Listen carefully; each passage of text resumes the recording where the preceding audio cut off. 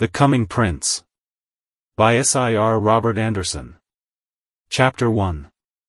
Introductory. T.O. Living men no time can be so solemn as the living present, whatever its characteristics, and that solemnity is immensely deepened in an age of progress unparalleled in the history of the world. But the question arises whether these days of ours are momentous beyond comparison, by reason of their being in the strictest sense the last? Is the world's history about to close? The sands of its destiny, are they almost run out, and is the crash of all things near at hand? Earnest thinkers will not allow the wild utterances of alarmists, or the vagaries of prophecy-mongers, to divert them from an inquiry at once so solemn and so reasonable. It is only the infidel who doubts that there is a destined limit to the course of this present evil world. That God will one day put forth his power to ensure the triumph of the good, is in some sense a matter of course. The mystery of revelation is not that he will do this, but that he delays to do it. Judged by the public facts around us, he is an indifferent spectator of the unequal struggle between good and evil upon earth. I considered all the oppressions that are done under the sun, and, behold, the tears of the oppressed, and they had no comforter, and on the side of their oppressors there was power, but they had no comforter. Ecclesiastes 4 verse 1, And how can such things be, if indeed the God who rules above is almighty and all good? Vice and godlessness and violence and wrong are rampant upon every side, and yet the heavens above keep silence. The infidel appeals to the fact in proof that the Christian's God is but a myth. The Christian finds in it a further proof that the God he worships is patient and long-suffering, patient because he is eternal, long-suffering because he is almighty, for wrath is a last resource with power. But the day is coming when our God shall come and shall not keep silence. Psalm 1 verse 3, This is not a matter of opinion, but of faith. He who questions it has no claim whatever to the name of Christian, for it is as essentially a truth of Christianity as is the record of the life and death of the Son of God. The old scriptures teem with it, and of all the writers of the New Testament there is not so much as one who does not expressly speak of it. It was the burden of the first prophetic utterance which Holy Writ records, Jude 14, and the closing book of the sacred canon, from the first chapter to the last, confirms and amplifies the testimony. The only inquiry, therefore, which concerns us relates to the nature of the crisis and the time of its fulfillment. And the key to this inquiry is the prophet Daniel's vision of the 70 weeks. Not that a right understanding of the prophecy will enable us to prophesy. That is not the purpose for which it was given. But it will prove a sufficient safeguard against error in the study. Notably it will save us from the follies into which false systems of prophetic chronology inevitably lead those who follow them. It is not in our time only that the end of the world has been predicted. It was looked for far more confidently at the beginning of the 6th century. All Europe rang with it in the days of Pope Gregory the Great. And at the end of the 10th century the apprehension of it amounted to a general panic. It was then frequently preached on, and by breathless crowds listened to, the subject of everyone's thoughts, everyone's conversation. Under this impression, multitudes innumerable, says Mosheim, having given their property to monasteries or churches, traveled to Palestine, where they expected Christ to descend to judgment. Others bound themselves by solemn oaths to be serfs to churches or to priests, in hopes of a milder sentence on them as being servants of Christ's servants.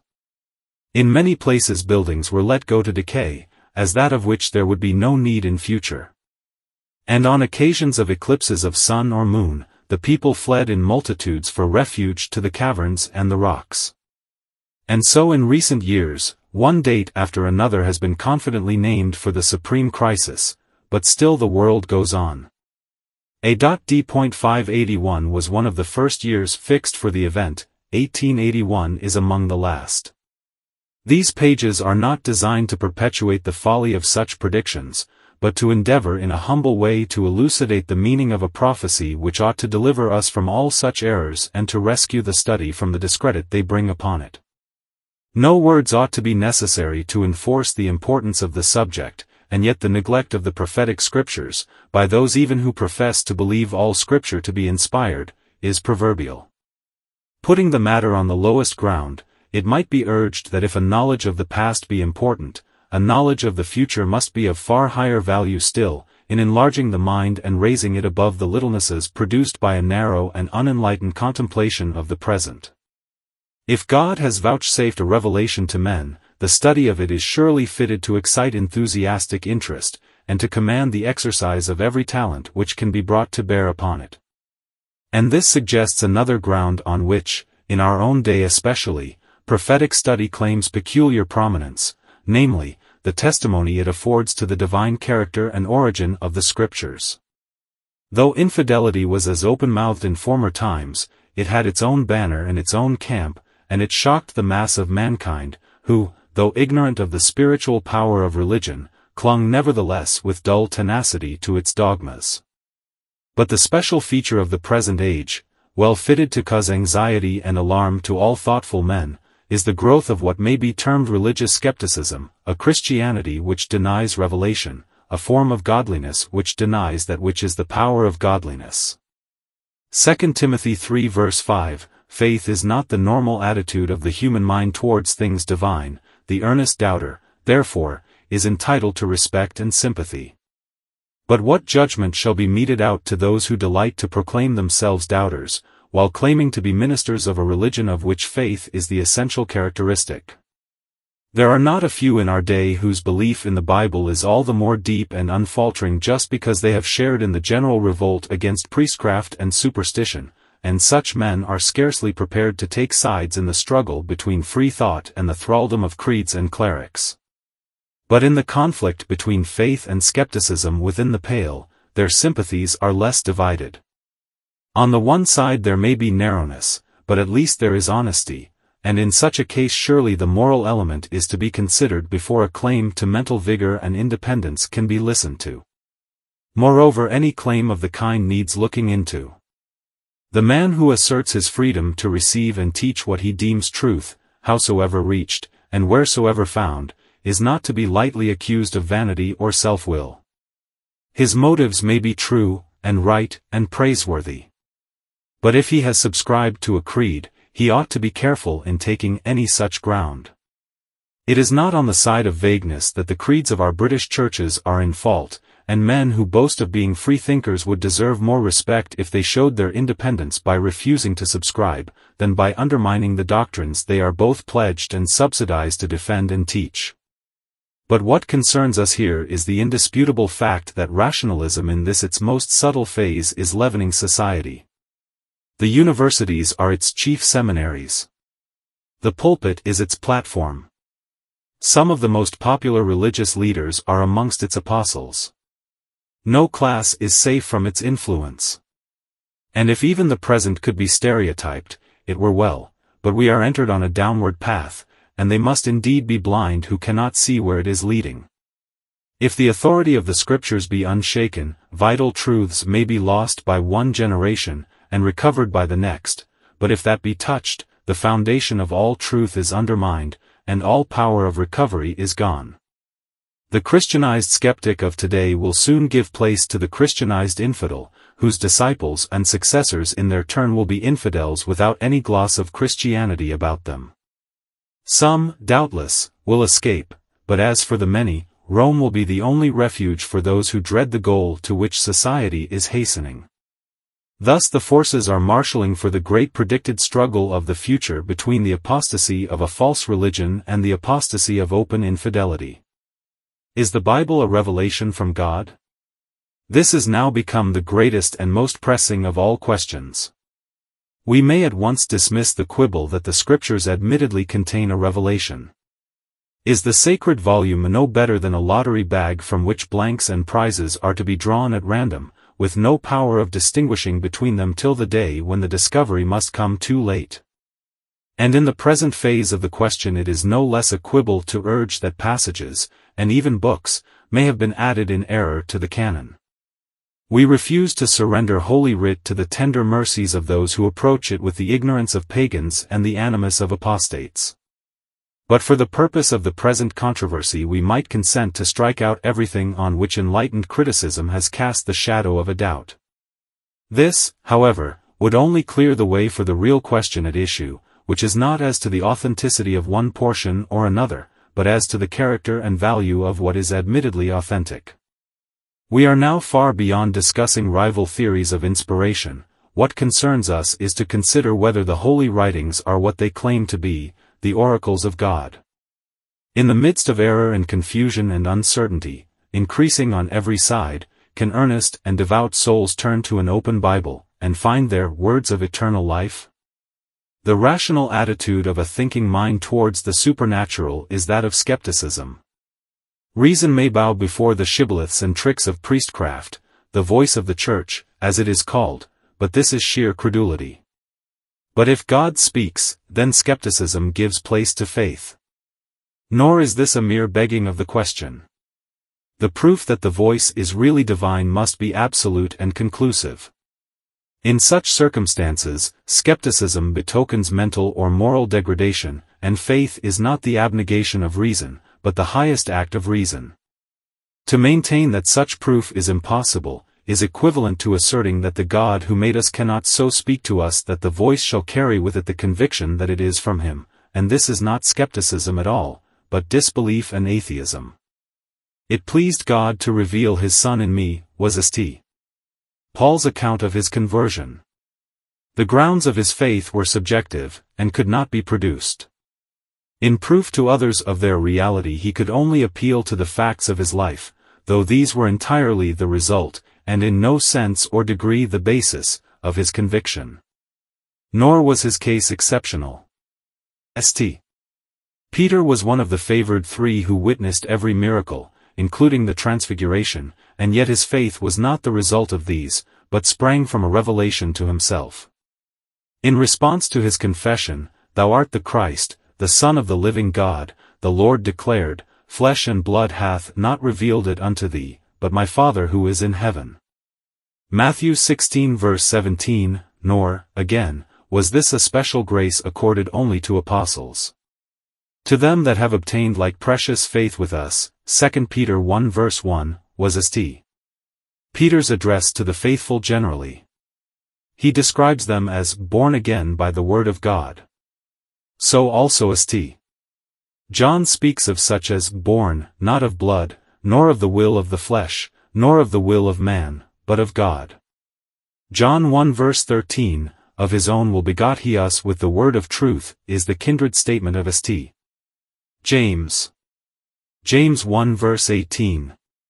Whatever be the meaning of such words, they must mean something more than arriving at a sound conclusion from sufficient premises, or accepting facts upon sufficient evidence. Nor will it avail to urge that this birth was merely the mental or moral change naturally caused by the truth thus attained by natural means. The language of the scripture is unequivocal that the power of the testimony to produce this change depended on the presence and operation of God. Pages might be filled with quotations to prove this, but two may surface. St. Peter declares they preached the gospel, with the Holy Ghost sent down from heaven, 1 Peter 1 verse 12, and St. Paul's words are still more definite. Our gospel came not, unto you in word only, but also in power and in the Holy Ghost.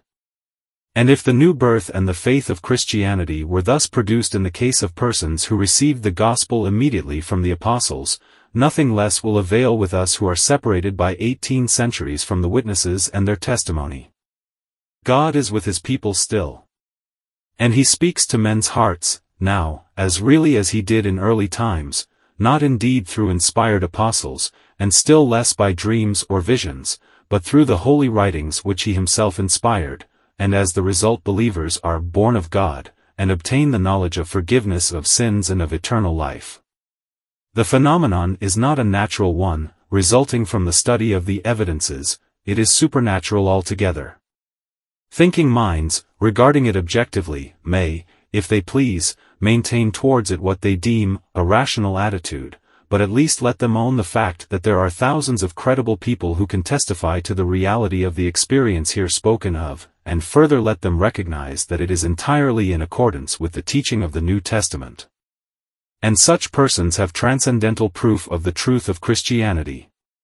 Their faith rests, not on the phenomena of their own experience, but on the great objective truths of revelation. Yet their primary conviction that these are divine truths does not depend on the evidences which skepticism delights to criticize, but on something which skepticism takes no account of. No book can be written in behalf of the Bible like the Bible itself. Man's defenses are man's word, they may help to beat off attacks, they may draw out some portion of its meaning. The Bible is God's word, and through it God the Holy Ghost, who spake it, speaks to the soul which closes not itself against it. But more than this, the well-instructed believer will find within it inexhaustible stores of proof that it is from God. The Bible is far more than a textbook of theology and morals, or even than a guide to heaven. It is the record of the progressive revelation God has vouchsafed to man, and the divine history of our race in connection with that revelation.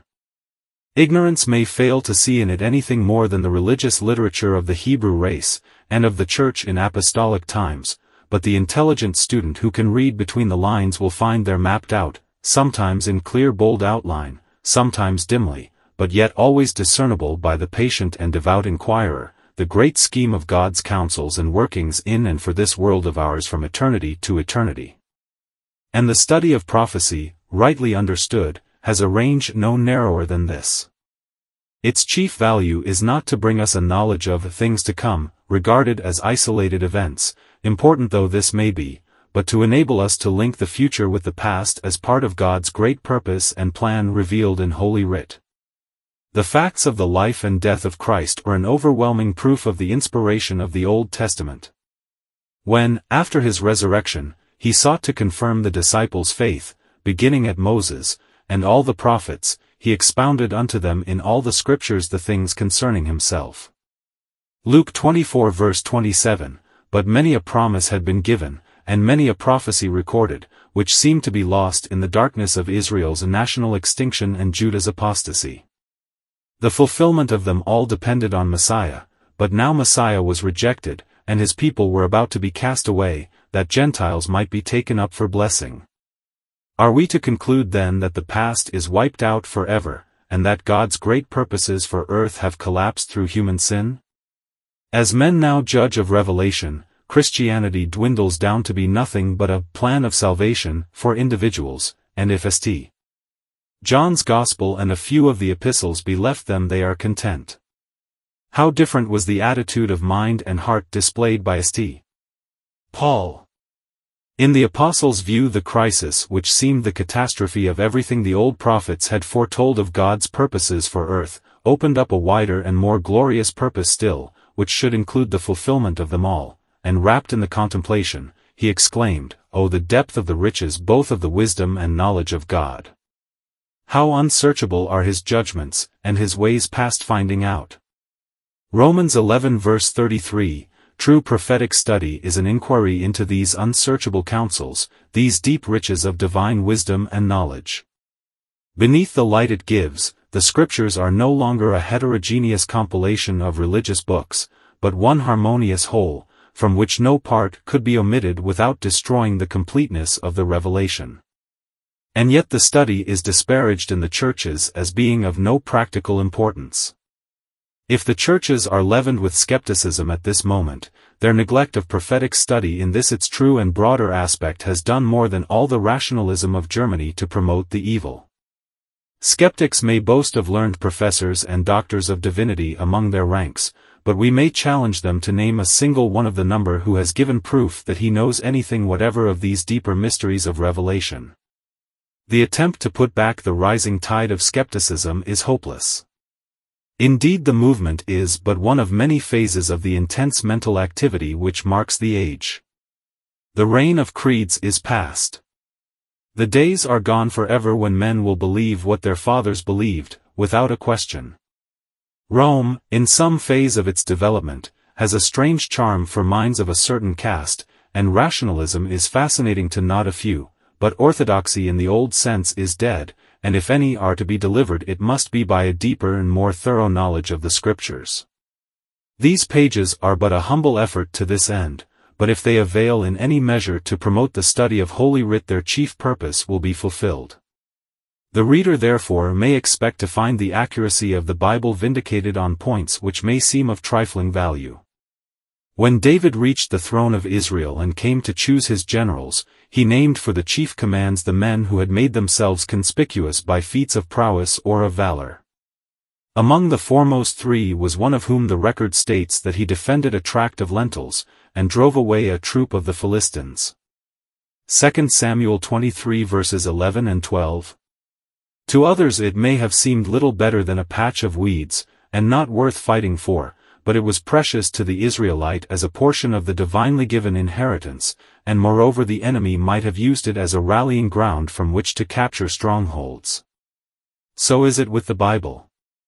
It is all of intrinsic value if indeed it be from God, and moreover, the statement which is assailed, and which may seem of no importance, may prove to be a link in the chain of truth on which we are depending for eternal life. Chapter 2 Daniel and His Times Daniel the Prophet None can have a higher title to the name, for it was thus Messiah spoke of him.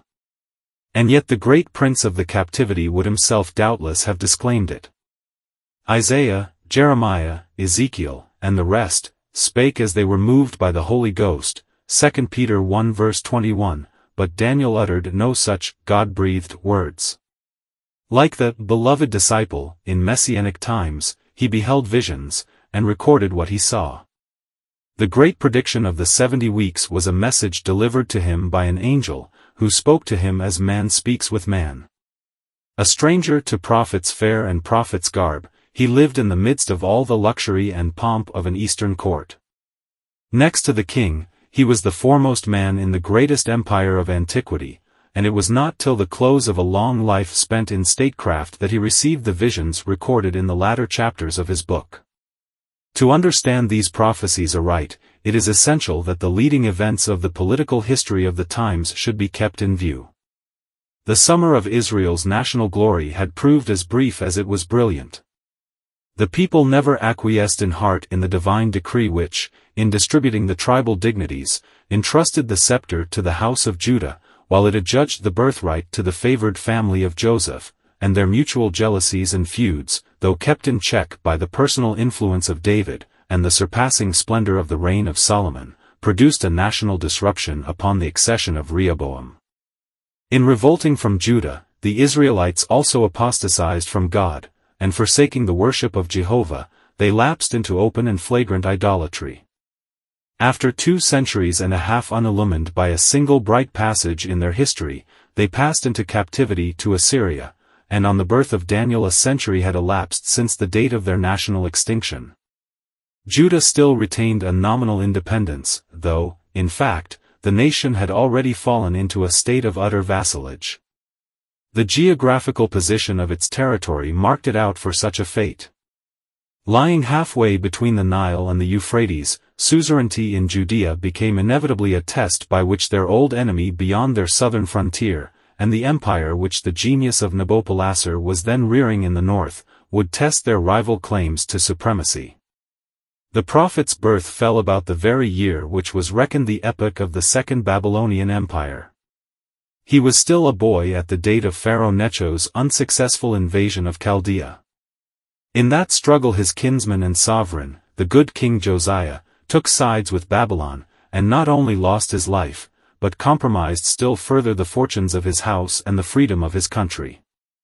2 Kings 23 verse 29, 2 Chronicles 35 verse 20, the public mourning for Josiah had scarcely ended when Pharaoh, on his homeward march, appeared before Jerusalem to assert his suzerainty by claiming a heavy tribute from the land and settling the succession to the throne.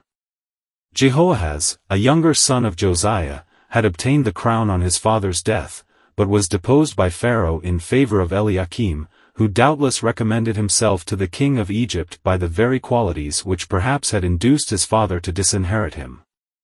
Pharaoh changed his name to Jehoiakim, and established him in the kingdom as a vassal of Egypt, 2 Kings 23 verses 33 to 35, 2 Chronicles 36 verses 3 and 4. In the third year after these events, Nebuchadnezzar, prince royal of Babylon, set out upon an expedition of conquest, in command of his father's armies, and entering Judea he demanded the submission of the king of Judah. After a siege of which history gives no particulars, he captured the city and seized the king as a prisoner of war. But Jehoiakim regained his liberty and his throne by pledging his allegiance to Babylon, and Nebuchadnezzar withdrew with no spoil except a part of the holy vessels of the temple, which he carried to the house of his God, and no captives save a few youths of the seed royal of Judah, Daniel being of the number, whom he selected to adorn his court as vassal princes. 2 Kings 24 verse 1, 2 Chronicles 36 verses 6 and 7, Daniel 1 verses 1 and 2, three years later Jehoiakim revolted, but, although during the rest of his reign his territory was frequently overrun by bands of the Chaldees, five years elapsed before the armies of Babylon returned to enforce the conquest of Judea. Jehoiachin, a youth of 18 years, who had just succeeded to the throne, at once surrendered with his family and retinue, 2 Kings 24 verse 12, and once more Jerusalem lay at the mercy of Nebuchadnezzar. On his first invasion he had proved magnanimous and lenient, but he had now not merely to assert supremacy but to punish rebellion. Accordingly he ransacked the city for everything of value, and carried away all Jerusalem, leaving none behind save the poorest sort of the people of the land. 2 Kings 24 verse 14, Jehoiachin's uncle Zedekiah was left as king or governor of the despoiled and depopulated city, having sworn by Jehovah to pay allegiance to his suzerain. This was King Jehoiachin's captivity, according to the era of the prophet Ezekiel, who was himself among the captives. Ezekiel 1 verse 2, the servitude to Babylon had been predicted as early as the days of Hezekiah, 2 Kings 20 verse 17, and after the fulfillment of Isaiah's prophecy respecting it, Jeremiah was charged with a divine message of hope to the captivity, that after seventy years were accomplished they would be restored to their land. Jeremiah 29 verse 10, But while the exiles were thus cheered with promises of good, King Zedekiah and the residue of Jerusalem that remained in the land were warned that resistance to the divine decree which subjected them to the yoke of Babylon would bring on them judgments far more terrible than any they had known. Nebuchadnezzar would return to destroy them utterly, and make their whole land a desolation and an astonishment. Jeremiah 24 verses 8 to 10, 25 verse 9, 27 to 3-8, false prophets rose up, however, to feed the national vanity by predicting the speedy restoration of their independence, Jeremiah 28 verses 1 to 4, and in spite of the solemn and repeated warnings and entreaties of Jeremiah, the weak and wicked king was deceived by their testimony, and having obtained a promise of armed support from Egypt, Ezekiel 17 verse 15, he openly revolted. Thereupon the Chaldean armies once more surrounded Jerusalem. Events seemed at first to justify Zedekiah's conduct, for the Egyptian forces hastened to his assistance, and the Babylonians were compelled to raise the siege and withdraw from Judea. Jeremiah 37 verses 1 and 5, 11, But this temporary success of the Jews served only to exasperate the king of Babylon, and to make their fate more terrible when at last it overtook them. Nebuchadnezzar determined to inflict a signal chastisement on the rebellious city and people, and placing himself at the head of all the forces of his empire, 2 Kings 25 verse 1, Jeremiah 34 verse 1, he once more invaded Judea and laid siege to the holy city. The Jews resisted with the blind fanaticism which a false hope inspires, and it is a signal proof of the natural strength of ancient Jerusalem, that for eighteen months, 2 Kings 25 verses 1 to 3, they kept their enemy at bay, and yielded at last to famine and not to force. The place was then given up to fire and sword. Nebuchadnezzar slew their young men with the sword in the house of their sanctuary, and had no compassion upon young man or maiden, old man, or him that stooped for age, he gave them all into his hand. And all the vessels of the house of God, great and small, and the treasures of the house of the Lord, and the treasures of the king and of his princes, all these he brought to Babylon.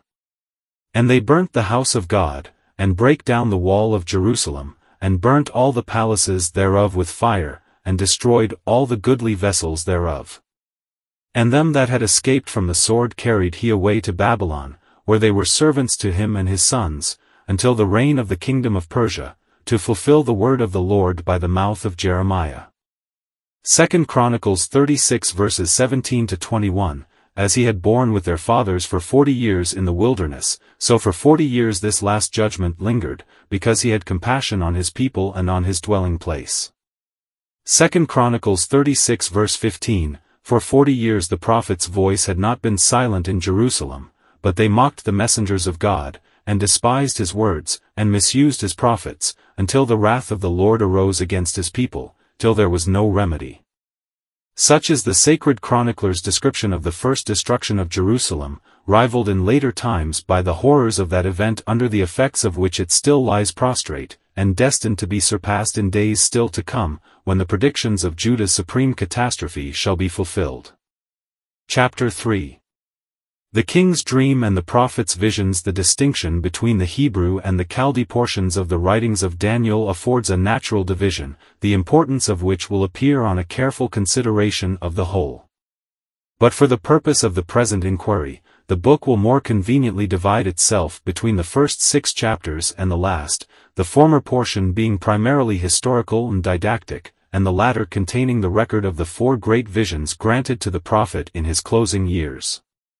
It is with the visions that here we are specially concerned. The narrative of the third, fourth, fifth, and sixth chapters is beyond the scope of these pages, as having no immediate bearing upon the prophecy. The second chapter, however, is of great importance, as giving the foundation of the later visions. In a dream, King Nebuchadnezzar saw a great image, of which the head was gold, the breasts and arms silver, the body brass, the legs iron, and the feet partly iron and partly potter's ware. Then a stone, hewn without hands, struck the feet of the image and it fell and crumbled to dust, and the stone became a great mountain and filled the whole earth. The interpretation is in these words, Thou, O King, art a King of kings, for the God of heaven hath given thee a kingdom, power, and strength and glory. And wheresoever the children of men dwell, the beasts of the field and the fowls of the heaven hath he given into thine hand, and hath made thee ruler over them all. Thou art this head of gold. And after thee shall arise another kingdom inferior to thee, and another third kingdom of brass, which shall bear rule over all the earth. And the fourth kingdom shall be strong as iron, forasmuch as iron breaketh in pieces and subdueth all things, and as iron that breaketh all these, shall it break in pieces and bruise. And whereas thou sawest the feet and toes part of potter's clay and part of iron, the kingdom shall be divided, but there shall be in it of the strength of the iron, forasmuch as thou sawest the iron mixed with miry clay. And as the toes of the feet were part of iron and part of clay, so the kingdom shall be partly strong, and partly broken. And whereas thou sawest iron mixed with miry clay, they shall mingle themselves with the seed of men, but they shall not cleave one to another, even as iron is not mixed with clay.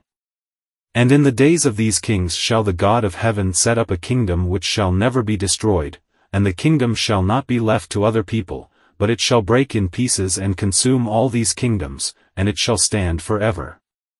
Forasmuch as thou sawest that the stone was cut out of the mountain without hands, and that it brake in pieces the iron, the brass, the clay, the silver, and the gold, the great God hath made known to the king what shall come to pass hereafter, and the dream is certain, and the interpretation thereof sure. Daniel 2 verses 37 to 45, the predicted sovereignty of Judah passed far beyond the limits of mere supremacy among the tribes of Israel. It was an imperial scepter which was entrusted to the son of David. I will make him my firstborn, higher than the kings of the earth. Psalm 89 verse 27, all things shall fall down before him, all nations shall serve him. Psalm 72 verse 11, such were the promises which Solomon inherited, and the brief glory of his reign gave proof how fully they might have been realized, 2 Chronicles 9 verses 22 to 28, had he not turned aside to folly, and bartered for present sensual pleasures the most splendid prospects which ever opened before mortal man. Nebuchadnezzar's dream of the great image, and Daniel's vision in interpretation of that dream, were a divine revelation that the forfeited scepter of the house of David had passed to Gentile hands, to remain with them until the day when the God of heaven shall set up a kingdom which shall never be destroyed. Daniel 2 verse 44, it is unnecessary here to discuss in detail the earlier portions of this prophecy. There is, in fact, no controversy as to its general character and scope, and bearing in mind the distinction between what is doubted and what is doubtful, there need be no controversy as to the identity of the empires therein described with Babylonia, Persia, Greece, and Rome. That the first was Nebuchadnezzar's kingdom is definitely stated, Daniel 2 verses 37 and 38, and a later vision as expressly names the Medo-Persian Empire and the Empire of Alexander as being distinct kingdoms within the range of the prophecy. Daniel 8 verses 20 and 21, the Fourth Empire, therefore, must of necessity be Rome. But it is sufficient here to emphasize the fact, revealed in the plainest terms to Daniel in his exile, and to Jeremiah in the midst of the troubles at Jerusalem, that thus the sovereignty of the earth, which had been forfeited by Judah, was solemnly committed to the Gentiles. The only questions which arise relate, first to the character of the final catastrophe symbolized by the fall and destruction of the image, and secondly to the time of its fulfillment, and any difficulties which have been raised depend in no way upon the language of the prophecy, but solely upon the preconceived views of interpreters. No Christian doubts that the stone cut out without hands was typical either of Christ himself or of his kingdom. It is equally clear that the catastrophe was to occur when the Fourth Empire should have become divided, and be partly strong and partly brittle. Therefore its fulfillment could not belong to the time of the First Advent. No less clear is it that its fulfillment was to be a sudden crisis, to be followed by the establishment of a kingdom which shall never be destroyed. Therefore it relates to events still to come. We are dealing here, not with prophetic theories, but with the meaning of plain words, and what the prophecy foretells is not the rise and spread of a spiritual kingdom in the midst of earthly kingdoms, but the establishment of a kingdom which shall break in pieces and consume all these kingdoms. The interpretation of the royal dream raised the captive exile at a single bound to the grand viziership of Babylon, Daniel 2 verse 48, a position of trust and honor which probably he held until he was either dismissed or withdrew from office under one or other of the two last kings who succeeded to Nebuchadnezzar's throne. The scene on the fatal night of Belshazzar's feast suggests that he had been then so long in retirement, that the young king regent knew nothing of his fame. But yet his fame was still so great with older men, that notwithstanding his failing years, he was once more called to the highest office by Darius, when the Median king became master of the broad-walled city.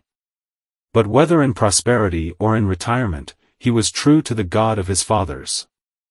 The years in which his childhood in Jerusalem was spent, though politically dark and troubled, were a period of the brightest spiritual revival by which his nation had ever been blessed, and he had carried with him to the court of Nebuchadnezzar a faith and piety that withstood all the adverse influences which abounded in such a scene. The Daniel of the second chapter was a young man just entering on a career of extraordinary dignity and power, such as few have ever known. The Daniel of the seventh chapter was an aged saint, who, having passed through the ordeal scathless, still possessed a heart as true to God and to his people as when, some threescore years before, he had entered the gates of the broad-walled city a captive and friendless stranger. The date of the earlier vision was about the time of Jehoiakim's revolt, when their ungovernable pride of race and creed still led the Jews to dream of independence. At the time of the later vision more than forty years had passed since Jerusalem had been laid in ruins, and the last king of the house of David had entered the brazen gates of Babylon in chains. Here again the main outlines of the prophecy seem clear. As the four empires which were destined successively to wield sovereign power during the times of the Gentiles, are represented in Nebuchadnezzar's dream by the four divisions of the great image, they are here typified by four wild beasts. The ten toes of the image in the second chapter have their correlatives in the ten horns of the fourth beast in the seventh chapter. The character and course of the fourth empire are the prominent subject of the later vision, but both prophecies are equally explicit that that empire in its ultimate phase will be brought to a signal and sudden end by a manifestation of divine power on earth. The details of the vision, though interesting and important, may here be passed unnoticed, for the interpretation given of them is so simple and so definite that the words can leave no room for doubt in any unprejudiced mind. These great beasts, which are four, are four kings, i.e., kingdoms, compare verse 23, which shall arise out of the earth, but the saints of the Most High shall take the kingdom and possess the kingdom forever. Verses 17, 18, the prophet then proceeds to recapitulate the vision, and his language affords an explicit answer to the only question which can reasonably be raised upon the words just quoted, namely, whether the kingdom of the saints shall follow immediately upon the close of the fourth Gentile empire. Then, he adds, would know the truth of the fourth beast, which was diverse from all the others, exceeding dreadful, whose teeth were of iron, and his nails of brass, which devoured, brake in pieces, and stamped the residue with his feet, and of the ten horns that were in his head, and of the other which came up, and before whom three fell, even of that horn that had eyes, and a mouth that spake very great things, whose look was more stout than his fellows. I beheld, and the same horn made war with the saints, and prevailed against them, until the Ancient of Days came, and judgment was given to the saints of the Most High, and the time came that the saints possessed the kingdom. Such was the prophet's inquiry. Here is the interpretation accorded to him in reply. The fourth beast shall be the fourth kingdom upon earth, which shall be diverse from all kingdoms, and shall devour the whole earth, and shall tread it down, and break it in pieces. And the ten horns out of this kingdom are ten kings that shall arise, and another shall arise after them, and he shall be diverse from the first, and he shall subdue three kings.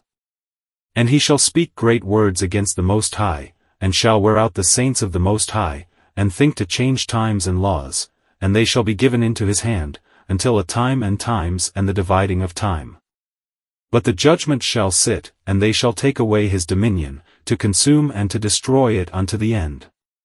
And the kingdom and dominion, and the greatness of the kingdom under the whole heaven, shall be given to the people of the saints of the Most High, whose kingdom is an everlasting kingdom, and all dominions shall serve and obey him.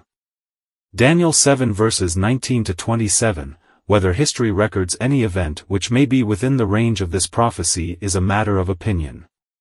That it has not been fulfilled is a plain matter of fact. The Roman earth shall one day be parceled out in ten separate kingdoms, and out of one of these shall arise that terrible enemy of God and his people, whose destruction is to be one of the events of the second advent of Christ. Chapter 4 The vision by the river of Ulai the times of the Gentiles, thus it was that Christ himself described the era of Gentile supremacy. Men have come to regard the earth as their own domain, and to resent the thought of divine interference in their affairs. But though monarchs seem to owe their thrones to dynastic claims, the sword or the ballot box, and in their individual capacity their title may rest solely upon these, the power they wield is divinely delegated, for the Most High ruleth in the kingdom of men, and giveth it to whomsoever he will. Daniel 4 verse 25, in the exercise of this high prerogative he took back the scepter he had entrusted to the house of David, and transferred it to Gentile hands, and the history of that scepter during the entire period, from the epoch to the close of the times of the Gentiles, is the subject of the prophet's earlier visions. The vision of the eighth chapter of Daniel has a narrower range. It deals only with the two kingdoms which were represented by the middle portion, or arms and body, of the image of the second chapter. The Medo-Persian Empire, and the relative superiority of the younger nation, are represented by a ram with two horns, one of which was higher than the other, though the last to grow. And the rise of the Grecian Empire under Alexander, followed by its division among his four successors, is typified by a goat with a single horn between its eyes, which horn was broken and gave place to four horns that came up instead of it. Out of one of these horns came forth a little horn, representing a king who should become infamous as a blasphemer of God and a persecutor of his people. That the career of Antiochus Epiphanes was in a special way within the scope and meaning of this prophecy is unquestioned.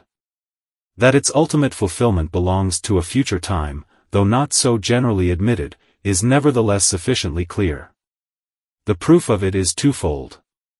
First, it cannot but be recognized that its most striking details remain wholly unfulfilled. And secondly, the events described are expressly stated to be, in the last end of the indignation, Daniel 8 verse 19, which is, the great tribulation, of the last days, Matthew 24 verse 21, the time of trouble, which is immediately to precede the complete deliverance of Judah. It is unnecessary, however, further to embarrass the special subject of these pages by any such discussion. So far as the present inquiry is immediately concerned, this vision of the ram and the he-goat is important mainly as explanatory of the visions which precede it. One point of contrast with the prophecy of the fourth Gentile kingdom demands a very emphatic notice. The vision of Alexander's reign, followed by the fourfold division of his empire, suggests a rapid sequence of events, and the history of the three and thirty years that intervened between the battles of Issus and of Ipsus comprises the full realization of the prophecy. But the rise of the ten horns upon the fourth beast in the vision of the seventh chapter, appears to lie within as brief a period as was the rise of the four horns upon the goat in the eighth chapter, whereas it is plain upon the pages of history that this tenfold division of the Roman Empire has never yet taken place. A definite date may be assigned to the advent of the first three kingdoms of prophecy, and if the date of the Battle of Actium be taken as the epoch of the hybrid monster which filled the closing scenes of the prophet's vision, and no later date will be assigned to it, it follows that in interpreting the prophecy, we may eliminate the history of the world from the time of Augustus to the present hour, without losing the sequence of the vision. Or in other words, the prophet's glance into the future entirely overlooked these 19 centuries of our era. As when mountain peaks stand out together on the horizon, seeming almost to touch, albeit a wide expanse of river and field and hill may lie between, so there loomed upon the prophet's vision these events of times now long gone by, and times still future. And with the New Testament in our hands, it would betray strange and wilful ignorance if we doubted the deliberate design which has left this long interval of our Christian era a blank in Daniel's prophecies. The more explicit revelation of the ninth chapter, measures out the years before the first advent of Messiah. But if these 19 centuries had been added to the chronology of the period to intervene before the promised kingdom could be ushered in, how could the Lord have taken up the testimony to the near fulfillment of these very prophecies, and have proclaimed that the kingdom was at hand? He who knows all hearts, knew well the issue, but the thought is impious that the proclamation was not genuine and true in the strictest sense, and it would have been deceptive and untrue had prophecy foretold a long interval of Israel's rejection before the promise could be realized. Therefore it is that the two advents of Christ are brought seemingly together in Old Testament scriptures. The surface currents of human responsibility and human guilt are unaffected by the changeless and deep-lying tide of the foreknowledge and sovereignty of God. Their responsibility was real, and their guilt was without excuse, who rejected their long-promised King and Savior. They were not the victims of an inexorable fate which dragged them to their doom, but free agents who used their freedom to crucify the Lord of glory. His blood be on us and on our children, was their terrible, impious cry before the judgment seat of Pilate, and for eighteen centuries their judgment has been meted out to them, to reach its appalling climax on the advent of the time of trouble such as never was since there was a nation. These visions were full of mystery to Daniel, and filled the old prophet's mind with troubled thoughts. Daniel 7 verse 28, 827, a long vista of events seemed thus to intervene before the realization of the promised blessings to his nation, and yet these very revelations made those blessings still more sure. Ere long he witnessed the crash of the Babylonian power, and saw a stranger enthroned within the broad-walled city. But the change brought no hope to Judah. Daniel was restored, indeed, to the place of power and dignity which he had held so long under Nebuchadnezzar, Daniel 2 verse 48, 6 colon 2, but he was none the less in exile, his people were in captivity, their city lay in ruins, and their land was a wilderness. And the mystery was only deepened when he turned to Jeremiah's prophecy, which fixed at seventy years the destined era of the desolations of Jerusalem, Daniel 9 verse 2, so, by prayer and supplications, with fastings, and sackcloth and ashes, he cast himself on God, as a prince among his people, confessing their national apostasy, and pleading for their restoration and forgiveness. And who can read that prayer unmoved? O Lord, according to all thy righteousness, I beseech thee, let thine anger and thy fury be turned away from thy city Jerusalem, thy holy mountain, because for our sins, and for the iniquities of our fathers, Jerusalem and thy people are become a reproach to all that are about us. Now, therefore, O our God, hear the prayer of thy servant, and his supplications, and cause thy face to shine upon thy sanctuary that is desolate, for the Lord's sake. O my God, incline thine ear, and hear, open thine eyes, and behold our desolations, and the city which is called by thy name, for we do not present our supplications before thee for our righteousnesses, but for thy great mercies. O Lord, hear, O Lord, forgive, O Lord, hearken and do, defer not, for thine own sake, O my God, for thy city and thy people are called by thy name, Daniel 9 verses 26 to 29. While Daniel was thus speaking in prayer Gabriel once more appeared to him, Daniel 9 verse 21, see chap 8:16, that same angel messenger who heralded in after times the Saviour's birth in Bethlehem, and in answer to his supplication, delivered to the prophet the great prediction of the seventy weeks. Chapter 5 The angel's message, seventy weeks are decreed upon thy people and upon thy holy city, to finish transgression, and to make an end of sins, and to make reconciliation for iniquity, and to bring in everlasting righteousness, and to seal up vision and prophecy, and to anoint the most holy. Know therefore and discern, that from the going forth of the commandment to restore and to build Jerusalem, unto the Messiah the Prince, shall be seven weeks, and threescore and two weeks, it shall be built again, with street and moat, even in troublous times. And after the threescore and two weeks shall Messiah be cut off, and shall have nothing, and the people of the prince that shall come shall destroy the city and the sanctuary, and his end thereof shall be with a flood, and even unto the end shall be war, desolations are determined. And he shall make a firm covenant with many for one week, and for the half of the week he shall cause the sacrifice and the oblation to cease, and upon the wing of abominations shall come one that mocketh desolate, even until the consummation, and that determined, shall wrath be poured out upon the desolator. Daniel 9 24 27.r.v, see marginal readings. Such was the message entrusted to the angel in response to the prophet's prayer for mercies upon Judah and Jerusalem. To whom shall appeal be made for an interpretation of the utterance? Not to the Jew, surely, for though himself the subject of the prophecy, and of all men the most deeply interested in its meaning, he is bound, in rejecting Christianity, to falsify not only history, but his own scriptures. Nor yet to the theologian who has prophetic theories to vindicate, and who on discovering, perhaps, some era of 7 times 70 in Israel's history, concludes that he has solved the problem, ignoring the fact that the strange history of that wonderful people is marked through all its course by chronological cycles of 70 and multiples of 70.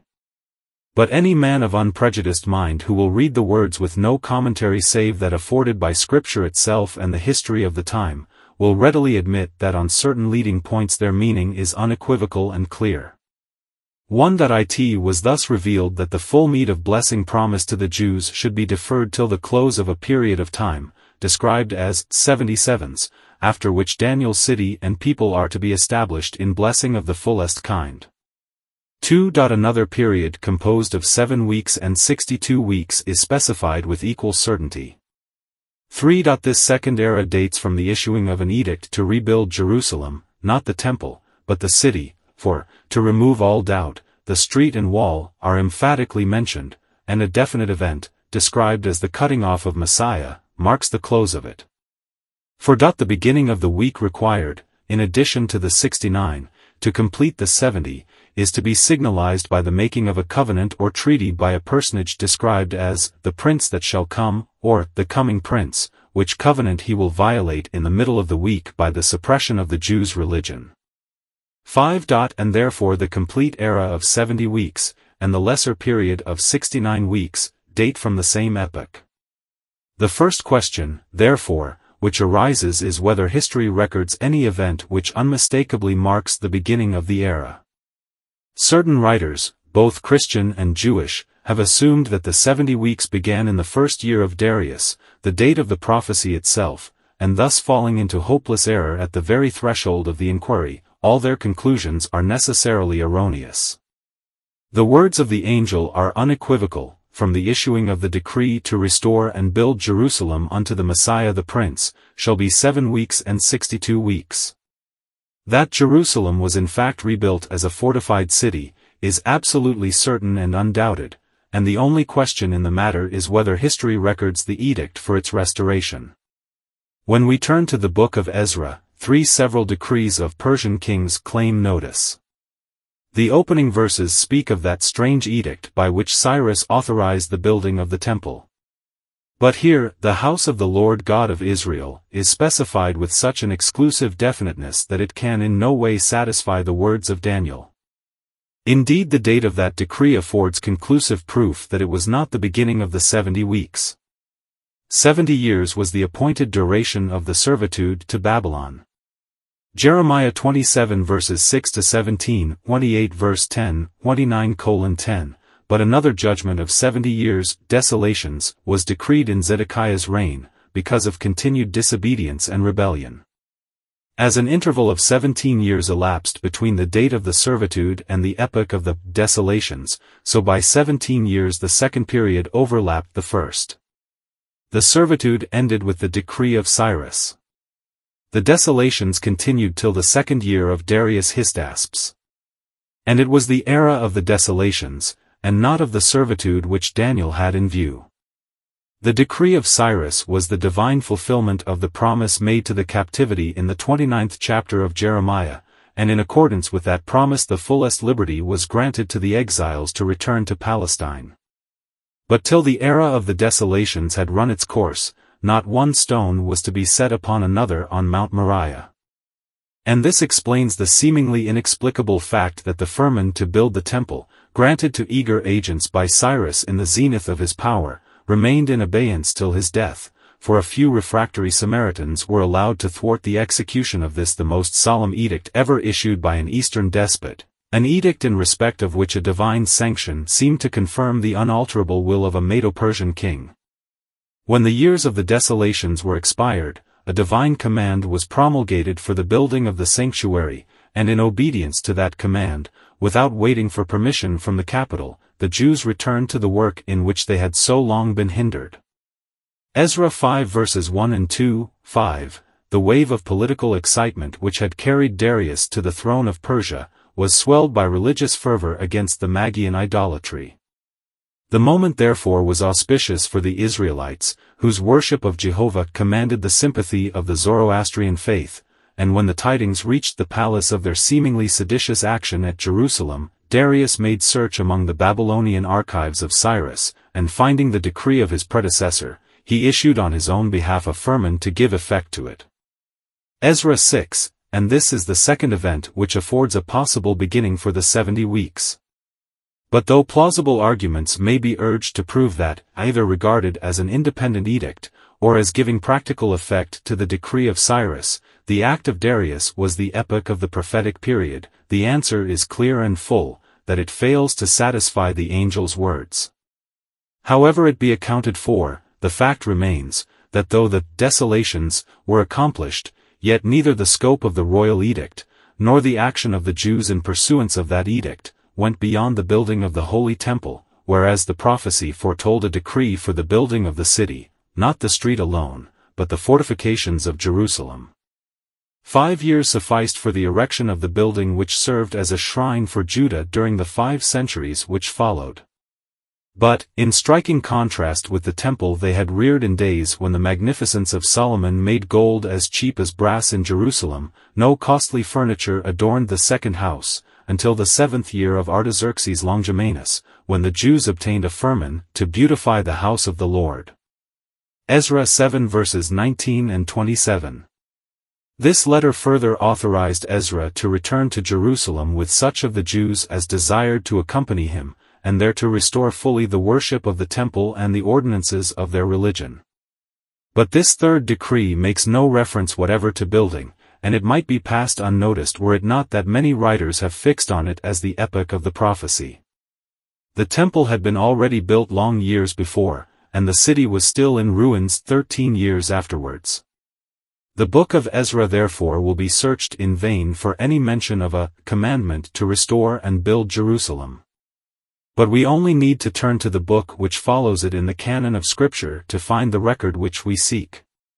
The book of Nehemiah opens by relating that while at Susa, where he was cupbearer to the great king, an honor of no small account in Persia, certain of his brethren arrived from Judea, and he asked them concerning the Jews that had escaped, which were left of the captivity, and concerning Jerusalem.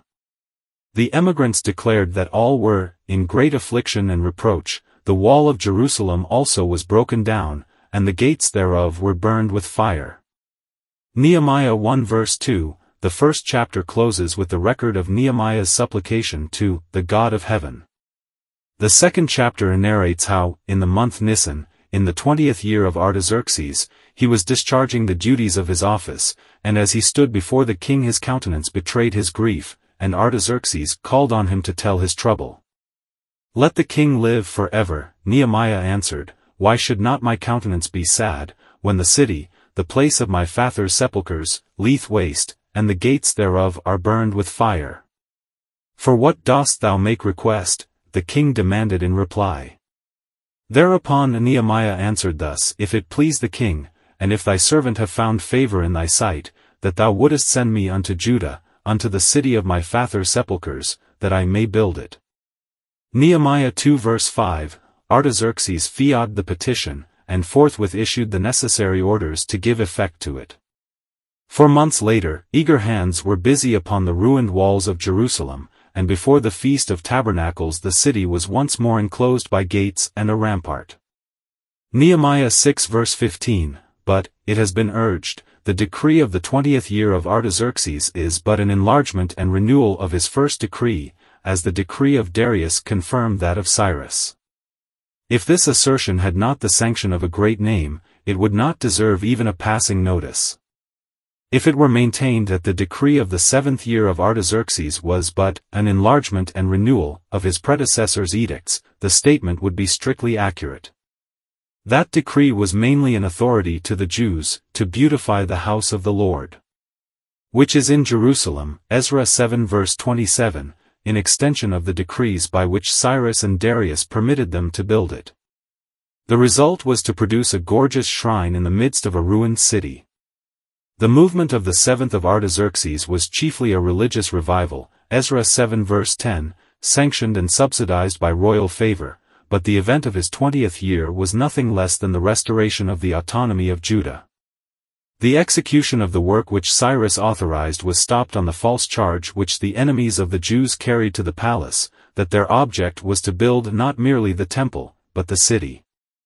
A rebellious city, it had ever proved to each successive suzerain, for which cause, they declared with truth, its destruction was decreed. We certify the king, they added, that if this city be builded again, and the walls thereof set up, thou shalt have no portion on this side the river. To allow the building of the temple was merely to accord to a conquered race the right to worship according to the law of their God, for the religion of the Jew knows no worship apart from the hill of Zion.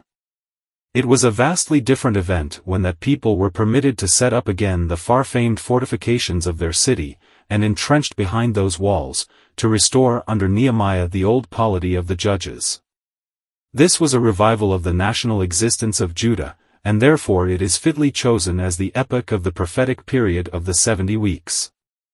The doubt which has been raised upon the point may serve as an illustration of the extraordinary bias which seems to govern the interpretation of Scripture, in consequence of which the plain meaning of words is made to give place to the remote and the less probable. And to the same cause must be attributed the doubt which some have suggested as to the identity of the king here spoken of with Artaxerxes Longimanus. The question remains, whether the date of this edict can be accurately ascertained. And here a most striking fact claims notice. In the sacred narrative the date of the event which marked the beginning of the 70 weeks is fixed only by reference to the regnal era of a Persian king. Therefore we must needs turn to secular history to ascertain the epoch, and history dates from this very period. Herodotus, the father of history, was the contemporary of Artaxerxes, and visited the Persian court. Thucydides, the prince of historians, also was his contemporary.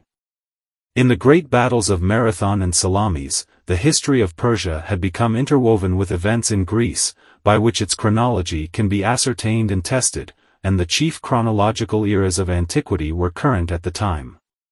No element is wanting, therefore, to enable us with accuracy and certainty to fix the date of Nehemiah's edict.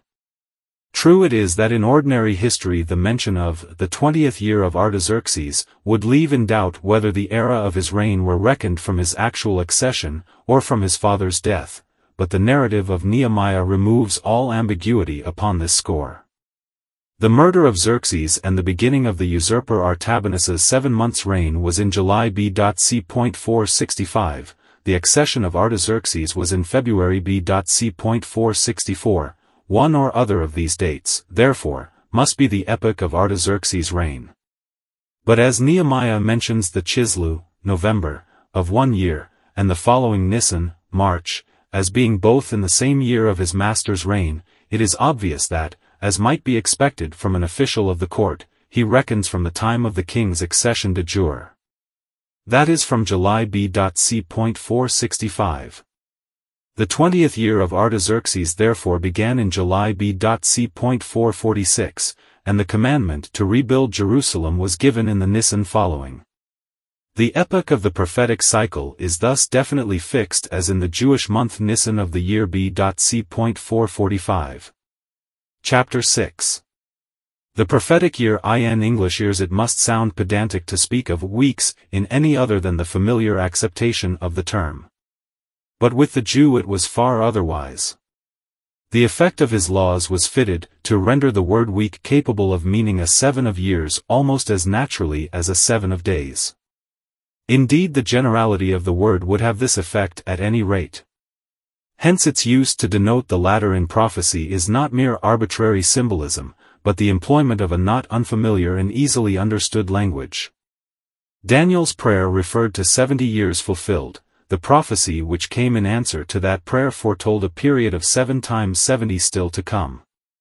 But here a question arises which never has received sufficient notice in the consideration of this subject. None will doubt that the era is a period of years, but of what kind of year is it composed? That the Jewish year was lunisolar appears to be reasonably certain. If tradition may be trusted, Abraham preserved in his family the year of 360 days, which he had known in his Chaldean home. The month dates of the flood, 150 days being specified as the interval between the 17th day of the second month, and the same day of the seventh month, appear to show that this form of year was the earliest known to our race.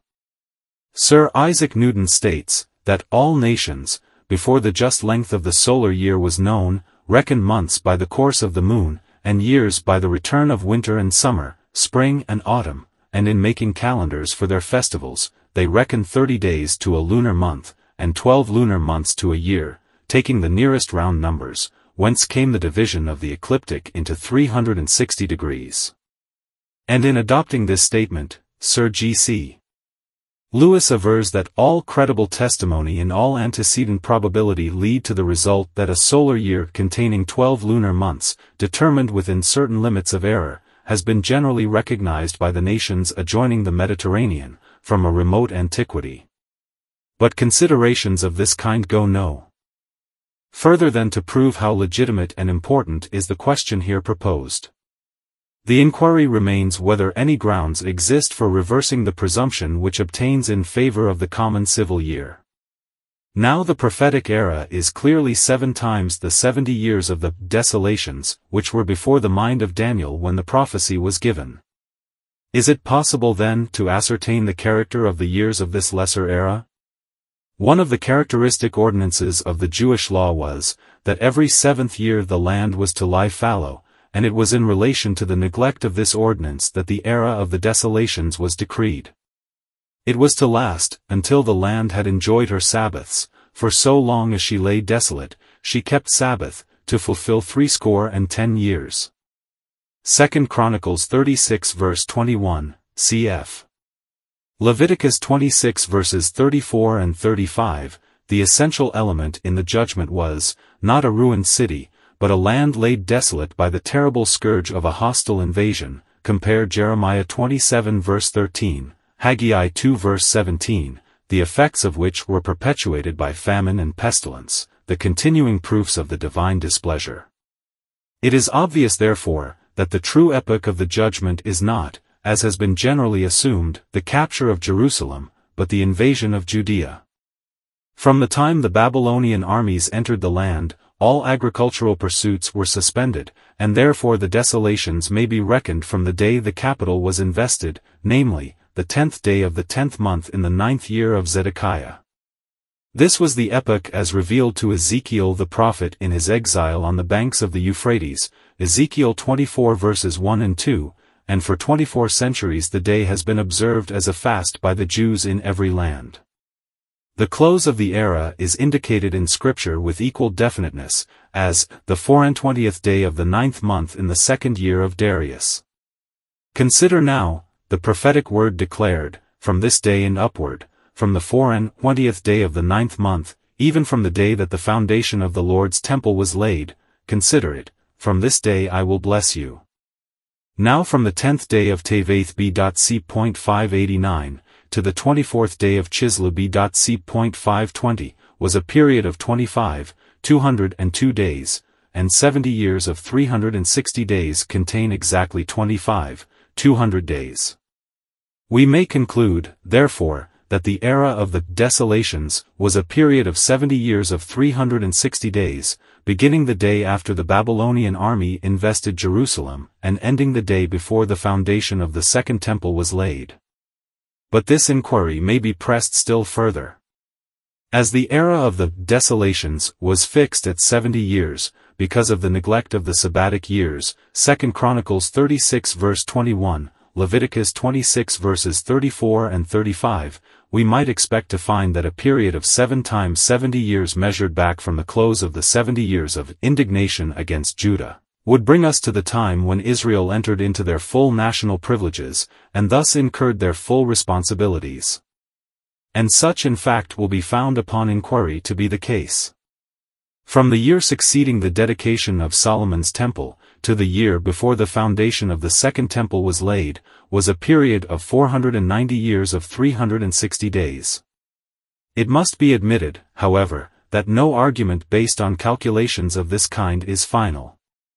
The only data which would warrant our deciding unreservedly that the prophetic year consists of 360 days, would be to find some portion of the era subdivided into the days of which it is composed. No other proof can be wholly satisfactory, but if this be forthcoming, it must be absolute and conclusive. And this is precisely what the book of the Revelation gives us. As already noticed, the prophetic era is divided into two periods, the one of 7 plus 62 heptades, the other of a single heptade.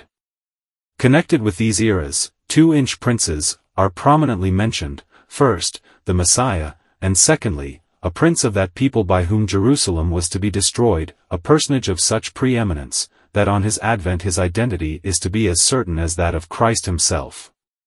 The first era closes with the cutting off of Messiah, the beginning of the second era dates from the signature of a covenant, or treaty, by this second prince, with or perhaps in favor of the many, that is the Jewish nation, as distinguished probably from a section of pious persons among them who will stand aloof.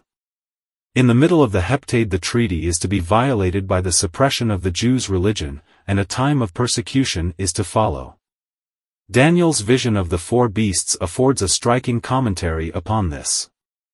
The identity of the fourth beast with the Roman Empire is not doubtful, and we read that a king is to arise, territorially connected with that empire, but historically belonging to a later time, he will be a persecutor of the saints of the Most High, and his fall is to be immediately followed by the fulfillment of divine blessings upon the favored people, the precise event which marks the close of the seventy weeks.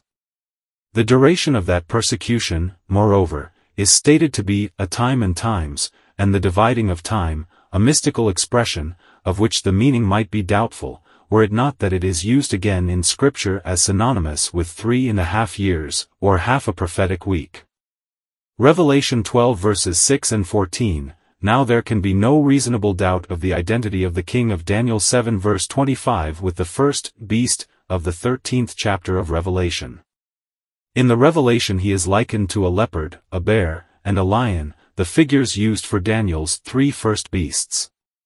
In Daniel there are ten kingdoms, represented by ten horns. So also in Revelation.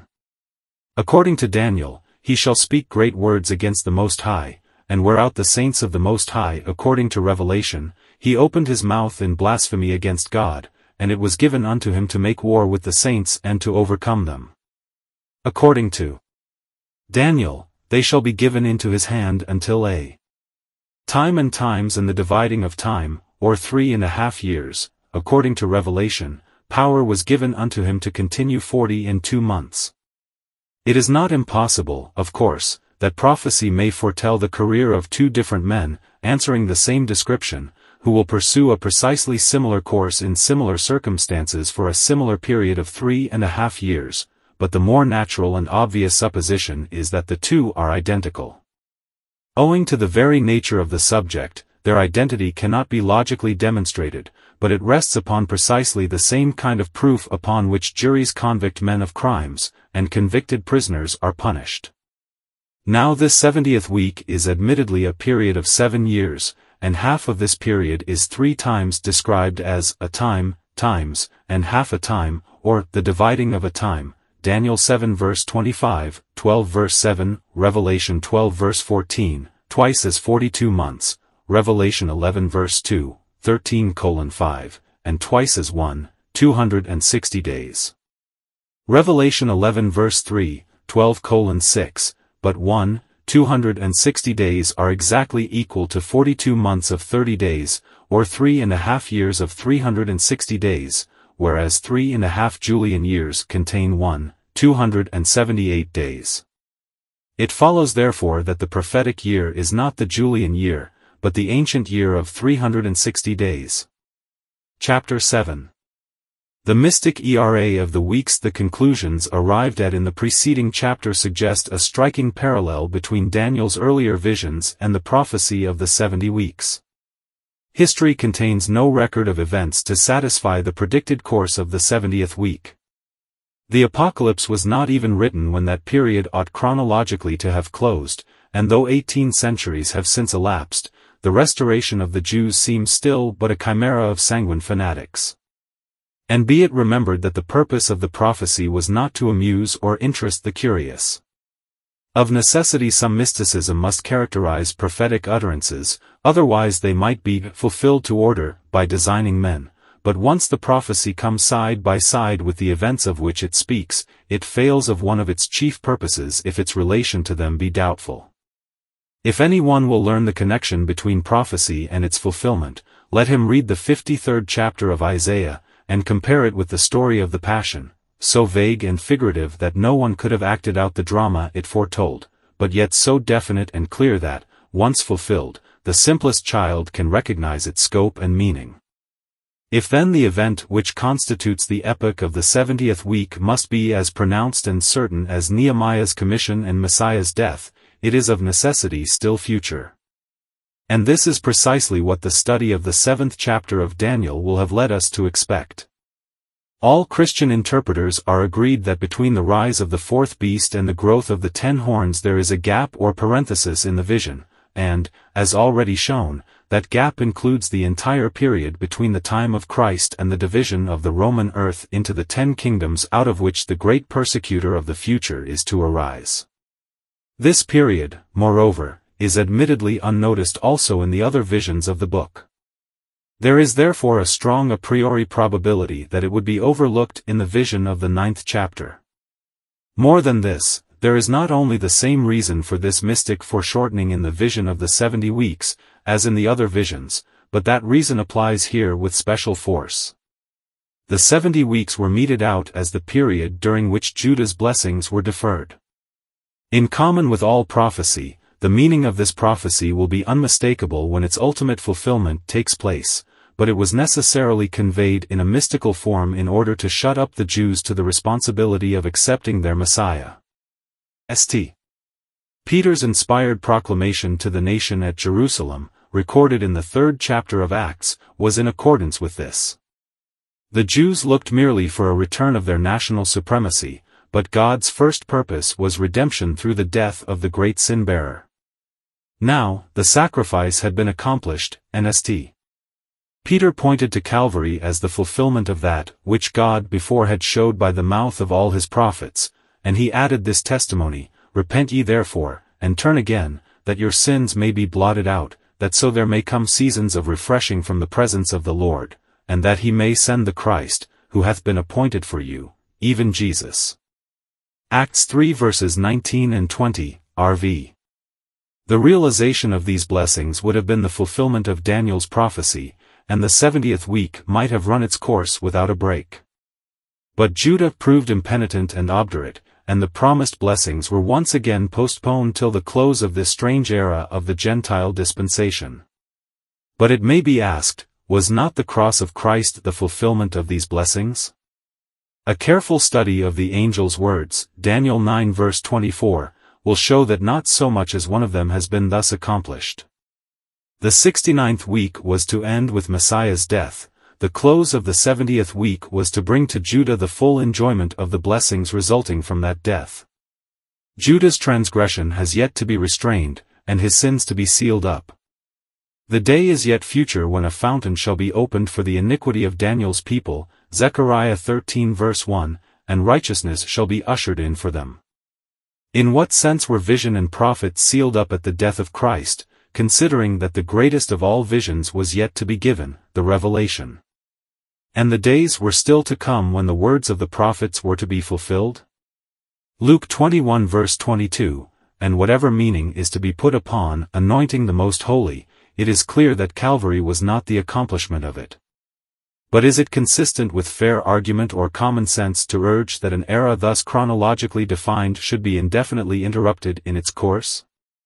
The ready answer might be given, that if common sense and fairness, if human judgment, is to decide the question, the only doubt must be whether the final period of the cycle, and the blessings promised at its close, be not forever abrogated and lost by reason of the appalling guilt of that people who killed the Prince of Life. Acts 3 verse 15, there exists surely no presumption against supposing that the stream of prophetic time is tided back during all this interval of the apostasy of Judah.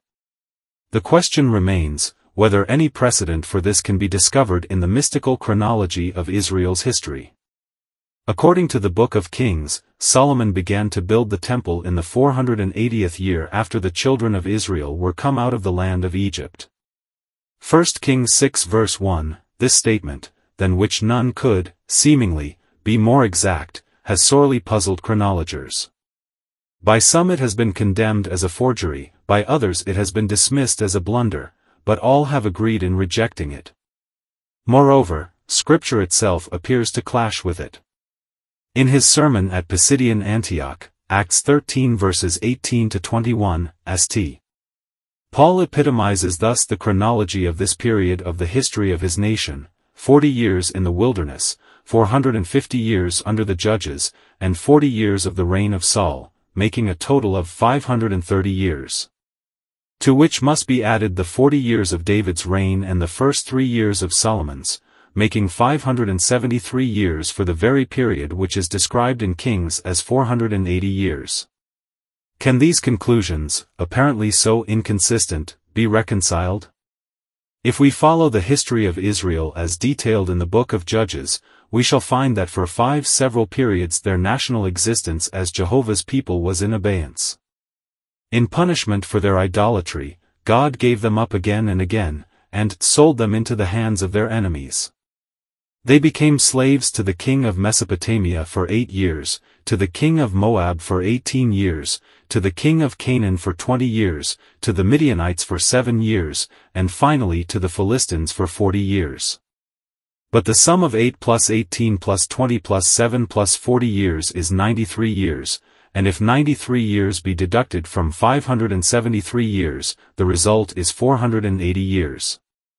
It is obvious, therefore, that the 480 years of the Book of Kings from the Exodus to the Temple is a mystic era formed by eliminating every period during which the people were cast off by God. If, then, this principle were intelligible to the Jew in regard to history, it was both natural and legitimate to introduce it in respect of an essentially mystic era like that of the 70 weeks. But this conclusion does not depend upon argument however sound, or inference however just. It is indisputably proved by the testimony of Christ himself. What shall be the sign of thy coming, and of the end of the world? The disciples inquired as they gathered round the Lord on one of the last days of his ministry on earth. Matthew 24 verse 3, in reply he spoke of the tribulation foretold by Daniel, and warned them that the signal of that fearful persecution was to be the precise event which marks the middle of the seventieth week, namely, the defilement of the holy place by the abomination of desolation, some image of himself probably, which the false prince will set up in the temple in violation of his treaty obligations to respect and defend the religion of the Jews that this prophecy was not fulfilled by Titus. Is as certain as history can make it, but scripture itself leaves no doubt whatever on the point. It appears from the passages already quoted, that the predicted tribulation is to last three and a half years, and to date from the violation of the treaty in the middle of the seventieth week. What is to follow is thus described by the Lord himself in words of peculiar solemnity Immediately after the tribulation of those days shall the sun be darkened, and the moon shall not give her light, and the stars shall fall from heaven, and the powers of the heaven shall be shaken, and then shall appear the sign of the Son of Man in heaven, and then shall all the tribes of the earth mourn. And they shall see the Son of Man coming in the clouds of heaven with power and great glory. Matthew 24 verse 29, that it is to the closing scenes of the dispensation this prophecy relates is here assumed. And as these scenes are to follow immediately after a persecution, of which the era is within the seventieth week, the inference is incontestable that the events of that week belong to a time still future. We may conclude, then, that when wicked hands set up the cross on Calvary, and God pronounced the dread Lo Ammi, Romans 9 verses 25 and 26, cf. Hosea 1 verses 9 and 10, upon his people, the course of the prophetic era ceased to run. Nor will it flow on again till the autonomy of Judah is restored, and, with obvious propriety, that is held to date from the moment their readmission into the family of nations is recognized by treaty. It will, therefore, be here assumed that the former portion of the prophetic era has run its course, but that the events of the last seven years have still to be accomplished. The last point, therefore, necessary to complete the chain of proof is to ascertain the date of Messiah the Prince. Chapter 8 Messiah the Prince, just as we find that in certain circles people who are reputed pious are apt to be regarded with suspicion, so it would seem that any writings which claim divine authority or sanction inevitably awaken distrust. But if the evangelists could gain the same fair hearing which profane historians command, if their statements were tested upon the same principles on which records of the past are judged by scholars, and evidence is weighed in our courts of justice, it would be accepted as a well-established fact of history that our Savior was born in Bethlehem, at a time when Cyrenius was governor of Syria, and Herod was king in Jerusalem. The narrative of the first two chapters of St. Luke is not like an ordinary page of history which carries with it no pledge of accuracy save that which the general credit of the writer may afford. The evangelist is treating of facts of which he had perfect understanding from the very first, Luke 1 verse 3, in which, moreover, his personal interest was intense, and in respect of which a single glaring error would have prejudiced not only the value of his book, but the success of that cause to which his life was devoted, and with which his hopes of eternal happiness were identified. The matter has been treated as though this reference to Cyrenius were but an incidental allusion, in respect of which an error would be of no importance, whereas, in fact, it would be absolutely vital. That the true Messiah must be born in Bethlehem was asserted by the Jew and conceded by the Christian, that the Nazarene was born in Bethlehem the Jew persistently denied. If even today he could disprove that fact, he would justify his unbelief, for if the Christ we worship was not by right of birth the heir to David's throne, he is not the Christ of prophecy. Christians soon forgot this when they had no longer to maintain their faith against the unbroken front of Judaism, but only to commend it to a heathen world. But it was not forgotten by the immediate successors of the apostles. Therefore it was that in writing to the Jews, Justin Martyr asserted with such emphasis that Christ was born during the taxing of Cyrenius, appealing to the lists of that census as to documents then extant and available for reference, to prove that though Joseph and Mary lived at Nazareth, they went up to Bethlehem to be enrolled, and that thus it came to pass the child was born in the royal city, and not in the despised Galilean village. And these facts of the pedigree and birth of the Nazarene afforded almost the only ground upon which issue could be joined, where one side maintained, and the other side denied, that his divine character and mission were established by transcendental proofs. None could question that his acts were more than human, but blindness and hate could ascribe them to satanic power, and the sublime utterances which in every succeeding age have commanded the admiration of millions, even of those who have refused to them the deeper homage of their faith, had no charm for men thus prejudiced. But these statements about the taxing which brought the Virgin Mother up to Bethlehem, dealt with plain facts which required no moral fitness to appreciate them. That in such a matter a writer like St. Luke could be in error is utterly improbable, but that the error would remain unchallenged is absolutely incredible, and we find Justin Martyr, writing nearly a hundred years after the evangelist, appealing to the fact as one which was unquestionable. It may, therefore, be accepted as one of the most certain of the really certain things of history, that the first taxing of Cyrenius was made before the death of Herod, and that while it was preceding Christ was born in Bethlehem. Not many years ago this statement would have been received either with ridicule or indignation. The evangelist's mention of Cyrenius appeared to be a hopeless anachronism, as, according to undoubted history, the period of his governorship and the date of his taxing were nine or ten years later than the Nativity. Gloated over by Strauss and others of his tribe, and dismissed by writers unnumbered either as an enigma or an error, the passage has in recent years been vindicated and explained by the labors of Dr. Zumpt of Berlin. By a strange chance there is a break in the history of this period, for the seven or eight years beginning B.C.4. The list of the governors of Syria, therefore, fails us, and for the same interval P. Sulpicius Quirinus, the Cyrenius of the Greeks, disappears from history but by a series of separate investigations and arguments, all of them independent of scripture, Dr. Zumpt has established that Quirinus was twice governor of the province, and that his first term of office dated from the latter part of B.C.4, when he succeeded Quinctilius Varus. The unanimity with which this conclusion has been accepted renders it unnecessary to discuss the matter here. But one remark respecting it may not be out of place. The grounds of Dr. Zumpt's conclusions may be aptly described as a chain of circumstantial evidence, and his critics are agreed that the result is reasonably certain. To make that certainty absolute, nothing is wanting but the positive testimony of some historian of repute. If, for example, one of the lost fragments of the history of Dion Cassius were brought to light, containing the mention of Quirinus as governing the province during the last months of Herod's reign, the fact would be deemed as certain as that Augustus was emperor of Rome. A Christian writer may be pardoned if he attaches equal weight to the testimony of St. Luke. It will, therefore, be here assumed as absolutely certain that the birth of Christ took place at some date not earlier than the autumn of B.C.4. The dictum of our English chronologer, than whom none more eminent or trustworthy can be appealed to, is a sufficient guarantee that this conclusion is consistent with everything that erudition can bring to bear upon the point. Fynes Clinton sums up his discussion of the matter thus. The nativity was not more than about eighteen months before the death of Herod, nor less than five or six. The death of Herod was either in the spring of B.C.4, or the spring of B.C.3.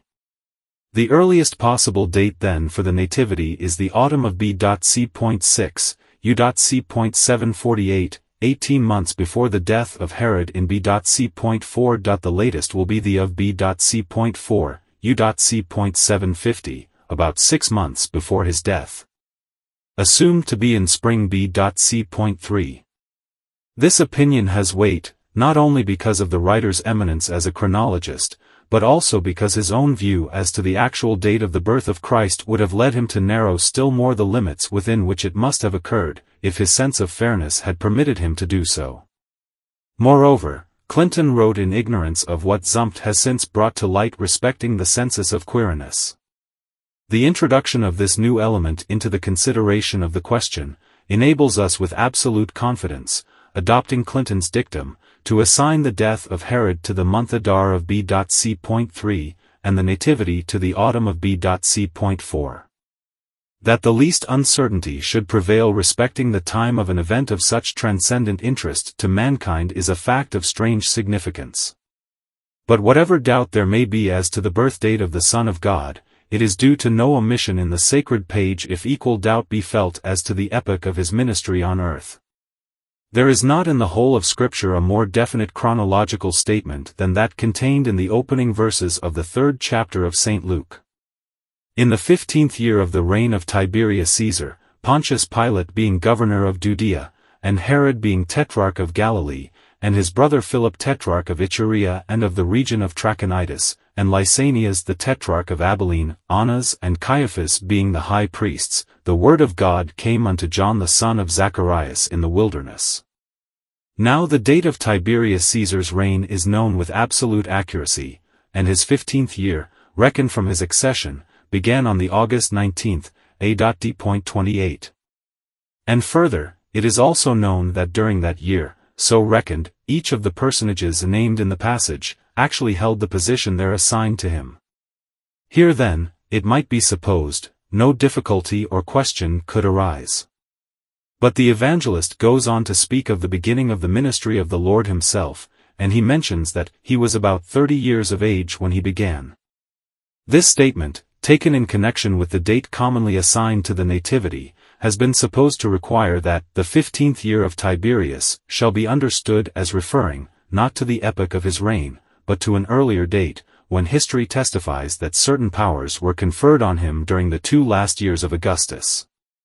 All such hypotheses, however, are open to one overwhelming objection, viz., that the reign of Tiberius, as beginning from August 19, A.D.14, was as well known a date in the time of Luke, as the reign of Queen Victoria is in our own day, and no single case has ever been, or can be, produced, in which the years of Tiberius were reckoned in any other manner.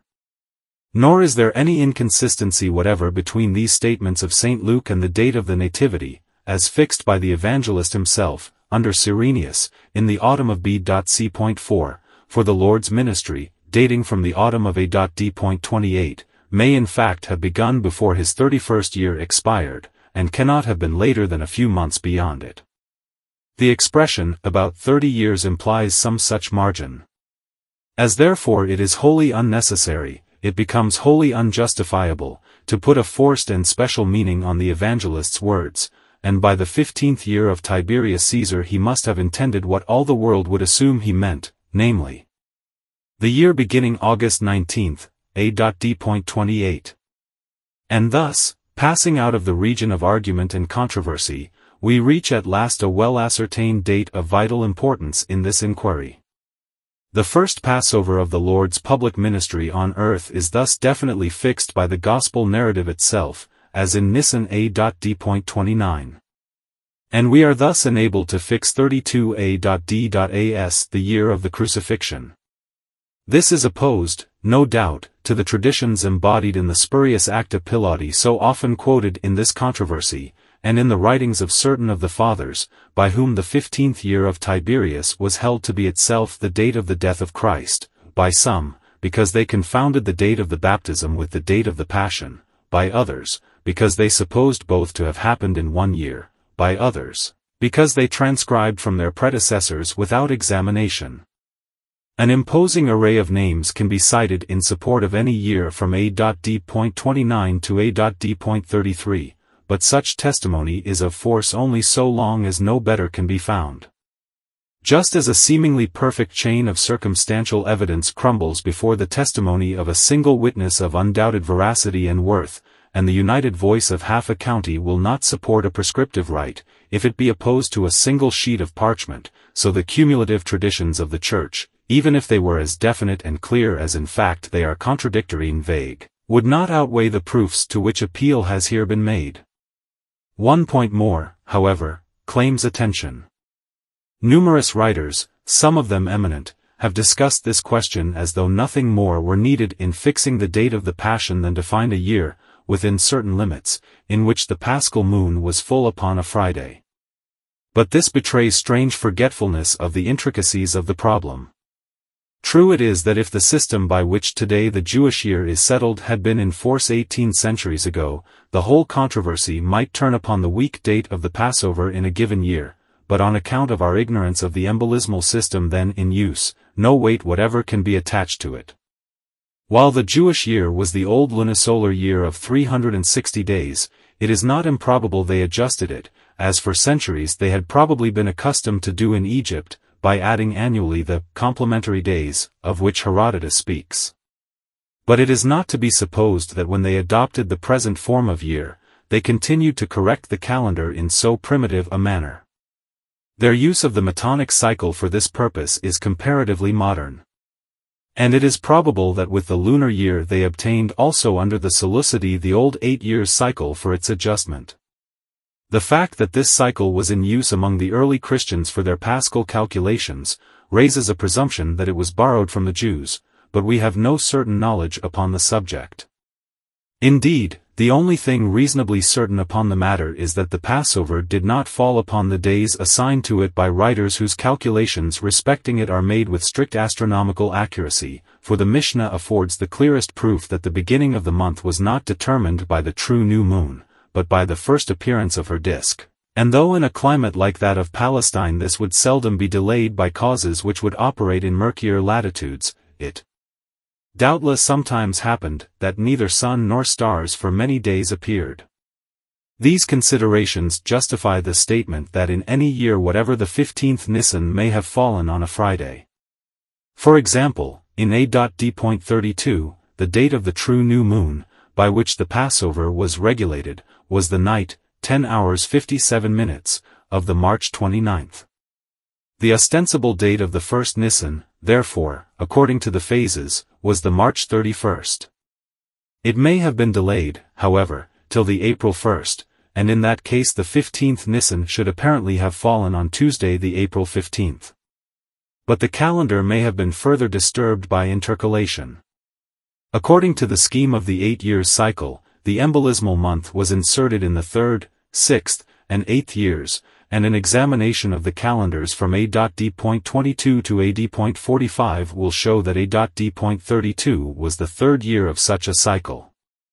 As, therefore, the difference between the solar year and the lunar is 11 days, it would amount in three years to 33 and three quarters days, and the intercalation of a thirteenth month, Veadar, of 30 days would leave an epact still remaining of three and three quarters days, and the ecclesiastical moon being that much before the real moon, the feast day would have fallen on the Friday, April 11th, exactly as the narrative of the Gospels requires. This, moreover, would explain what, notwithstanding all the poetry indulged in about the groves and grottos of Gethsemane, remains still a difficulty. Judas needed neither torch nor lantern to enable him to track his master through the darkest shades and recesses of the garden, nor was it, seemingly, until he had fulfilled his base and guilty mission that the crowd pressed in to seize their victim. And no traitor need have been suborned by the Sanhedrin to betray to them at midnight the object of their hate, were it not that they dared not take him save by stealth. Every torch and lamp increased the risk of rousing the sleeping millions around them, for that night all Judah was gathered to the capital to keep the paschal feast.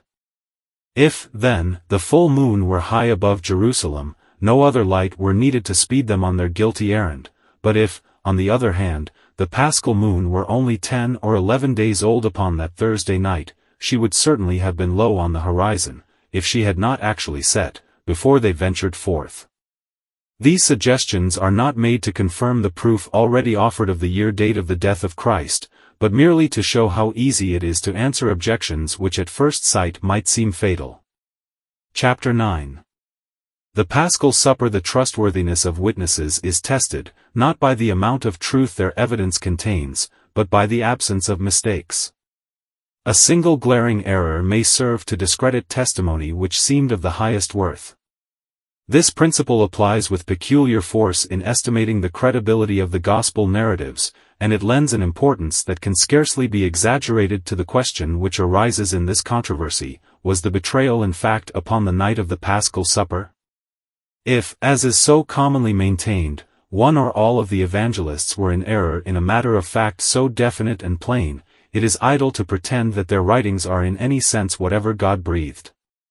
The testimony of the first three Gospels is united, that the Last Supper was eaten at the Jewish Passover. The attempt to prove that it was an anticipatory celebration, without the paschal sacrifice, though made with the best of motives, is utterly futile. Now on the first day of unleavened bread, St. Matthew declares, the disciples came to Jesus, saying, where wilt thou that we make ready for thee to eat the Passover? It was the proposal not of the Lord, but of the disciples, who, with the knowledge of the day and of the rites pertaining to it, turned to the Master for instructions. With yet greater definiteness St. Mark narrates that this took place on the first day of unleavened bread, when they killed the Passover. Mark 14 verse 12, and the language of St. Luke is, if possible, more unequivocal still, then came the day of unleavened bread, when the Passover must be killed. Luke 22 verse 7, but it is confidently asserted that the testimony of St. John is just as clear and unambiguous that the crucifixion took place upon the very day and, it is, sometimes urged, at the very hour of the paschal sacrifice. Many an eminent writer may be cited to support this view, and the controversy waged in its defense is endless. But no plea for deference to great names can be tolerated for a moment when the point at issue is the integrity of Holy Writ, and despite the erudition that has been exhausted to prove that the Gospels are here at hopeless variance, none who have learned to prize them as a divine revelation will be surprised to find that the main difficulty depends entirely on prevailing ignorance respecting Jewish ordinances and the law of Moses. These writers one and all confound the Paschal Supper with the festival which followed it, and to which it lent its name. The supper was a memorial of the redemption of the firstborn of Israel on the night before the Exodus, the feast was the anniversary of their actual deliverance from the house of bondage. The supper was not a part of the feast, it was morally the basis on which the feast was founded, just as the Feast of Tabernacles was based on the great sin offering of the Day of Expiation which preceded it. But in the same way that the Feast of Weeks came to be commonly designated Pentecost, the Feast of Unleavened Bread was popularly called the Passover. That title was common to the supper and the feast, and included both, but the intelligent Jew would never confound the two, and if he spoke emphatically of the feast of the Passover, he would thereby mark the festival to the exclusion of the supper. No words can possibly express more clearly this distinction than those afforded by the Pentateuch in the final promulgation of the law, in the fourteenth day of the first month is the Passover of the Lord, and in the fifteenth day of this month is the feast. Opening the thirteenth chapter of St. John in the light of this simple explanation, every difficulty vanishes. The scene is laid at the Paschal Supper, on the eve of the festival, before the feast of the Passover, and after the narration or the washing of the disciples' feet, the evangelist goes on to tell of the hurried departure of Judas, explaining that, to some, the Lord's injunction to the traitor was understood to mean, by what we have need of against the feast. John 13 verse 29, the feast day was a Sabbath, when trading was unlawful, and it would seem that the needed supply for the festival was still procurable far on in the preceding night, for another of the errors with which this controversy abounds is the assumption that the Jewish day was invariably reckoned a nychthemeron, beginning in the evening. Such, doubtless, was the common rule, and notably in respect of the law of ceremonial cleansing. This very fact, indeed, enables us without a doubt to conclude that the Passover on account of which the Jews refused to defile themselves by entering the judgment hall, was not the paschal supper, for that supper was not eaten till after the hour at which such defilement would have lapsed. In the language of the law, when the sun is down he shall be clean, and shall afterwards eat of the holy things. Leviticus 12 verse 7, Not so was it with the holy offerings of the feast day, which they must needs eat before the hour at which their uncleanness would have ceased. The only question, therefore, is whether partaking of the peace offerings of the festival could properly be designated as eating the Passover. The law of Moses itself supplies the answer, Thou shalt sacrifice the Passover unto the Lord thy God of the flock and the herd, seven days shalt thou eat unleavened bread therewith. Deuteronomy 16 verses 2 and 3, and compare 2 Chronicles 35 verses 7 and 8. If then the words of St. John are intelligible only when thus interpreted, and if when thus interpreted they are consistent with the testimony of the three first evangelists, no element is lacking to give certainty that the events of the 18th chapter occurred upon the feast day, or if confirmation still be needed, the closing verses of this very chapter give it, for according to the custom cited, it was at the feast that the governor released a prisoner to the people, John 18 verse 39, compare. Matthew 27 verse 15, Mark 15 verse 6, and Luke 23 verse 17. Fearing because of the populace to seize the Lord upon the feast day, Matthew 26 verse 5, Mark 14 verses 1 and 2, the Pharisees were eager to procure his betrayal on the night of the paschal supper. And so it came to pass that the arraignment before Pilate took place upon the festival, as all the evangelists declare. But does not St. John expressly state that it was the preparation of the Passover, and must not this necessarily mean the 14th of Nisan? The plain answer is, that not a single passage has been cited from writings either sacred or profane in which that day is so described, whereas among the Jews, the preparation was the common name for the day before the Sabbath, and it is so used by all the evangelists. And bearing this in mind, let the reader compare the 14th verse of the 19th chapter of St. John with the 31st and 42nd verses of the same chapter, and he will have no difficulty in rendering the words in question, it was Passover Friday. But yet another statement of St. John is quoted in this controversy. That Sabbath day was an high day, he declares, and therefore, it is urged, it must have been the 15th of Nisan. The force of this, therefore, partly depends upon overlooking the fact that all the great sacrifices to which the 15th of Nisan largely owed its distinctive solemnity, were repeated daily throughout the festival. Numbers 28:19-24, on this account alone that Sabbath was an high day. But besides, it was specially distinguished as the day on which the firstfruits of the harvest were offered in the temple, for in respect of this ordinance, as in most other points of difference between the Karaite Jews, who held to the scriptures as their only guide, and the rabbinical Jews, who followed the traditions of the elders, the latter were entirely in the wrong. The law enjoined that the sheaf of the firstfruits should be waved before the Lord, on the morrow after the Paschal, Sabbath, Leviticus 23 verses 10 and 11, and from that day the seven weeks were reckoned which ended with the feast of Pentecost. But as the book of Deuteronomy expressly ordains that the weeks should be counted from the first day of the harvest, Deuteronomy 16 verse 9, and compare Leviticus 23 verses 15 and 16, it is evident that the morrow after the Sabbath should not be itself a Sabbath, but a working day. The true day for the ordinance, therefore, was the day of the resurrection, the first day of the week following the Passover, when, according to the intention of the law, the barley harvest should begin, and the first sheaf gathered should be carried to the holy place and solemnly waved before Jehovah. But with the Jews all this was lost in the empty rite of offering in the temple a measure of meal prepared from corn which, in violation of the law, had been garnered days before. This rite was invariably celebrated on the 16th of Nisan, and thus synchronizing with the solemnities both of the Paschal festival and of the Sabbath, that day could not fail to be indeed an high day. The argument in proof that the death of Christ was on the very day the paschal lamb was killed, has gained a fictitious interest and value from the seeming fitness of the synchronism this involves. But a closer investigation of the subject, combined with a broader view of the Mosaic types, will dissipate the force of this conclusion. The distinctive teaching of Calvinism is based on giving an exclusive place to the great sin offering of Leviticus, in which substitution, in its most definite and narrowest sense, is essential. The Passover, on the other hand, has ever been the most popular of types. But though the other typical sacrifices are almost entirely ignored in the systems of our leading schools of theology, they have no little prominence in Scripture. The offerings which are placed first in the book of Leviticus have a large share in the theology of the Epistle to the Hebrews, the New Testament, Leviticus, whereas the Passover is not even once referred to.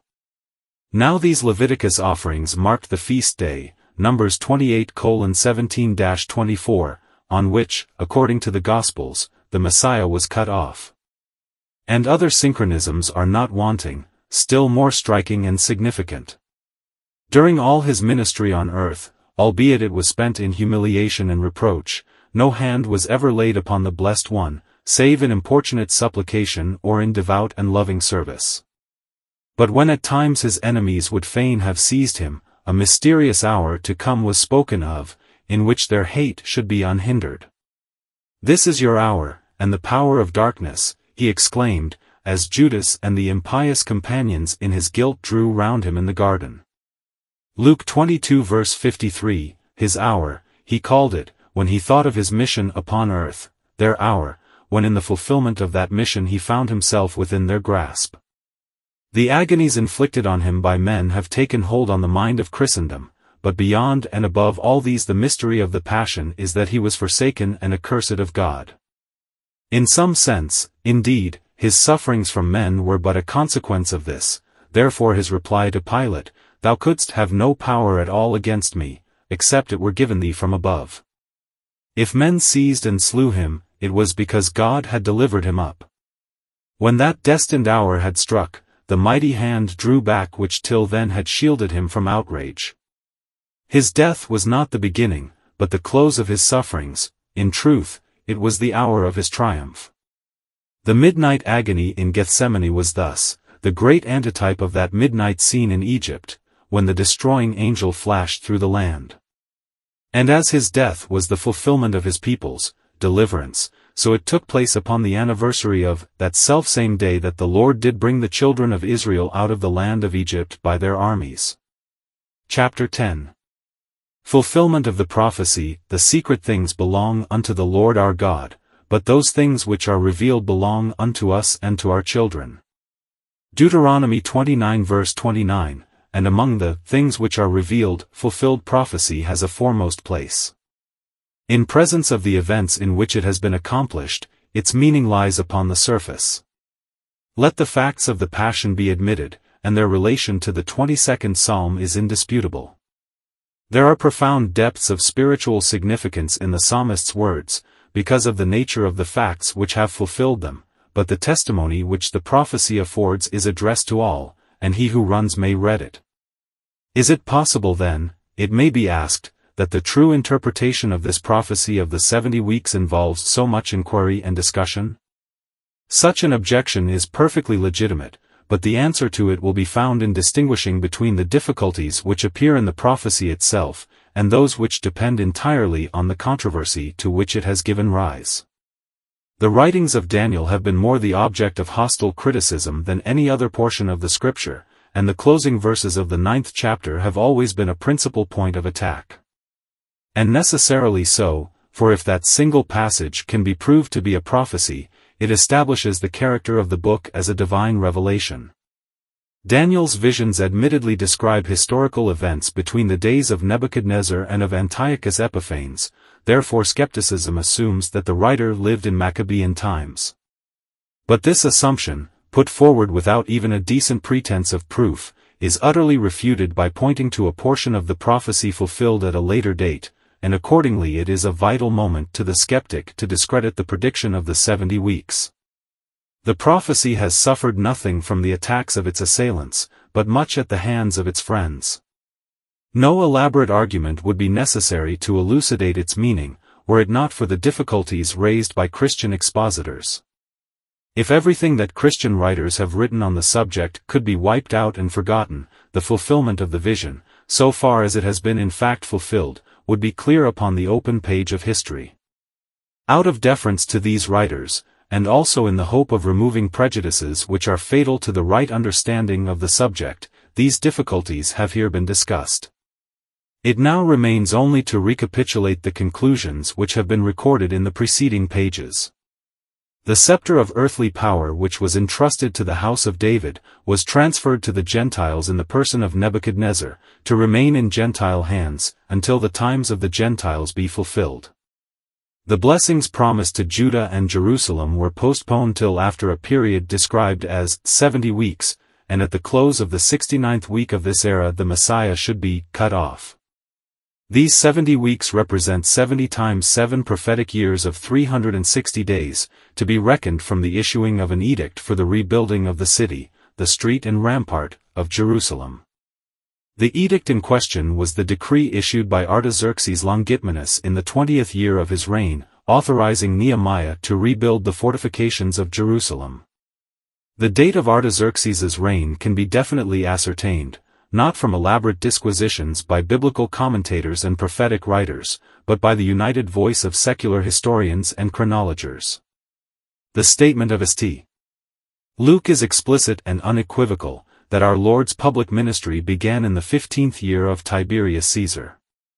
It is equally clear that it began shortly before the Passover, the date of it can thus be fixed as between August A.D.28 and April A.D.29. The Passover of the crucifixion therefore was in A.D.32, when Christ was betrayed on the night of the Paschal Supper, and put to death on the day of the Paschal Feast. If then the foregoing conclusions be well founded, we should expect to find that the period intervening between the Edict of Artaxerxes and the Passion was 483 prophetic years. An accuracy as absolute as the nature of the case permits is no more than men are here entitled to demand.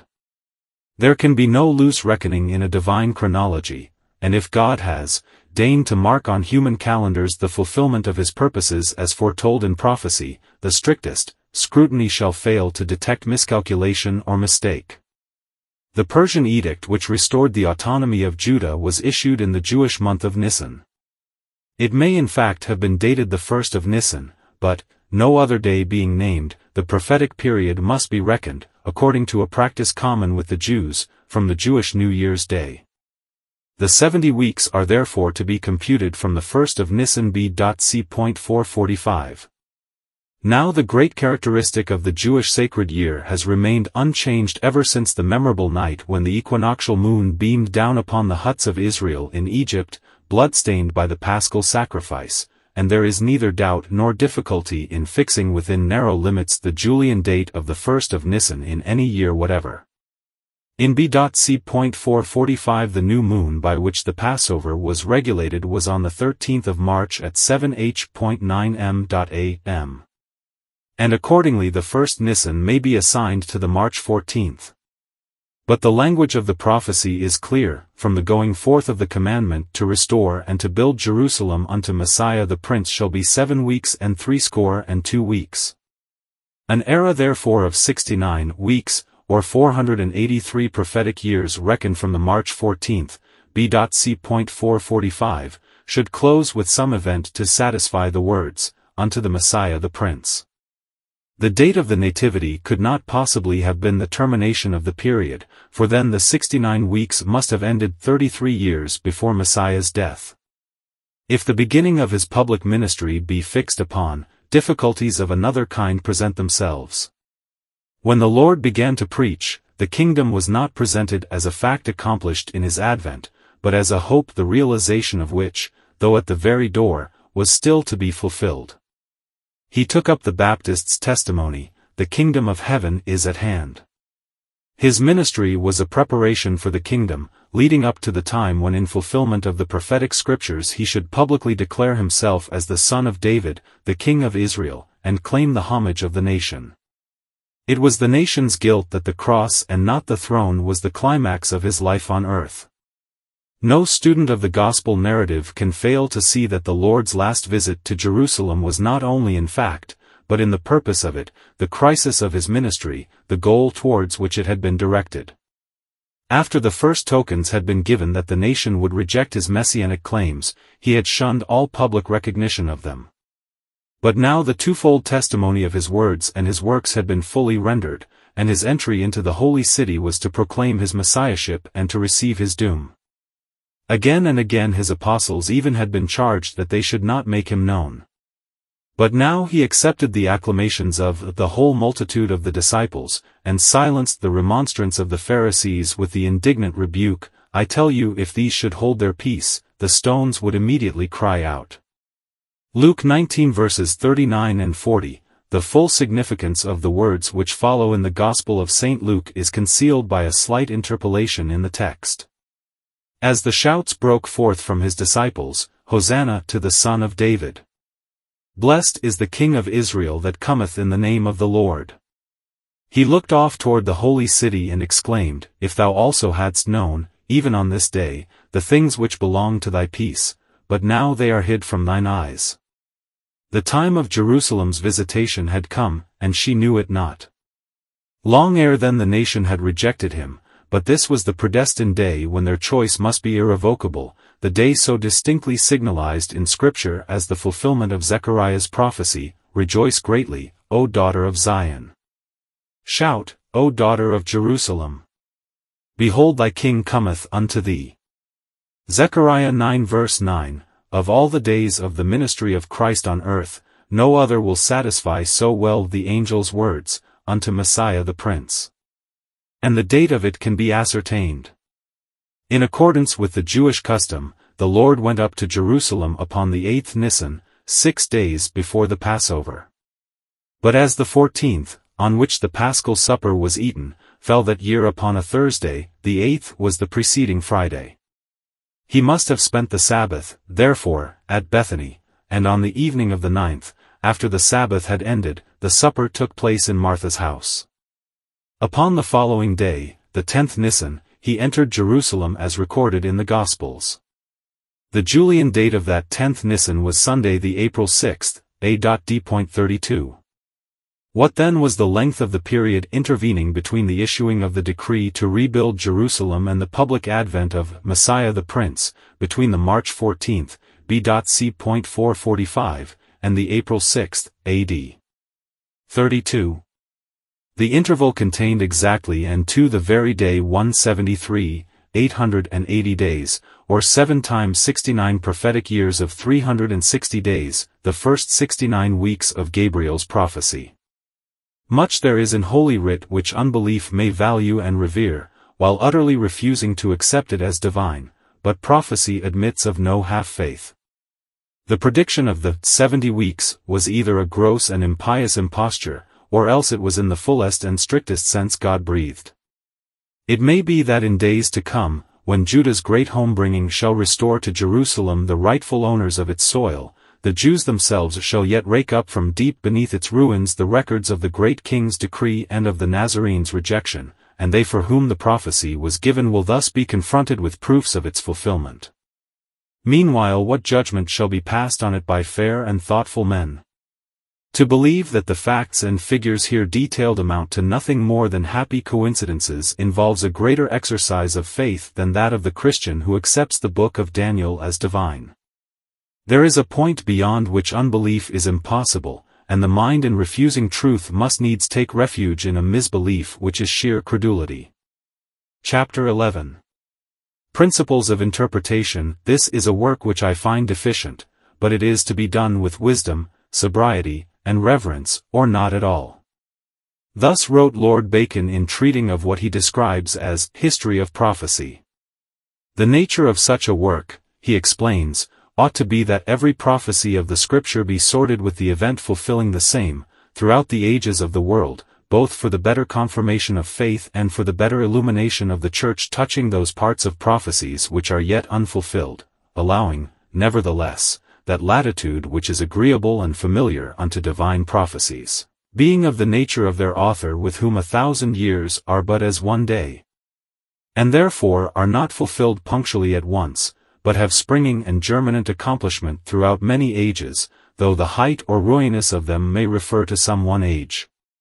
If the many writers who have since contributed to supply the want Lord Bacon noticed, had given due heed to these wise and weighty words, prophetic study might possibly have escaped the reproach which comes of its followers being divided into hostile camps. With the Christian the fulfillment of prophecy does not belong to the region of opinion, nor even of fact, merely, it is a matter of faith. We have a right, therefore, to expect that it shall be definite and clear. But though the principles and maxims of interpretation gained by the study of that part of prophecy which was accomplished within the era of Holy Writ are by no means to be thrown aside when we pass out into post-apostolic times, Surely there is no presumption against our finding hidden in the history of these 18 centuries a primary and partial fulfillment even of prophecies which will unquestionably receive a final and complete accomplishment in days to come. Only let us not forget the wisdom, sobriety, and reverence which such an inquiry demands. In our day prophetic students have turned prophets, and with mingled folly and daring have sought to fix the very year of Christ's return to earth, predictions which possibly our children's children will recall when another century shall have been added to the history of Christendom. If such vagaries brought discredit only on their authors, it were well. But though broached in direct opposition to Scripture, they have brought reproach on Scripture itself, and have given a stimulus to the jaunty skepticism of the day.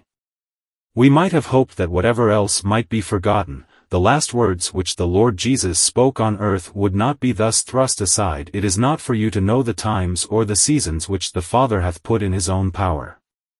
Acts 1 verse 7, But what was denied to inspired apostles in days of pristine faith and power, the prophecy mongers of these last days have dared to claim, and the result has been that the solemn and blessed hope of the Lord's return has been degraded to the level of the predictions of astrologers, to the confusion and grief of faithful hearts, and the amusement of the world. Any man who, avoiding extravagant or fanciful views, both of history and of scripture, points to events in the present or the past as the correlatives of a prophecy, deserves a calm and unprejudiced hearing from thoughtful men. But let him not forget that though the scriptures he appeals to may thus receive germinant accomplishment, the height or fullness of them may refer to an age still future. What is true of all Scripture is specially true of prophecy. It is ours to assign to it a meaning, but he who really believes it to be divine, will hesitate to limit its meaning to the measure of his own apprehension of it. The prophecies of Antichrist afford a signal and most apt illustration of this. Were it not for the prejudice created by extreme statements, prophetic students would probably agree that the great apostasy of Christendom displays in outline many of the main lineaments of the man of sin. There is, indeed, in our day a spurious liberality that would teach us to forego the indictment which history affords against the Church of Rome, but while no generous mind will refuse to own the moral worth of those who, in England at least, now guide the councils of that church, the real question at issue relates to the character, not of individuals, but of a system. It is the part, therefore, not of intolerant bigotry, but of true wisdom, to search the records of the past, terrible records, truly, for the means of judging of that system. The inquiry which concerns us is not whether good men are found within the pale of Rome, as though all the moral excellence of earth could avail to cover the annals of her hideous guilt. Our true inquiry is whether she has suffered any real change in these enlightened days. Is the Church of Rome reformed? With what vehemence the answer would be shrieked from every altar within her pale. And if not, let but dark days come again, and some of the foulest scenes and blackest crimes in the history of Christendom may be reenacted in Europe. The true test of a man is not what he does, but what, with the principles he holds, he would do, and if this be true of individuals, it is still more intensely true of communities.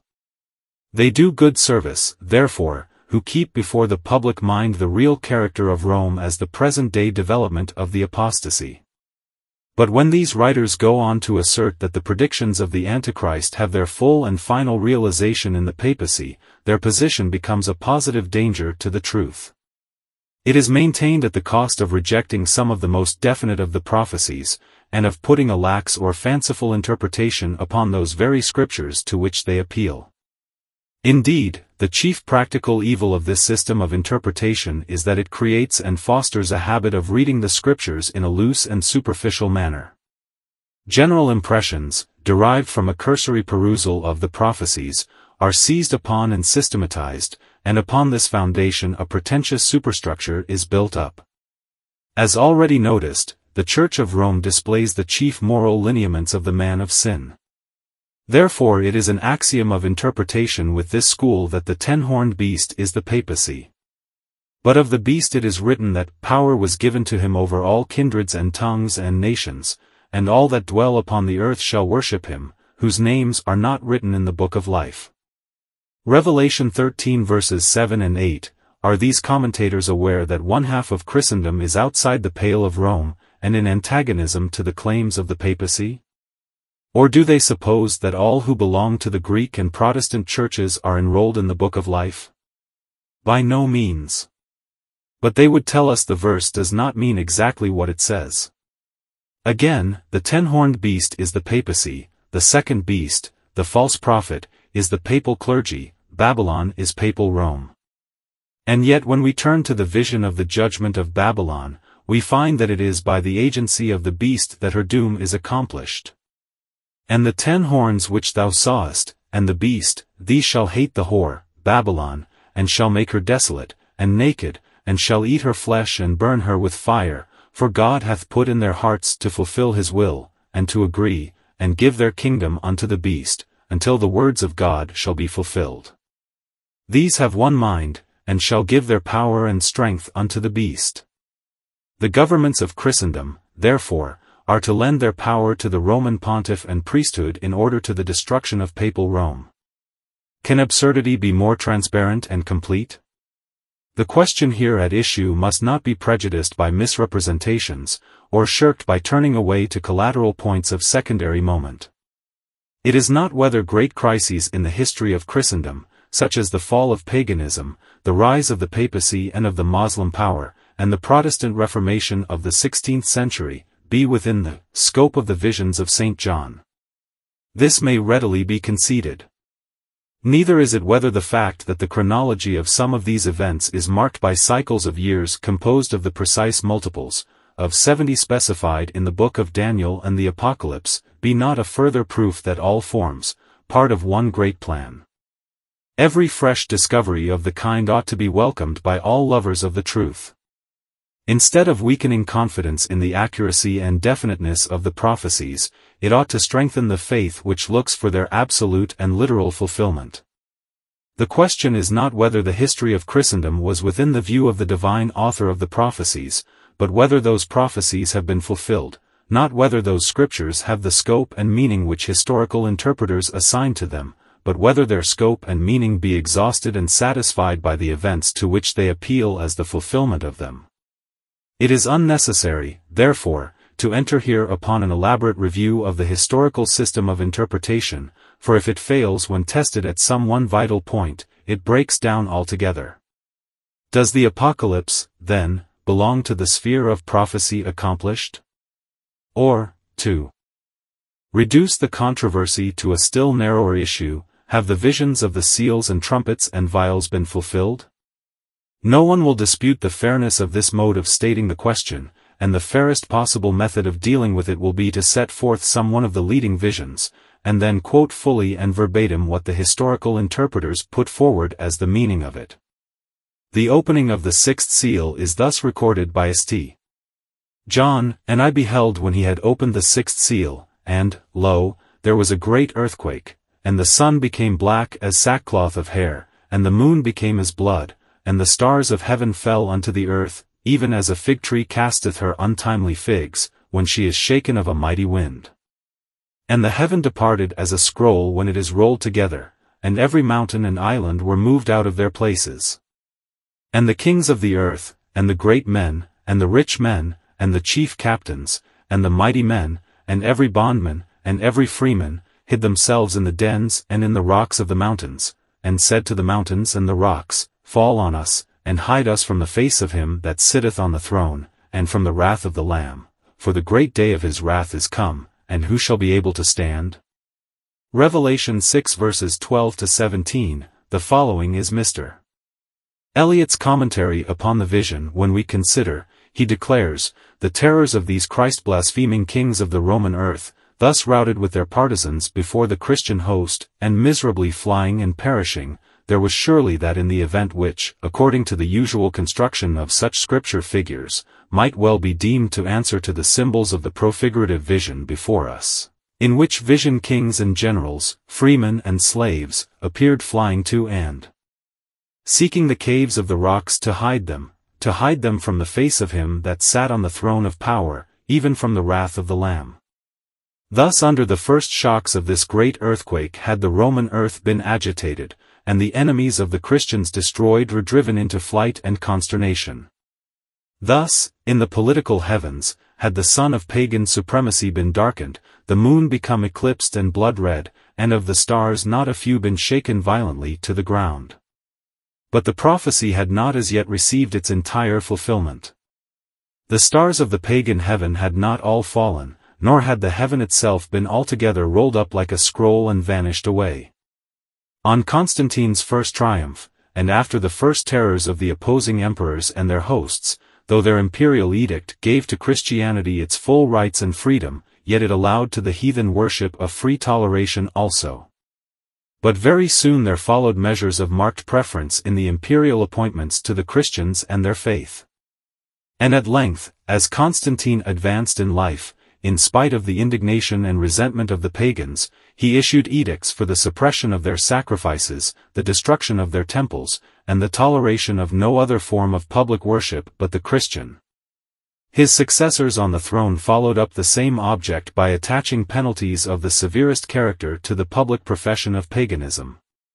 And the result was that, before the century had ended, its stars had all fallen to the ground, its very heaven, or political and religious system, vanished, and on the earth the old pagan institutions, laws, rites, and worship been all but annihilated. A more notable instance of inadequate interpretation cannot be imagined.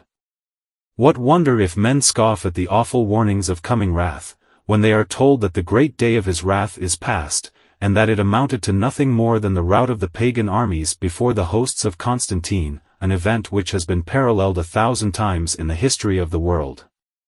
For, let the point at issue be clearly kept in view. If the reign of Constantine or some other era in the history of Christendom were appealed to as affording an intermediate fulfillment of the vision, it might pass as a feeble but harmless exposition, but these expositors daringly assert that the prophecy has no other scope or meaning. They are bound to prove that the vision of the sixth seal has been fulfilled, else it is obvious that all which follows it claims fulfillment likewise. If, therefore, their system failed at this point alone, its failure would be absolute and complete, but in fact the instance quoted is no more than a fair example of the manner in which they fritter away the meaning of the words they profess to explain. We are now, they tell us, in the era of the vials. At this very hour the wrath of God is being poured out upon the earth.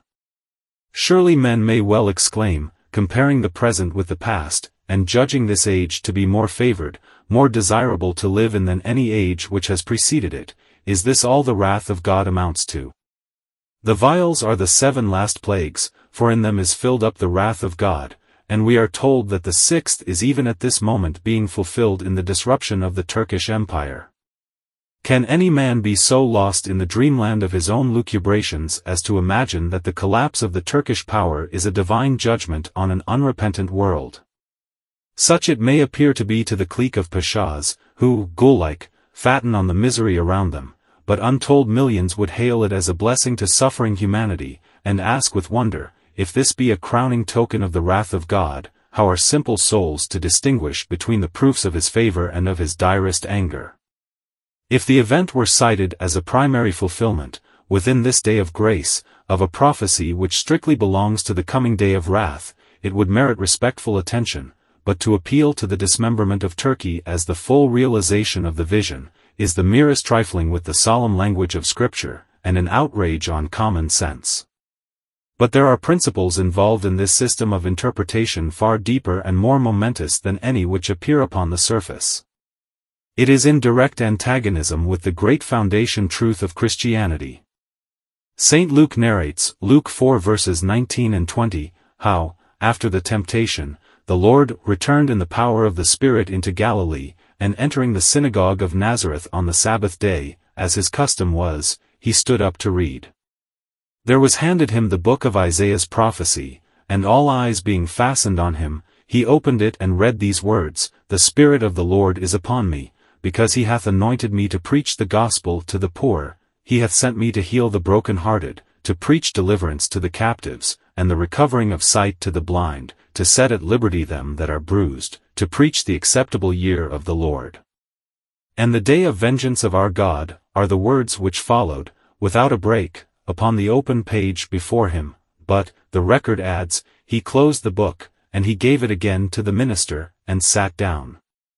In an age to come, when the prophecy shall have its ultimate fulfillment, the day of vengeance shall mingle with blessing to his people.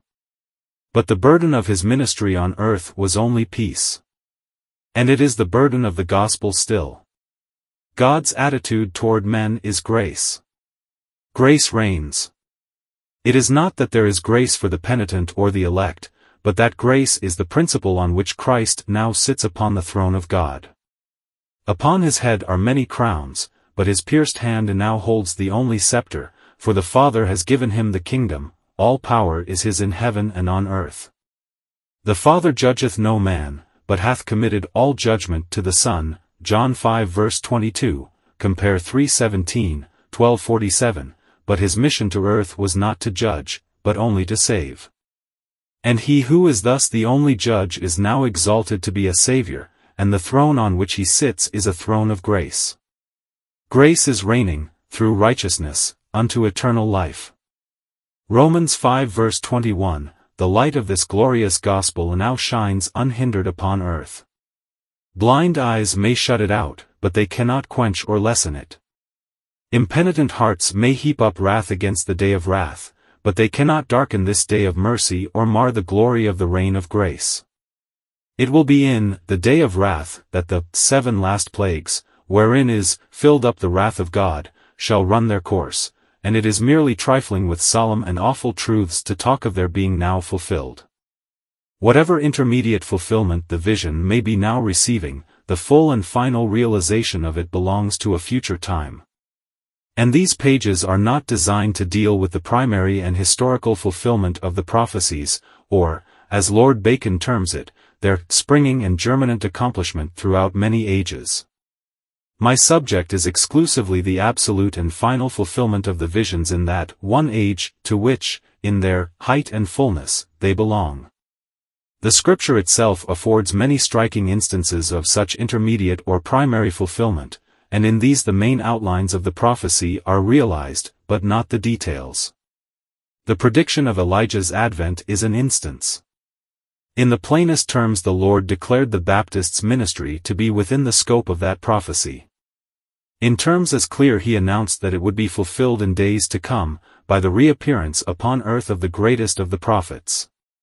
Matthew 11 verse 14, 17 11, 12, St. Peter's words at Pentecost afford another illustration.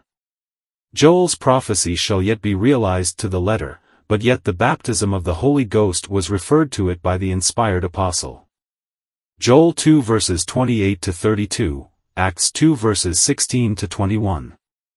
To speak of the fulfillment of these prophecies as already past, is to use language at once unscriptural and false. Far more unwarrantable still is the assertion of finality, so confidently made, of the prophecies relating to the apostasy. There is not a single prophecy, of which the fulfillment is recorded in Scripture, that was not realized with absolute accuracy, and in every detail, and it is wholly unjustifiable to assume that a new system of fulfillment was inaugurated after the sacred canon closed. Two thousand years ago who would have ventured to believe that the prophecies of Messiah would receive a literal accomplishment. Behold, a virgin shall conceive, and bear a son. Isaiah 7 verse 14, Behold, thy king cometh unto thee, he is just, and having salvation, lowly, and riding upon an ass, and upon a colt the foal of an ass. Zechariah 9 verse 9, They weighed for my price thirty pieces of silver, and I took the thirty pieces of silver and cast them to the potter in the house of the Lord. Zechariah 11 verses 12 and 13, compare Matthew 27 verses 5 and 7, they part my garments among them, and cast lots upon my vesture. Psalm 22 verse 18 Compare John 19 verses 23 and 24. They pierced my hands and my feet. Psalm 22 verse 16, They gave me vinegar to drink. Psalm 69 verse 21, He was cut off out of the land of the living, for the transgression of my people was he stricken. Isaiah 53 verse 8, to the prophets themselves, even, the meaning of such words was a mystery. 1 Peter 1 verses 10 to 12, for the most part, doubtless, men regarded them as no more than poetry or legend.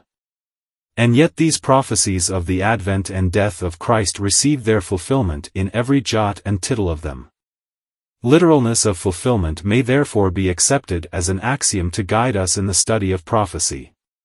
Chapter 12 Fullness of the Gentiles The mainstream of prophecy runs in the channel of Hebrew history. This indeed is true of all revelation. Eleven chapters of the Bible suffice to cover the 2,000 years before the call of Abraham, and the rest of the Old Testament relates to the Abrahamic race. If for a while the light of revelation rested on Babylon or Susa, it was because Jerusalem was desolate, and Judah was in exile. For a time the Gentile has now gained the foremost place in blessing upon earth, but this is entirely anomalous, and the normal order of God's dealings with men is again to be restored. Blindness in part is happened to Israel until the fullness of the Gentiles be come in. And so all Israel shall be saved, as it is written. The scriptures teem with promises and prophecies in favor of that nation, not a tithe of which have yet been realized. And while the impassioned poetry in which so many of the old prophecies are couched is made a pretext for treating them as hyperbolical descriptions of the blessings of the gospel, no such plea can be urged respecting the epistle to the Romans. Writing to Gentiles, the apostle of the Gentiles there reasons the matter out in presence of the facts of the Gentile dispensation. The natural branches of the race of Israel have been broken off from the olive tree of earthly privilege and blessing, and, contrary to nature, the wild olive branches of Gentile blood have been substituted for them. But in spite of the warning of the apostle, we Gentiles have become wise in our own conceits, forgetting that the olive tree whose root and fatness we partake of is essentially Hebrew, for the gifts and calling of God are without repentance. The minds of most men are in bondage to the commonplace facts of their experience. The prophecies of a restored Israel seem to many as incredible as predictions of the present triumphs of electricity and steam would have appeared to our ancestors a century ago. While affecting independence in judging thus, the mind is only giving proof of its own impotence or ignorance. Moreover, the position which the Jews have held for 18 centuries is a phenomenon which itself disposes of every seeming presumption against the fulfillment of these prophecies. It is not a question of how a false religion like that of Mahomet can maintain an unbroken front in presence of a true faith, the problem is very different. Not only in a former age, but in the early days of the present dispensation, the Jews enjoyed a preference in blessing, which practically amounted almost to a monopoly of divine favor. In its infancy the Christian church was essentially Jewish. The Jews within its pale were reckoned by thousands, the Gentiles by tens. And yet that same people afterwards became, and for eighteen centuries have continued to be, more dead to the influence of the gospel than any other class of people upon earth. How can this mystery, as the apostle terms it, be accounted for, save as scripture explains it, namely, that the era of special grace to Israel closed with the period historically within the Acts of the Apostles, and that since that crisis of their history, blindness in part is happened to them. But this very word, the truth of which is so clearly proved by public facts, goes on to declare that this judicial hardening is to continue only until the fullness of the Gentiles be come in, and the inspired apostle adds, and so all Israel shall be saved, as it is written, there shall come out of Sion the deliverer, and shall turn away ungodliness from Jacob, for this is my covenant unto them. But, it may with reason be demanded, does not this imply merely that Israel shall be brought within the blessings of the gospel, not that the Jews shall be blessed on a principle which is entirely inconsistent with the gospel? Christianity, as a system, assumes the fact that in a former age the Jews enjoyed a peculiar place in blessing, Christ was a minister of the circumcision for the truth of God, to confirm the promises made unto the fathers, and that the Gentiles might glorify God for his mercy. Romans 15 verses 8 and 9, But the Jews have lost their vantage ground through sin, and they now stand upon the common level of ruined humanity. The cross has broken down the middle wall which separated them from Gentiles. It has leveled all distinctions. As to guilt there is no difference, for all have sinned, as to mercy, there is no difference, for the same Lord over all is rich unto all that call on him. How then, if there be no difference, can God give blessing on a principle which implies that there is a difference? In a word, the fulfillment of the promises to Judah is absolutely inconsistent with the distinctive truths of the present dispensation. This question is one of immense importance, and claims the most earnest consideration. Nor is it enough to urge that the eleventh chapter of Romans itself supposes that in this age the Gentile has an advantage, though not a priority, and, therefore, Israel may enjoy the like privilege hereafter. It is part of the same revelation, that although grace stoops to the Gentile just where he is, it does not confirm him in his position as a Gentile, but lifts him out of it and denationalizes him, for in the church of this dispensation, there is neither Jew nor Gentile. Judah's promises, on the contrary, imply that blessing will reach the Jew as a Jew, not only recognizing his national position, but confirming him therein. The conclusion, therefore, is inevitable, that before God can act thus, the special proclamation of grace in the present dispensation must have ceased, and a new principle of dealing with mankind must have been inaugurated. But here the difficulties only seem to multiply and grow. For, it may be asked, does not the dispensation run its course until the return of Christ to earth? How then can Jews be found at his coming in a place of blessing nationally, akin to that which they held in a bygone age? All will admit that Scripture seems to teach that such will be the case. The question still remains whether this be really intended. Does Scripture speak of any crisis in relation to the earth, to intervene before the day when the Son of Man shall be revealed? No one who diligently seeks the answer to this inquiry can fail to be impressed by the fact that at first sight some confusion seems to mark the statements of Scripture with respect to it. Certain passages testify that Christ will return to earth, and stand once more on that same Olivet on which his feet last rested ere he ascended to his Father, Zechariah 14 verse 4, Acts 1 verses 11 and 12, and others tell us as plainly that he will come, not to earth, but to the air above us, and call his people up to meet him and be with him. 1 Thessalonians 4 verses 16 and 17, these scriptures again most clearly prove that it is his believing people who shall be caught up, 1 Thessalonians 4 verses 16 and 17, 1 Corinthians 15 verses 51 and 52, leaving the world to run its course to its destined doom while other scriptures as unequivocally teach that it is not his people but the wicked who are to be weeded out, leaving the righteous, to shine forth in the kingdom of their Father. Matthew 13 verses 40 to 43, and the confusion apparently increases when we notice that Holy Writ seems sometimes to represent the righteous who are to be thus blessed as Jews, sometimes as Christians of a dispensation in which the Jew is cast off by God. These difficulties admit of only one solution, a solution as satisfactory as it is simple, namely, that what we term the second advent of Christ is not a single event, but includes several distinct manifestations. At the first of these he will call up to himself the righteous dead, together with his own people then living upon earth. With this event this special day of grace will cease, and God will again revert to the covenants and the promises, and that people to whom the covenants and promises belong, Romans 9 verse 4, will once more become the center of divine action toward mankind. Everything that God has promised is within the range of the believer's hope, but this is its near horizon. All things wait on its accomplishment. Before the return of Christ to earth, many a page of prophecy has yet to be fulfilled, but not a line of scripture bars the realization of this the church's special hope of his coming to take his people to himself. Here, then, is the great crisis which will put a term to the reign of grace, and usher in the destined woes of earth's fiercest trial, the days of vengeance, that all things which are written may be fulfilled. Luke 21 verse 22, to object that a truth of this magnitude would have been stated with more dogmatic clearness is to forget the distinction between doctrinal teaching and prophetic utterance. The truth of the Second Advent belongs to prophecy, and the statements of Scripture respecting it are marked by precisely the same characteristics as marked the Old Testament prophecies of Messiah. The sufferings of Christ and the glories which should follow, were foretold in such a way that a superficial reader of the Old Scriptures would have failed to discover that there were to be two advents of Messiah.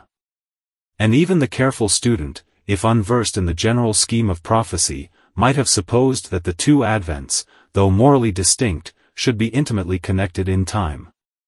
So is it with the future. Some regard the second advent as a single event, by others its true character is recognized, but they fail to mark the interval which must separate its first from its final stage. An intelligent apprehension of the truth respecting it is essential to the right understanding of unfulfilled prophecy. But having thus clearly fixed these principal landmarks to guide us in the study, we cannot too strongly deprecate the attempt to fill up the interval with greater precision than Scripture warrants. There are definite events to be fulfilled, but no one may dogmatize respecting the time or manner of their fulfillment.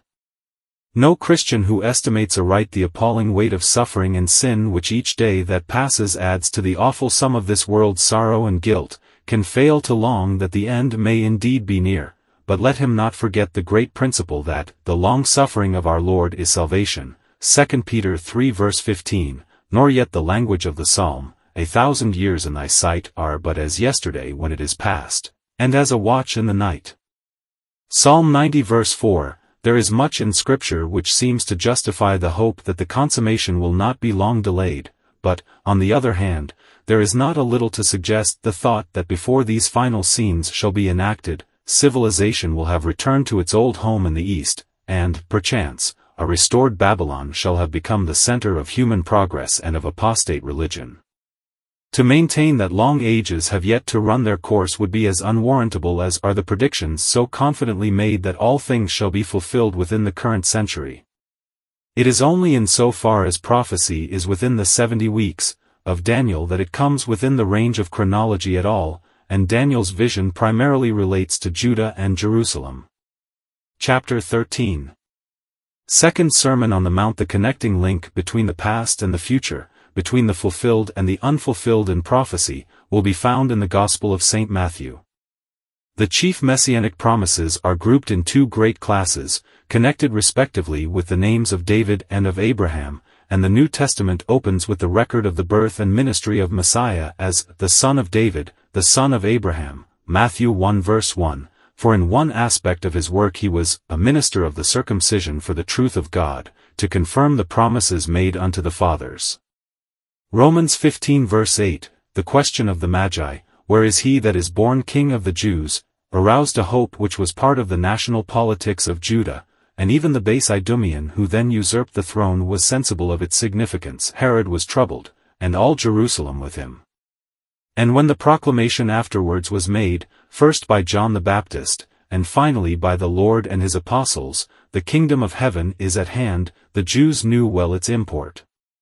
It was not the gospel, as we understand it now, but the announcement of the near fulfillment of Daniel's prophecy. And the testimony had a twofold accompaniment. The Sermon on the Mount is recorded as embodying the great truths and principles which were associated with the kingdom gospel, and the attendant miracles gave proof that all was divine. And in the earlier stages of the ministry of Christ, his miracles were not reserved for those whose faith responded to his words, the only qualification for the benefit was that the recipient should belong to the favored race. Go not into the way of the Gentiles, and into any city of the Samaritans enter ye not, but go rather to the lost sheep of the house of Israel. And as ye go, preach, saying, The kingdom of heaven is at hand. Heal the sick, cleanse the lepers, raise the dead, cast out devils, freely ye have received, freely give. Such was the commission under which the twelve went forth through that little land, to zero every corner of which their master's fame had gone before them. Matthew 4 verses 24 and 25, But the verdict of the nation, through its accredited and responsible leaders, was a rejection of his messianic claims. The acts and words of Christ recorded in the 12th chapter of Matthew were an open and deliberate condemnation and defiance of the Pharisees, and their answer was to meet in solemn council and decree his death. Matthew 12 verses 1 to 14, from that hour his ministry entered upon a new phase.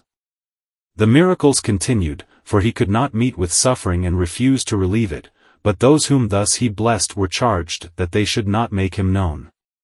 Matthew 12 verse 16, the gospel of the kingdom ceased, his teaching became veiled in parables, and the disciples were forbidden any longer to testify to his messiahship. Matthew 16 verse 20, the thirteenth chapter is prophetic of the state of things which was to intervene between the time of his rejection and his return in glory to claim the place which in his humiliation was denied him. Instead of the proclamation of the kingdom, he taught them the mysteries of the kingdom. Matthew 13 verse 11, his mission changed its character, and instead of a king come to reign, he described himself as a sower sowing seed. Of the parables which follow, the first three, spoken to the multitude, describe the outward results of the testimony in the world, the last three, addressed to the disciples, speak of the hidden realities revealed to spiritual minds. But these very parables, while they taught the disciples in the plainest terms that everything was postponed which the prophets had led them to look for in connection with the kingdom, taught them no less clearly that the day would surely come when all should be fulfilled, when evil should be rooted out, and the kingdom established in righteousness and peace. Matthew 13 verses 41 to 43, they thus learned that there was to be an age of which prophecy took no account, and another advent at its close, and the second Sermon on the Mount was the Lord's reply to the inquiry, What shall be the sign of thy coming, and of the end of the age? The 24th chapter of Matthew has been well described as the anchor of apocalyptic interpretation, and the touchstone of apocalyptic systems. The 15th verse specifies an event and fixes an epoch, by which we are enabled to connect the words of the Lord with the visions of St. John, and both with the prophecies of Daniel. The entire passage is obviously prophetic, and its fulfillment clearly pertains to the time of the end. The fullest and most definite application of the words must therefore be to those who are to witness their accomplishment. To them it is that the warning is specially addressed, against being deceived through a false hope of the immediate return of Christ. A series of terrible events are yet to come, but these are the beginning of sorrows, the end is not yet. How long these sorrows shall continue is not revealed. The first sure sign that the end is near will be the advent of the fiercest trial that the redeemed on earth have ever known. The fulfillment of Daniel's vision of the defilement of the holy place is to be the signal for immediate flight, for then shall be the great tribulation, ver. 15-21. Compare Daniel 11 verse 1, unparalleled even in Judah's history. But, as already noticed, this last great persecution belongs to the latter half of Daniel's 70th week, and therefore it affords a landmark by which we can determine the character and fix the order of the chief events which mark the closing scenes foretold in prophecy. With the clue thus obtained from the Gospel of St.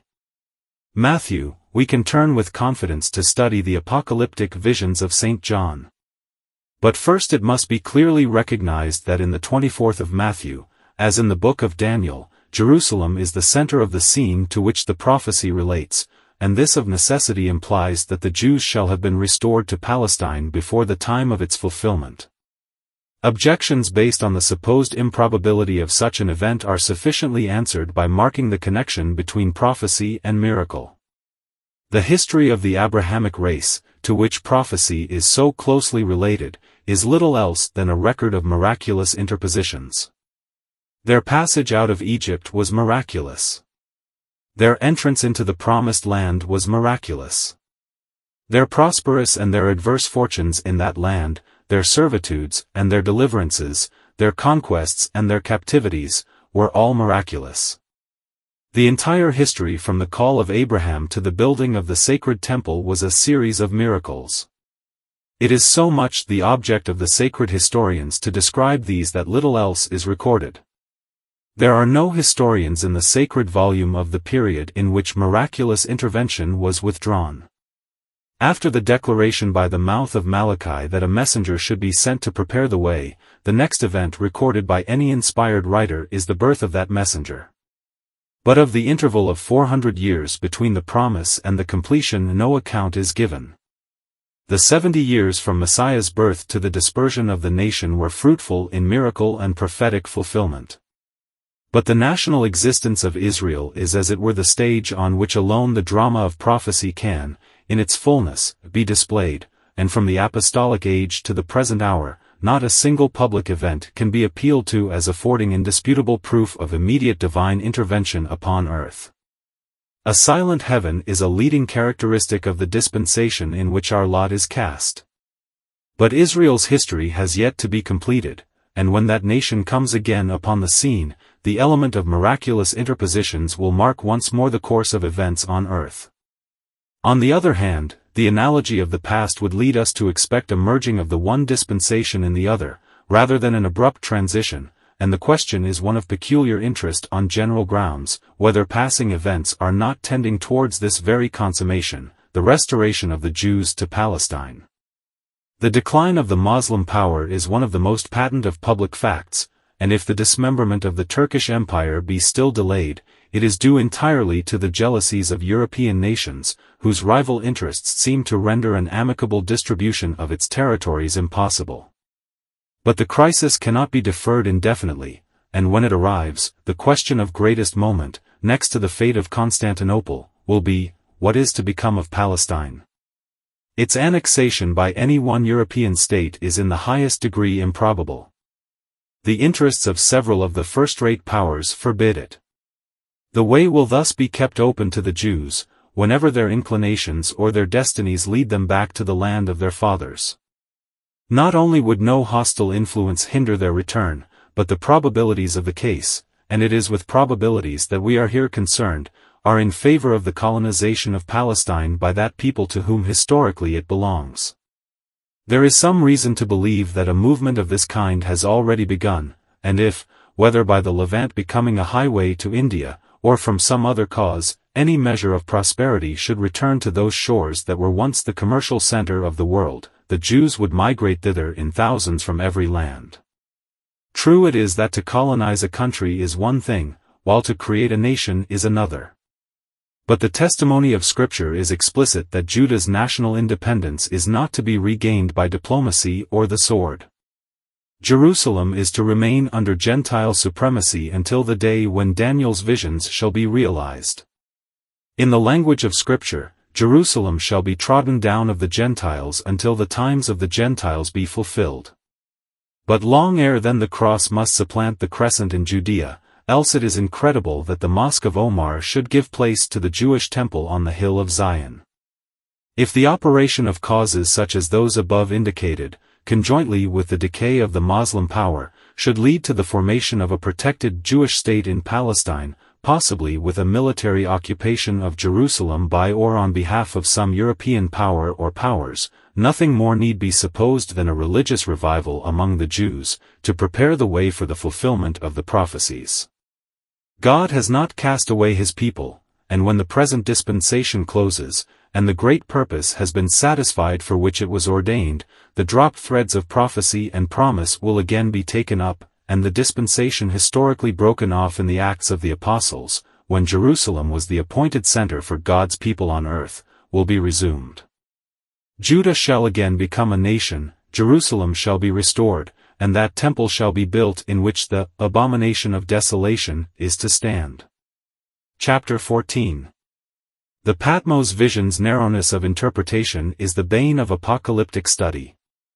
The words of this prophecy, things which must shortly come to pass, such is the divine description of the book of the Revelation and of its contents. No one, therefore, is justified in denying to any portion of it a future application. The book in its entirety is prophetic.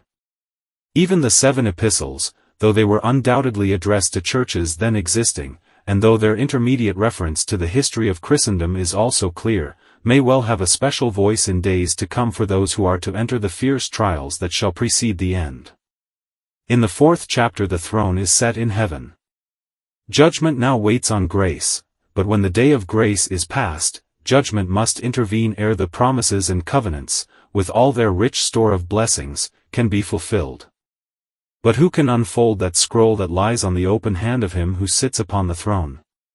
Revelation 5 verse 2, No creature in the universe may dare to look on it, and God himself will not break a single seal of it, for the Father has ceded the prerogative of judgment.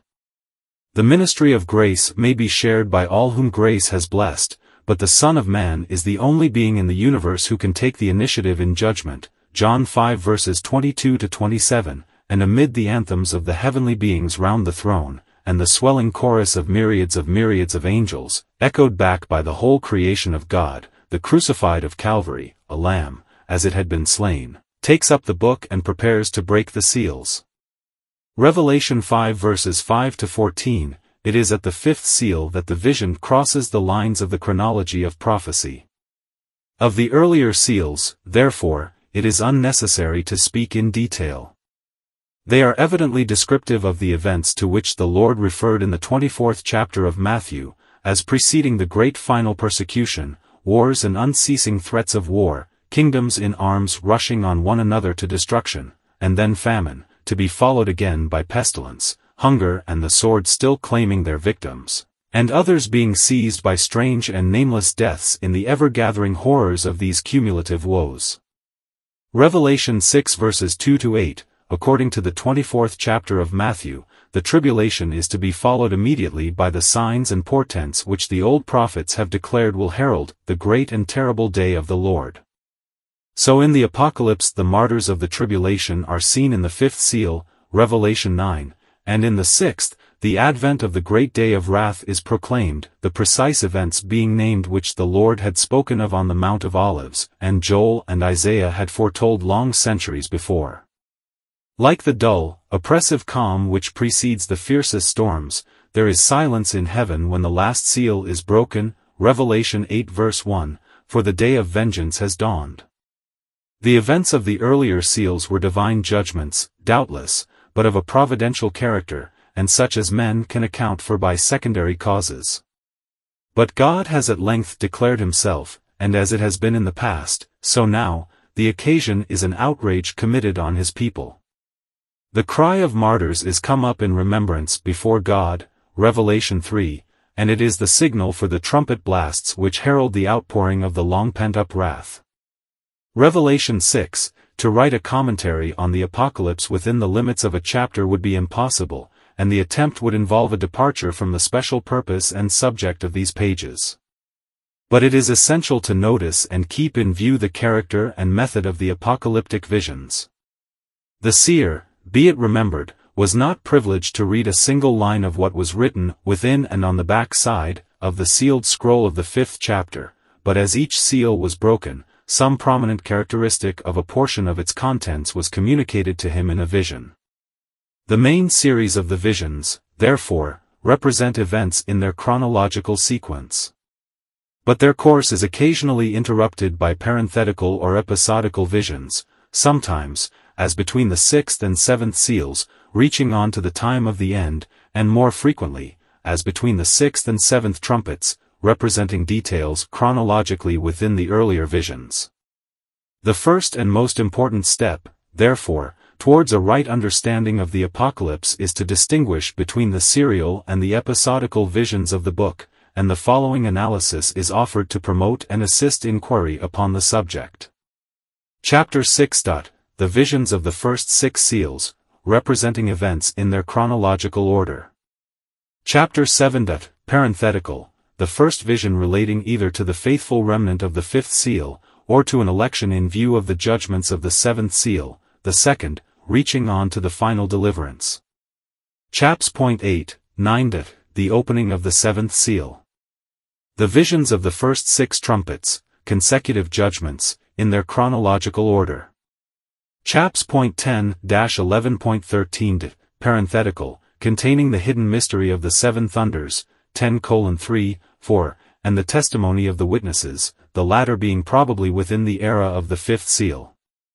Chap. Point 11 15 19 The seventh trumpet, the third and last woe, Comp 8 13, 9 12, 1114, preceding the establishment of the kingdom, Comp 10 7, 1115. Chaps. Point 12 18. Parenthetical. Chapter 13. The rise and career of the two great blasphemers and persecutors of the last days. Chapter 14. The remnant of Chap. 7. Seen in blessedness. The everlasting gospel, ver. Point 6, 7. The fall of Babylon, ver. Point 8. The doom of the worshippers of the beast, ver. Point 9-11. The revelation of Christ, and final judgments, ver. Point 14-20. Chapter 15 A vision of events chronologically within chapter 8, the opening the seventh seal. This appears from the fact that the faithful of the fifth seal are here represented as praising God in view of the judgments impending, see ver. 2 to 4, which judgments are within the seventh seal. Chapter 16 The Seven Vials, a second series of visions of the events of the seven trumpets. This appears, first, because the seventh trumpet and the seventh vial both relate to the final catastrophe. Under the seventh trumpet, the mystery of God is finished, 10 7, and the temple of God is opened, and there are lightnings, voices, thunders, and an earthquake, 11:19. Under the seventh vial, it is done, is heard from the temple, and there are voices, thunders, lightnings, and an earthquake, 16 17, 18. Second, because the sphere of the judgments is the same in the correlative visions of both series. 1. The earth. 2. The sea. 3. The rivers. 4. The sun. 5. The pit, the seat of the beast. 6. Euphrates. 7. Heaven, the air. Chaps. Point 17, 18. Detailed visions of the development and doom of Babylon, the harlot, whose fall has been within the seventh trumpet and seventh vial, the last series of judgments of the seventh seal, 1118, 1619. Chapter 19, the doom of the harlot being accomplished, ver. Point 2, the glory of the bride follows, ver. Point 7, the glorious revelation of Christ, and the destruction consequent thereon of the beast and false prophet, ver. Point 20. Chapter 20. Satan is bound. The millennial reign of the saints, ver. Point 1-4. After the millennial reign, Satan is loosed, and once more deceives the nations. Satan is cast into the lake of fire. The judgment of the great white throne. Chaps. Point 21, 22 1-5. dot, The New Heaven and New Earth Chap. 22 colon 6-21. dot, Conclusion. As the last trumpet and the last veil embrace the final judgments of the day of vengeance, which precede the advent of the glorious kingdom, they necessarily include the doom of the two great antichristian powers of the last days, the imperial represented by the ten-horned beast, and the ecclesiastical typified by the scarlet woman.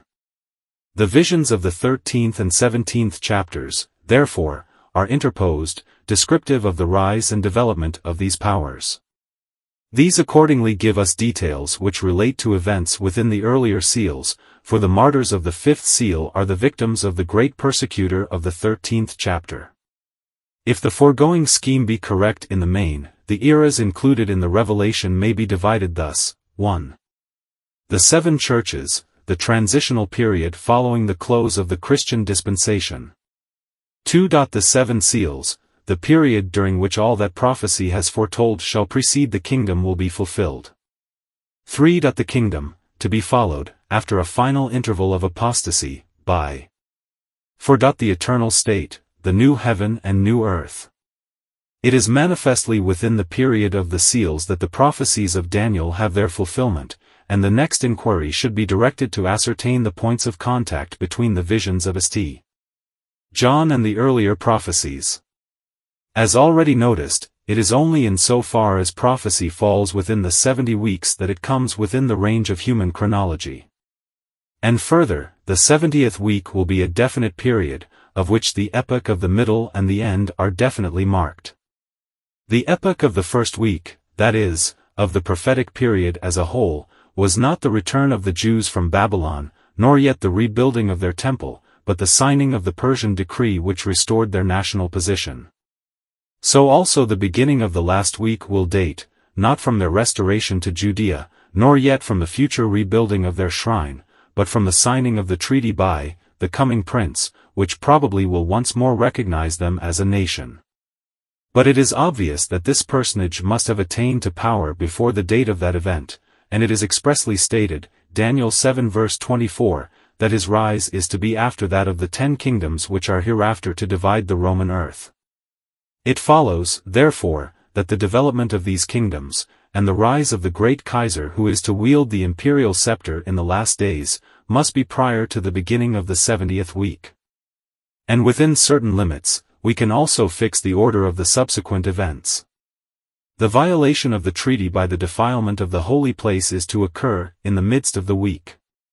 Daniel 9 verse 27, that event, again, is to be the epoch of the great persecution by Antichrist, Matthew 24 verses 15 to 21, which is to last precisely three and a half years, for his power to persecute the Jews is to be limited to that definite period. Daniel 7 verse 25, Revelation 13 verse 5, Immediately after the tribulation of those days shall the sun be darkened, and the moon shall not give her light. Matthew 24 verse 29, such is the statement of the 24th of Matthew, and the 6th of Revelation exactly coincides with it, for the vision of the fifth seal embraced the period of the tribulation, and when the sixth seal was opened, the sun became black as sackcloth of hair, and the moon became as blood, and the cry went forth, the great day of his wrath is come.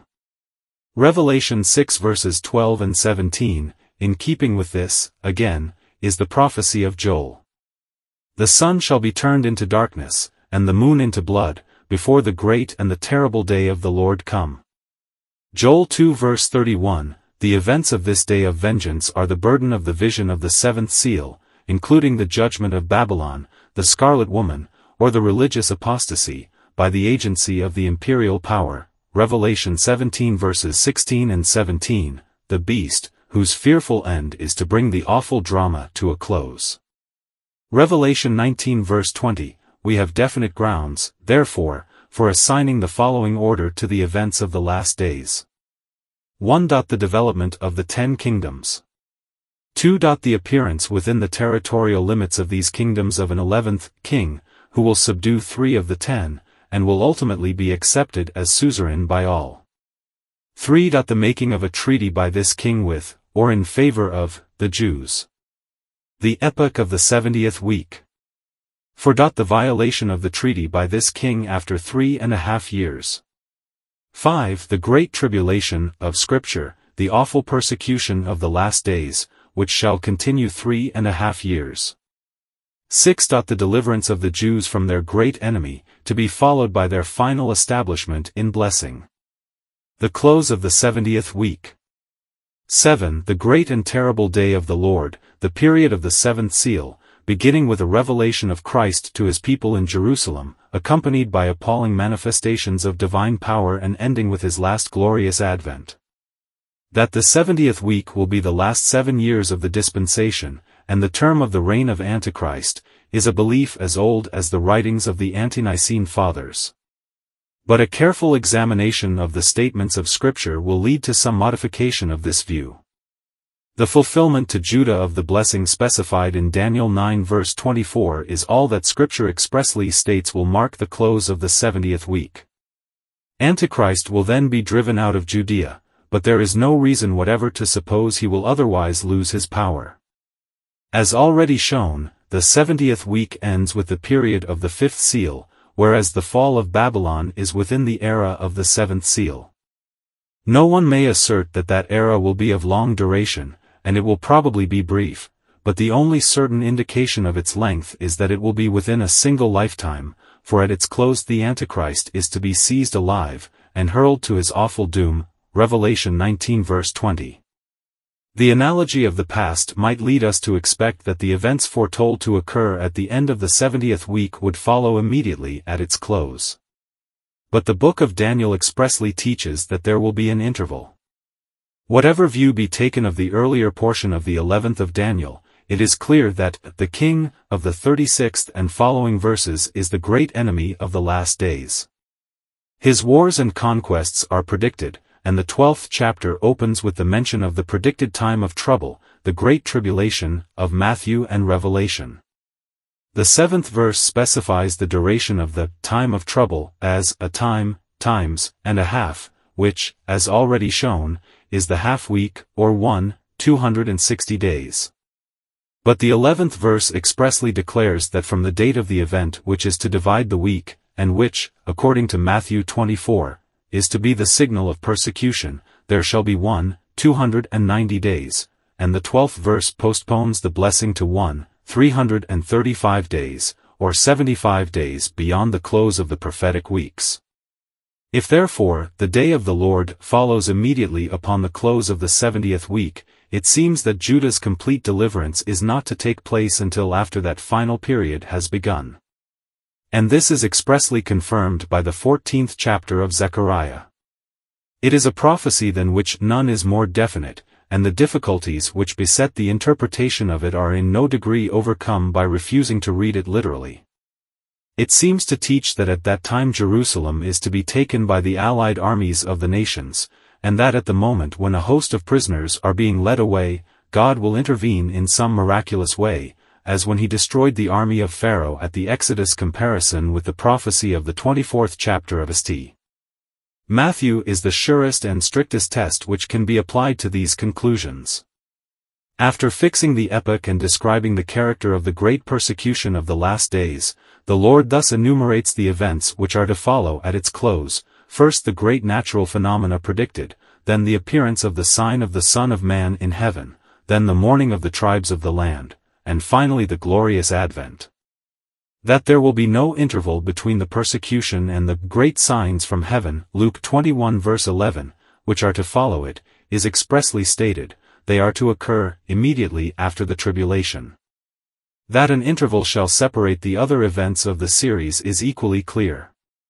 From the defilement of the holy place, to the day when the tribulation shall end, and the fearful sights and great signs from heaven shall strike terror into men's hearts, shall be a definite period of 1260 days, and yet when he goes on to speak of the Advent, the Lord declares that that day is known to the Father only, it should be his people's part to watch and wait.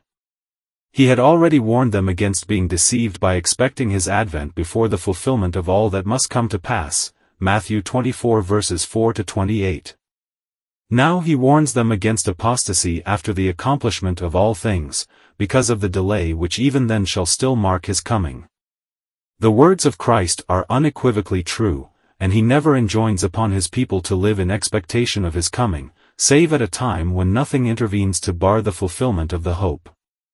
Fatalism is as popular among Christians as with the worshippers of Muhammad, and it is forgotten that though the dispensation has run its course these 18 centuries, it might have been brought to a close at any moment. Hence the Christian is taught to live, looking for that blessed hope. Titus 2 verses 12 and 13, It will be otherwise in days to come, when the present dispensation shall have closed with the first stage of the Advent. Then the word will be, not, watch, for ye know not what hour your Lord doth come, Matthew 24 verse 42, that belongs to the time when all shall have been fulfilled, but, take heed that no man deceive you, all these things must come to pass, but the end is not yet. Matthew 4 verse 6, chapter 15. The coming prince, what is it that all Europe is looking for? The words are quoted from a leading article in the Times newspaper, on the recent finding of Agamemnon's tomb. What is it that all Europe is looking for? It is the king of men, the great head of the Hellenic race, the man whom a thousand galleys and a hundred thousand men submitted to on a simple recognition of his personal qualities, and obeyed for ten long years, the man who can challenge for his own the shield of Agamemnon, now waiting for the challenge, is the true emperor of the East, and the easiest escape from our present difficulties. The realization of this dream will be the fulfillment of prophecy. True it is that popular movements characterize the age, rather than the power of individual minds. It is an age of mobs. Democracy, not despotism, is the goal towards which civilization is tending. But democracy in its full development is one of the surest roads to despotism. First, the revolution, then, the plebiscites, then, the despot. The Caesar often owes his scepter to the mob. A man of transcendent greatness, moreover, never fails to leave his mark upon his times. And the true king of men must have an extraordinary combination of great qualities. He must be a scholar, a statesman, a man of unflinching courage and irrepressible enterprise, full of resources, and ready to look in the face a rival or a foe. The opportunity too must synchronize with his advent. But the voice of prophecy is clear, that the hour is coming, and the man. In connection with this dream or legend of the reappearance of Agamemnon, it is remarkable that the language of Daniel's second vision has led some to fix on Greece as the very place in which the man of prophecy shall have his rise, and it leaves no doubt whatever that he will appear within the territorial limits of the old Grecian Empire. Having predicted the formation of the four kingdoms into which Alexander's conquests became divided at his death, the angel Gabriel, the divinely appointed interpreter of the vision, proceeded thus to speak of events which must take place in days to come. In the latter time of their kingdom, when the transgressors are come to the full, a king of fierce countenance, and understanding dark sentences, shall stand up. And his power shall be mighty, but not by his own power, and he shall destroy wonderfully, and shall prosper, and practice, and shall destroy the mighty and the holy people. And through his policy also, he shall cause craft to prosper in his hand, and he shall magnify himself in his heart, and by peace shall destroy many. He shall also stand up against the prince of princes, but he shall be broken without hand. In the vision of the seventh chapter, the last great monarch of the Gentiles was represented only as a blasphemer and a persecutor. He shall speak great words against the Most High, and shall wear out the saints of the Most High, but here he is described as being also a general and a diplomatist. Having thus obtained a recognized place in prophecy, he is alluded to in the vision which follows as, the prince who is coming, Daniel 9 verse 26, a well-known personage, whose advent had already been foretold, and the mention of him in Daniel's fourth and final vision is so explicit, that having regard to the vital importance of establishing the personality of this king, the passage is here set forth at length. And the king shall do according to his will, and he shall exalt himself, and magnify himself above every god, and shall speak marvelous things against the God of gods, and shall prosper till the indignation be accomplished. For that that is determined shall be done. Neither shall he regard the God of his fathers, nor the desire of women, nor regard any God, for he shall magnify himself above all. But in his estate he shall honor the God of forces, and a God whom his fathers knew not shall he honor with gold, and silver, and with precious stones, and pleasant things. Thus shall he do in the most strongholds with a strange God, whom he shall acknowledge and increase with glory, and he shall cause them to rule over many, and shall divide the land for gain. And at the time of the end shall the king of the south push at him, and the king of the north shall come against him like a whirlwind, with chariots, and with horsemen, and with many ships, and he shall enter into the countries, and shall overflow and pass over. He shall enter also into the glorious land, and many countries shall be overthrown, but these shall escape out of his hand, even Edom, and Moab, and the chief of the children of Ammon. He shall stretch forth his hand also upon the countries, and the land of Egypt shall not escape. But he shall have power over the treasures of gold and of silver, and over all the precious things of Egypt, and the Libyans and the Ethiopians shall be at his steps. But tidings out of the east and out of the north shall trouble him, therefore he shall go forth with great fury to destroy, and utterly to make away many. And he shall plant the tabernacles of his palace between the seas and the glorious holy mountain, yet he shall come to his end, and none shall help him.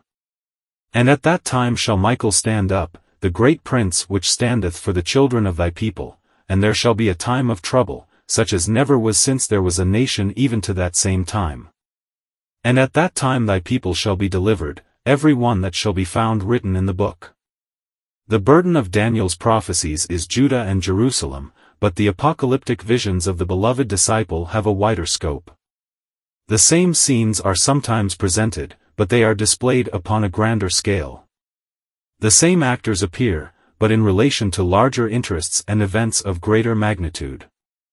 In Daniel, the Messiah is mentioned only in relation to the earthly people, and it is in the same connection also that the false Messiah comes upon the stage. In the Apocalypse the Lamb appears as the Savior of an innumerable multitude out of all nations, and kindreds, and peoples, and tongues, Revelation 7 verse 9, and the beast is seen as the persecutor of all who name the name of Christ on earth. The visions of St. John, moreover, include an opened heaven, while the glimpses Daniel was vouchsafed of things to come are limited to earth. The attempt to fix the meaning of every detail of these visions is to ignore the lessons to be derived from the messianic prophecies fulfilled at the first advent. The old scriptures taught the pious Jew to look for a personal Christ, not a system or a dynasty, but a person. They enabled him, moreover, to anticipate the leading facts of his appearing. Herod's question, for example, where should Christ be born, admitted of a definite and unhesitating answer, in Bethlehem of Judea. Matthew 2 verse 4, cf Micah 5 colon 2, but to assign its place and meaning to every part of the mingled vision of suffering and glory was beyond the power even of the inspired prophets themselves. 1 Peter 1 verses 10 to 12, so also is it with the prophecies of Antichrist. The case indeed is stronger still, for while they, who waited for redemption in Israel, had to glean the messianic prophecies from scriptures which seem to the careless reader to refer to the sufferings of the old Hebrew prophets or the glories of their kings, the predictions of Antichrist are as distinct and definite as though the statements were historical and not prophetic. And yet the task of the expositor is beset with real difficulties. If the book of Daniel might be read by itself no question whatever could arise. The coming prince is there presented as the head of the revived Roman Empire of the future, and a persecutor of the saints. There is not a single statement respecting him that presents the smallest difficulty. But some of the statements of St. John seem inconsistent with the earlier prophecies.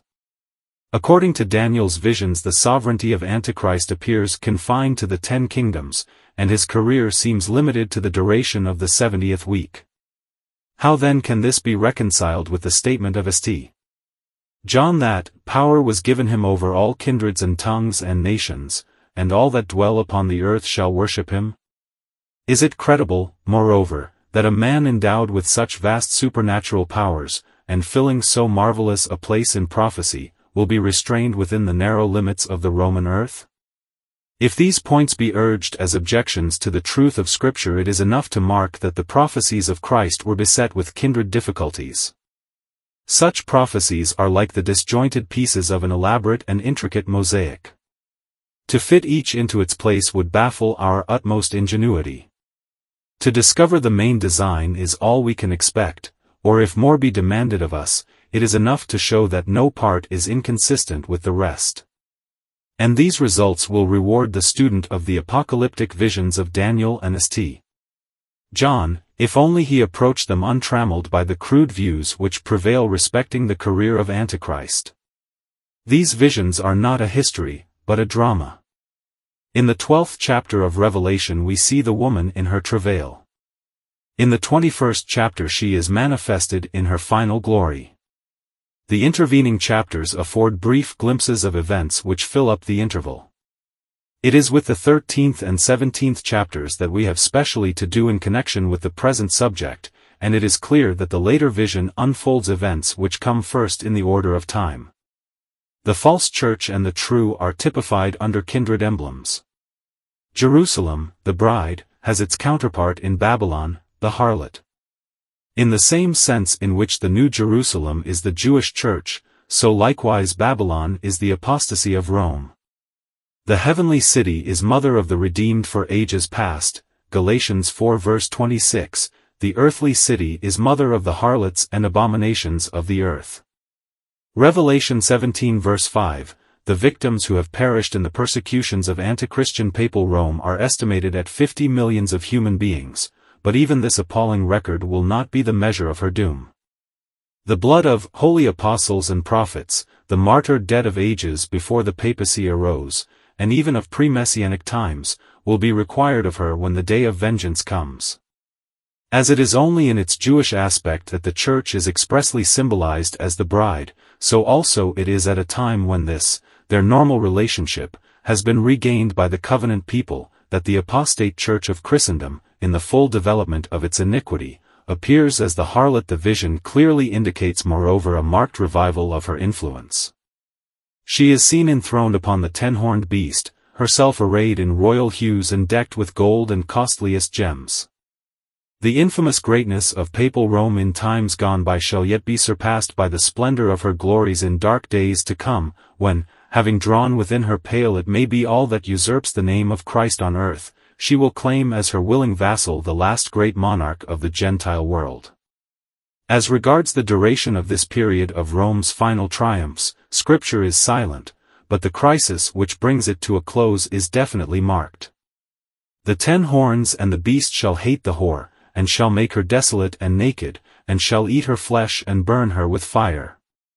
Revelation 17 verse 16, one point in the angel's description of the beast in relation to the harlot claims special notice. The seven heads have a twofold symbolism. When viewed in connection with the harlot, they are seven mountains on which the woman sits, but in their special relation to the beast they have a different significance. The angel adds, and they are seven kings, that is, kingdoms, the word being used, according to its strict prophetic import, and to the analogy of that portion of the prophecy which is here especially in view. In the seventh chapter of Daniel the beast is identified with the Roman Empire. In the thirteenth of Revelation he is identified also with the lion, the bear, and the panther, the three first kingdoms of Daniel's vision. But here he is seen as the heir and representative, not of these alone, but of all the great world powers which have set themselves, in opposition to God and to his people. The seven heads typify these powers. Five are fallen, and one is. Egypt, Nineveh, Babylon, Persia, Greece, had fallen, and Rome then held the scepter of earthly sovereignty, the sixth in succession to the empires already named. And the other is not yet come, and when he cometh he must continue a short space, here the prophecy is marked by the same strange foreshortening already noticed in each of Daniel's visions. While Rome was the sixth kingdom, the seventh is the confederacy of the latter days, heading up in the coming prince. The coming prince himself, in the full and final development of his power, is called the eighth, though belonging to the seven, the importance of these conclusions will appear in the sequel. The subject of the twelfth chapter is the dragon, the woman in her travail, the birth of the man-child and his rapture to heaven, the conflict in heaven between the archangel and the dragon, verse 7, compare Daniel 12 verse 1. The dragon's banishment to earth, his persecution of the woman, and her flight to the wilderness, where she is sustained for a time, and times, and half a time, or one, 260 days, verses 6, 14. The second half of Daniel's 70th week. The chapter ends by the statement that, baffled in attempting to destroy the woman, the dragon went to make war with the remnant of her seed, which keep the commandments of God, and have the testimony of Jesus Christ. The thirteenth chapter, crossing the lines of Daniel's visions, represents the fulfillment of the dragon's purpose through the agency of the man of prophecy, whom he energizes to this end. Whatever meaning be attached to the birth and rapture of the woman's child, there can be no reasonable doubt that the obedient, faithful, remnant of her seed, is the Jewish church of the latter days, the persecuted, saints of the Most High, of Daniel's prophecy. The serpent, the woman, and the man, appear together on the earliest page of Scripture, and they reappear upon the latest. But how significant and terrible the change! No longer the subtle tempter, Satan is now displayed in all his awfulness as the great fiery dragon, who seeks to destroy the woman's promised seed. And instead of the humbled penitent of Eden, the man appears as a wild beast, a monster, both in power and wickedness. The serpent's victim has become his willing slave and ally. God has found a man to fulfill all his will, and to him he has given up his throne, with all power in heaven and on earth. This will hereafter be travestied by Satan, and the coming man shall have the dragon's power, and his throne, and great authority. Revelation 8 verse 2, both the dragon and the beast are seen crowned with royal diadems. Revelation 12 verse 3, 13 colon 1. Once, and only once, again in scripture the diadem is mentioned, and then it is as worn by him whose name is, King of kings and Lord of lords. Revelation 19 verses 12 to 16, it must be as pretenders to his power that the beast and the dragon claim it. The personality of Satan and his interest in and close connection with our race throughout its history, are among the most certain though most mysterious facts of Revelation. The popular classification of angels, men, and devils, as including intelligent creation, is misleading. The angels that fell are reserved in everlasting chains, under darkness, unto the judgment of the great day. Jude 6, demons are frequently mentioned in the narrative of the Gospels, and they have also a place in the doctrine of the epistles. But the devil is a being who, like the archangel, seems, in his own domain, to have no peer. Another fact which claims notice here is the hold which serpent worship has had upon mankind. Among the nations of the ancient world there was scarcely one in whose religious system it had not a place. In heathen mythology there is scarcely a hero or a god whose history is not connected in some way with the sacred serpent. Wherever the devil reigned the serpent was held in some peculiar veneration. The true significance of this depends on a just appreciation of the nature of idol worship. It may be questioned whether idolatry as popularly understood has ever prevailed except among the most debased and ignorant of races. It is not the emblem that is worshipped, but a power or being which the emblem represents. When the apostle warned the Corinthian church against participating in anything devoted to an idol, he was careful to explain that the idol in itself was nothing. But, he declared, the things which the Gentiles sacrifice, they sacrifice to demons, not to God, and I would not that ye should have fellowship with demons. 1 Corinthians 10 verse 20 this will afford an insight into the character of the predicted serpent worship of the last days. Satan's master lie will be a travesty of the incarnation, he will energize a man who will claim universal worship as being the manifestation of the deity in human form. And not only will there be a false Messiah, but another being, his equal in miraculous power, yet having for his only mission to obtain for him the homage of mankind. The mystery of the Godhead will thus be parroted by the mystery of iniquity, and the Father, the Son, and the Spirit will have their counterpart in the dragon, the beast, and the false prophet. A silent heaven marks this age of grace. Whirlwind and earthquake and fire may awe, yet, as in the days of the old Hebrew prophet, God is not in these, but in the still small voice, which tells of mercy and seeks to win lost men from the power of darkness to himself. But the very silence which betokens that the throne of God is now a throne of grace is appealed to as the crowning proof that God is but a myth, and the coarse blasphemer's favorite trick is to challenge the Almighty to declare himself by some signal act of judgment. In days to come, the impious challenge will be taken up by Satan, and death shall seize on men who refuse to bow before the image of the beast. The Antichrist will be more than a profane and brutal persecutor like Antiochus Epiphanes and some of the emperors of pagan Rome, more than a vulgar impostor like Barcochab. Miracles alone can silence the skepticism of apostates, and in the exercise of all the dragon's delegated power, the beast will command the homage of a world that has rejected grace. All that dwell upon the earth shall worship him, whose names are not written in the book of life. Revelation 8 verse 8, if it were possible, the very elect would be deceived by his mighty signs and wonders, Matthew 24 verse 24, but faith, divinely given, is a sure, as it is the only, safeguard against credulity and superstition. But this is what he will become in the zenith of his career. In his origin he is described as a little horn, Daniel 7 verse 8, like Alexander of Macedon, the king of a petty kingdom. Possibly he will be the head of some new principality to arise in the final dismemberment of Turkey, it may be on the banks of the Euphrates, or perhaps upon the Asian shore of the Aegean Sea. The name of Babylon is strangely connected with events to come, and Pergamus, so long the home of serpent worship in its vilest forms, is the only place on earth which Scripture has identified with Satan's throne, Revelation 2 verse 13. Of the great political changes which must precede his advent, the most conspicuous are the restoration of the Jews to Palestine, and the predicted division of the Roman earth. The former of these events has already been considered in a previous chapter, and as regards the latter there is but little to be said. The attempt to enumerate the ten kingdoms of the future would involve a profitless inquiry. History repeats itself, and if there be any element of periodicity in the political diseases by which nations are afflicted, Europe will inevitably pass through another crisis such as that which darkened the last decade of the 18th century. And should another revolution produce another Napoleon, it is impossible to foretell how far kingdoms may become consolidated, and boundaries may be changed.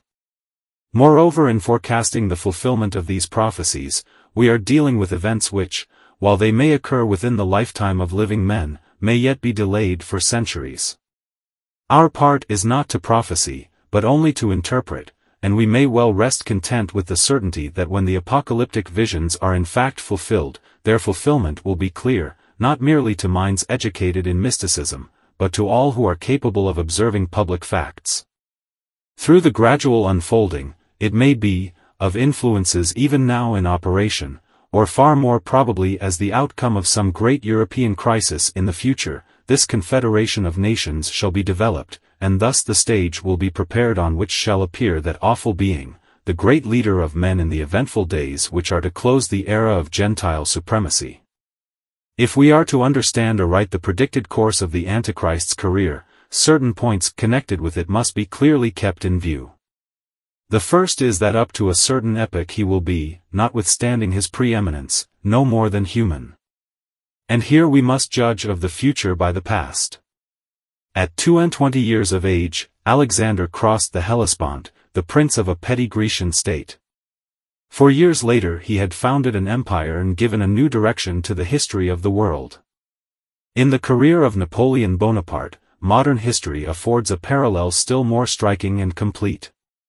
When, now just a hundred years ago, he entered the French military school at Brienne, he was an unknown lad, without even the advantages which rank and wealth afford.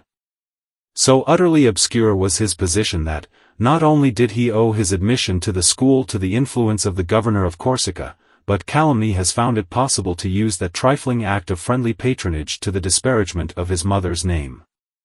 If then such a man, by the gigantic force of his personal qualities, combined with the accident of favoring circumstances, could attain the place which history has assigned to him, the fact affords the fullest answer to every objection which can be urged against the credibility of the predicted career of the man of prophecy. Nor will it avail to urge that the last fifty years have so developed the mental activity of civilized races, and have produced such a spirit of independence, that the suggestion of a career like Napoleon's being repeated in days to come involves an anachronism. In proportion as the general standard of mental cultivation is raised, and man made equal with man, the ordinary power of genius is diminished, but its extraordinary power is increased, its reach deepened, its hold rendered more firm. As men become familiar with the achievements and the exercise of talent, they learn to despise and disregard its daily examples, and to be more independent of mere men of ability, but they only become more completely in the power of gigantic intellect, and the slaves of preeminent and unapproachable talent. By the sheer force of transcendent genius the man of prophecy will gain a place of undisputed preeminence in the world, but if the facts of his after-career are to be understood, considerations of a wholly different kind must be taken into account. A strange crisis marks his course. At first the patron of religion, a true eldest son of the church, he becomes a relentless and profane persecutor. At first no more than a king of men, commanding the allegiance of the Roman earth, he afterwards claims to be divine, and demands the worship of Christendom. And we have seen how this extraordinary change in his career takes place at that epoch of tremendous import in the history of the future, the beginning of the one, 260 days of the latter half of Daniel's 70th week. Then it is that that mysterious event takes place, described as war in heaven between the archangel and the dragon. As the result of that amazing struggle, Satan and his angels are cast out into the earth, and the seer bewails mankind because the devil is come down into their midst, having great wrath because he knoweth that he hath but a short time Revelation 12 verses 7 and 12. The next feature in the vision is the rise of the ten-horned beast. Revelation 13 verse 1, this is not the event described in the seventh of Daniel. The beast, doubtless, is the same both in Daniel and the Apocalypse, representing the last great empire upon earth, but in the Apocalypse it appears at a later stage of its development. Three periods of its history are marked in Daniel. In the first it has ten horns. In the second it has eleven, for the little horn comes up among the ten. In the third, it has but eight, for the eleventh has grown in power, and three of the ten have been torn away by it. Up to this point Daniel's vision represents the beast merely as the fourth kingdom upon earth, the Roman Empire as revived in future times, and here the vision turns away from the history of the beast to describe the action of the little horn as a blasphemer and persecutor. It is at this epoch that the thirteenth chapter of Revelation opens. The three first stages of the history of the empire are past, and a fourth has been developed. It is no longer a confederacy of nations bound together by treaty, with a Napoleon rising up in the midst of them and struggling for supremacy, but a confederacy of kings who are the lieutenants of one great Kaiser, a man whose transcendent greatness has secured to him an undisputed preeminence. And this is the man whom the dragon will single out to administer his awful power on earth in days to come. And from the hour in which he sells himself to Satan he will be so energized by Satan, that all power and signs and lying wonders shall characterize his after-course. There is a danger lest in dwelling on these visions as though they were enigmas to be solved, we should forget how appalling are the events of which they speak, and how tremendous the forces which will be in exercise at the time of their accomplishment. During this age of grace Satan's power on earth is so restrained that men forget his very existence. This, indeed, will be the secret of his future triumphs. And yet how unspeakably terrible must be the dragon's power, witness the temptation of our Lord.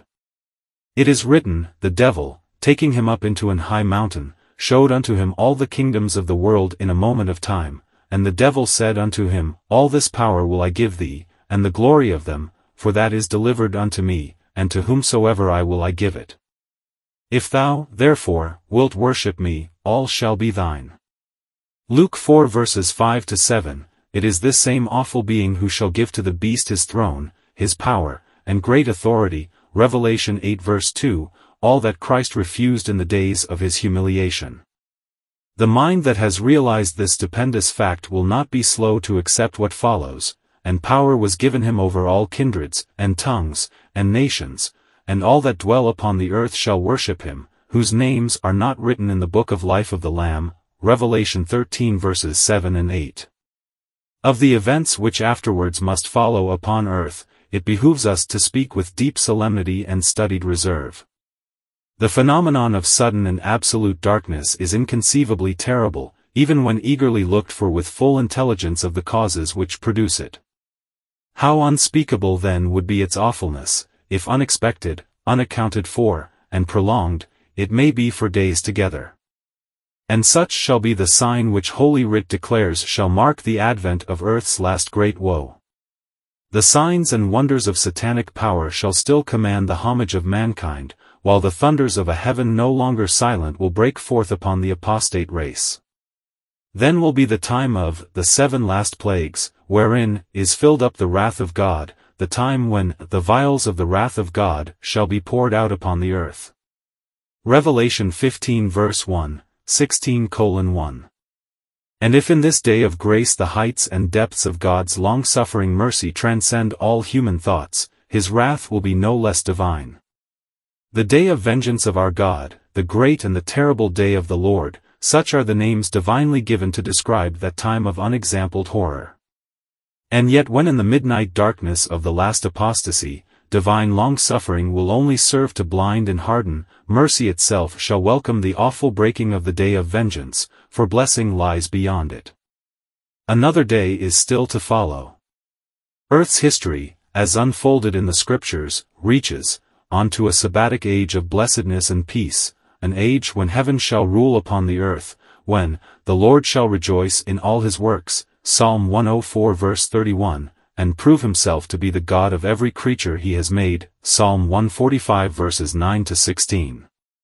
Further still, the veil is raised, and a brief glimpse afforded us of a glorious eternity beyond, when every trace of sin shall have been wiped out forever, when heaven will join with earth, and, the tabernacle of God, the dwelling place of the Almighty, shall be with men, and he will dwell with them, and they shall be his people, and God himself shall be with them, and be their God. It was a calamity for the Church of God when the light of prophecy became dimmed in fruitless controversy, and the study of these visions, vouchsafed by God to warn, and guide, and cheer his saints in evil days, was dismissed as utterly unprofitable. They abound in promises which God designed to feed his people's faith and fire their zeal, and a special blessing rests on those who read, and hear, and cherish them. Revelation 1 verse 3, one of the most hopeful features of the present hour is the increasing interest they everywhere excite, and if these pages should avail to deepen or direct the enthusiasm even of a few in the study of a theme which is inexhaustible, the labor they have cost will be abundantly rewarded. Prefaces WSTS Note, these prefaces to the 10th and 5th editions are placed at the end of the book, for continuity's sake, in the belief that the reader will be better introduced to The Coming Prince by Anderson's initial remarks in Chapter 1. Preface to the 10th edition The Coming Prince has been out of print for more than a year, for it seemed inadvisable to reissue it during the war. But the war has apparently created an increased interest in the prophecies of Daniel, and as this book is therefore in demand, it has been decided to publish a new edition without further delay. Not that these pages contain any sensational Armageddon theories. For, a place called in the Hebrew tongue Armageddon, is situated neither in France nor in Flanders, but in Palestine, and the future of the land and people of the covenant will be a main issue in the great battle which is yet to be fought on that historic plain. Prophetic students are apt to become adherents of one or other of two rival schools of interpretation. The teaching of the futurists suggests that this Christian dispensation is altogether a blank in the divine scheme of prophecy. And the historicists discredit scripture by frittering away the meaning of plain words in order to find the fulfillment of them in history. Avoiding the errors of both these schools, this volume is written in the spirit of Lord Bacon's dictum, that divine prophecies have springing and germinant accomplishment throughout many ages, though the height or fullness of them may belong to some one age. And this world war is no doubt within the scope of prophecy, though it be not the fulfillment of any special scripture. Very many years ago my attention was directed to a volume of sermons by a devout Jewish rabbi of the London Synagogue, in which he sought to discredit the Christian interpretation of certain messianic prophecies. And in dealing with Daniel 9, he accused Christian expositors of tampering, not only with chronology, but with scripture, in their efforts to apply the prophecy of the seventy weeks to the Nazarene. My indignation at such a charge gave place to distress when the course of study to which it led me brought proof that it was by no means a baseless libel. My faith in the book of Daniel, already disturbed by the German infidel crusade of the higher criticism, was thus further undermined. And I decided to take up the study of the subject with a fixed determination to accept without reserve not only the language of Scripture, but the standard dates of history as settled by our best modern chronologists. The following is a brief summary of the results of my inquiry as regards the great prophecy of the 70 weeks. I began with the assumption, based on the perusal of many standard works, that the era in question had reference to the 70 years of the captivity of Judah, and that it was to end with the coming of Messiah. But I soon made the startling discovery that this was quite erroneous. For the captivity lasted only 62 years, and the seventy weeks related to the wholly different judgment of the desolations of Jerusalem. And further, the period unto Messiah the Prince, as Daniel 9 verse 25 so plainly states, was not seventy weeks, but seven plus sixty-two weeks. The failure to distinguish between the several judgments of the servitude, the captivity, and the desolations, is a fruitful source of error in the study of Daniel and the historical books of Scripture. And it is strange that the distinction should be ignored not only by the critics, but by Christians. Because of national sin, Judah was brought under servitude to Babylon for seventy years, this was in the third year of King Jehoiakim, b.c.606. But the people continued obdurate, and in B.C. 598 the far severer judgment of the captivity fell on them. On the former capture of Jerusalem, Nebuchadnezzar left the city and people undisturbed, his only prisoners being Daniel and other cadets of the royal house. But on this second occasion he deported the mass of the inhabitants to Chaldea. The Jews still remained impenitent, however, in spite of divine warnings by the mouth of Jeremiah in Jerusalem and Ezekiel among the exiles, and after the lapse of another nine years, God brought upon them the terrible judgment of the desolations, which was decreed to last for seventy years. Accordingly in B.C. 589, the Babylonian armies again invaded Judea, and the city was devastated and burned.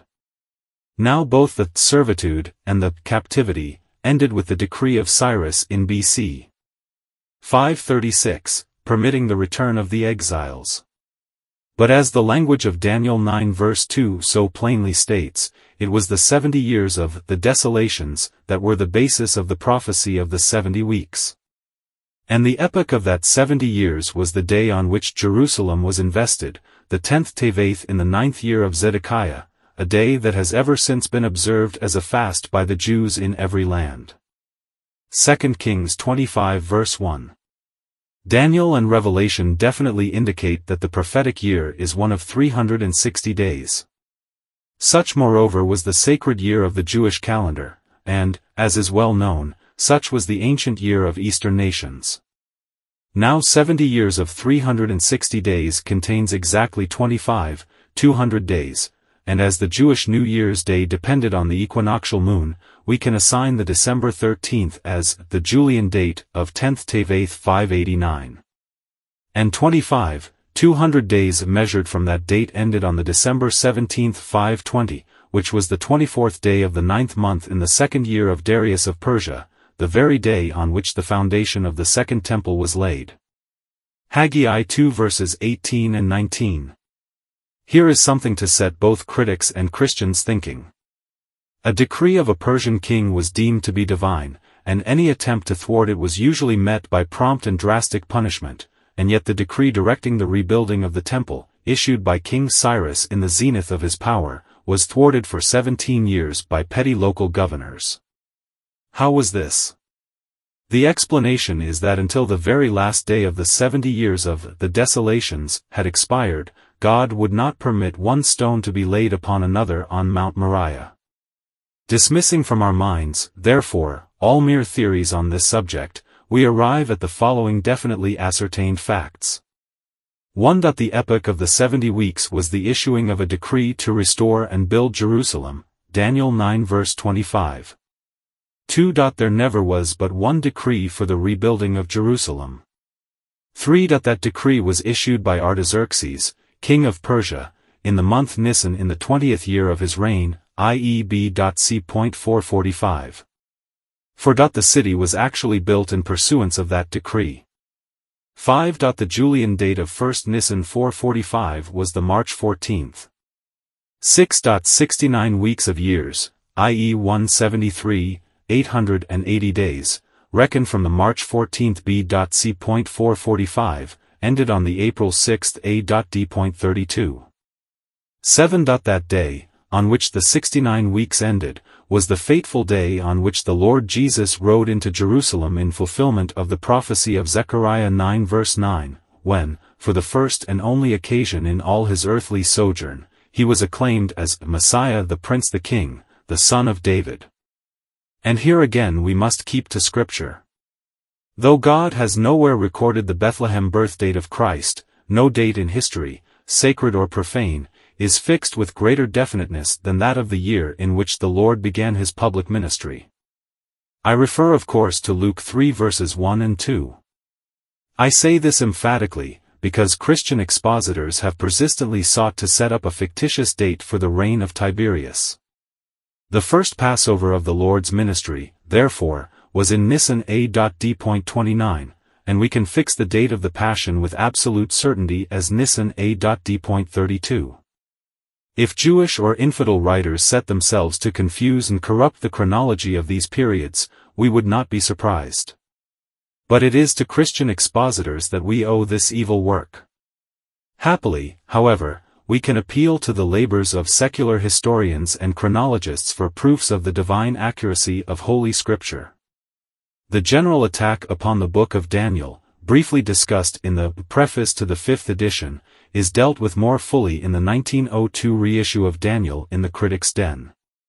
The reader will there find an answer to the attack of the higher criticism on Daniel based on philology and history, and he will find also that the critics are refuted by their own admissions respecting the canon of the Old Testament. Most of the historical errors in Daniel, which Professor Driver copied from Bertholdt's work of a century ago, have been disposed of by the erudition and research of our own day. But, when writing on the subject, I recognized that the identity of Darius the Mede was still a difficulty. Since then, however, I have found a solution of that difficulty in a verse in Ezra, hitherto used only by Voltaire and others to discredit scripture. Ezra 5 tells us that in the reign of Darius Hystaspes the Jews petitioned the throne, appealing to the decree by which Cyrus had authorized the rebuilding of the temple. The wording of the petition clearly indicates that, to the knowledge of the Jewish leaders, that decree had been filed in the house of the archives in Babylon. But the search there made for it proved fruitless, and it was ultimately found at Ecbatana, or Achmetha, Ezra 6 verse 2. How then could such a state paper have been transferred to the Median capital? The only reasonable explanation of this extraordinary fact completes the circle of proof that the vassal king whom Daniel calls Darius the Mede was Gobrias, or Gabaru, who led the army of Cyrus to Babylon. As various writers have noticed, the testimony of the inscriptions points to that conclusion. For example, the annalistic tablet of Cyrus records that, after the taking of the city, it was Gobrias who appointed the governors or prefects, which appointments Daniel states were made by Darius. The fact that he was a prince of the royal house of Media, and presumably well known to Cyrus, who had resided at the Median court, would account for his being held in such high honor. He it was who governed Media as viceroy when that country was reduced to the status of a province, and to any one accustomed to deal with evidence, the inference will seem natural that, for some reason or other, he was sent back to his provincial throne, and that, in returning to Ecbatana he carried with him the archives of his brief reign in Babylon. In the interval between the accession of Cyrus and that of Darius Hystaspes, the temple decree may well have been forgotten by all but the Jews themselves. And although it was a serious matter to thwart the execution of an order issued by the king of Persia, Ezra 6 verse 11, yet in this instance, as already noticed, a divine decree overruled the decree of Cyrus, and vetoed their taking action upon it. The elucidation of the vision of the 70 weeks, as unfolded in the following pages, is my personal contribution to the Daniel controversy. And as the searching criticism to which it has been subjected has failed to detect in it an error or a flaw, it may now be accepted without hesitation or reserve. The only disparaging comment which Professor Driver could offer upon it in his book of Daniel was that it is a revival in a slightly modified form of the scheme of Julius Africanus, and that it leaves the 70th week unexplained. But surely the fact that my scheme is on the same lines as that of the father of Christian chronologists creates a very strong presumption in its favor. And so far from leaving the 70th week unexplained, I have dealt with it in accordance with the beliefs of the early fathers. For they regarded that week as future, seeing that they looked for the Antichrist of Scripture, an individual person, the incarnation and concentration of sin. R.A. 10th edition footnote as regards the regnal years of Jewish kings, however, Fynes Clinton's month dates are here modified in accordance with the Hebrew Mishnah, which was a sealed book to English readers when the Fasti Hellenici was written. With reference to one date of cardinal importance I am specially indebted to the late Canon Rawlinson and the late Sir George Airy. One point may be worth notice in a footnote. The R.V. Reading of Acts 13 verse 20 seems to dispose of my solution of the perplexing problem of the 480 years of 1 Kings 6 colon 1. But here, in accordance with their usual practice, and in neglect of the principles by which experts are guided in dealing with conflicting evidence, the revisers slavishly followed certain of the oldest MSS. And the effect on this passage is disastrous. For it is certain that neither the apostle said, nor the evangelist wrote, that Israel's enjoyment of the land was limited to 450 years, or that 450 years elapsed before the era of the judges. The text adopted by the revisers is, therefore, clearly wrong. Dean Alford regards it as an attempt at correcting the difficult chronology of the verse, and, he adds, taking the words as they stand, no other sense can be given to them than that the time of the judges lasted 450 years. That is, as he goes on to explain, the era within which occurred the rule of the judges. It is not that the judges ruled for 450 years, in which case the accusative would be used, as in verse 18, but, as the use of the dative implies, that the period until Saul, characterized by the rule of the judges, lasted 450 years. I need scarcely notice the objection that I fail to take account of the servitude mentioned in Judges 10 verses 7 and 8. That servitude affected only the tribes beyond Jordan. Alford's Greek test, Pro L.to 2 Thessalonians chapter 5. Preface to the fifth edition A defense of the Book of Daniel against the higher criticism.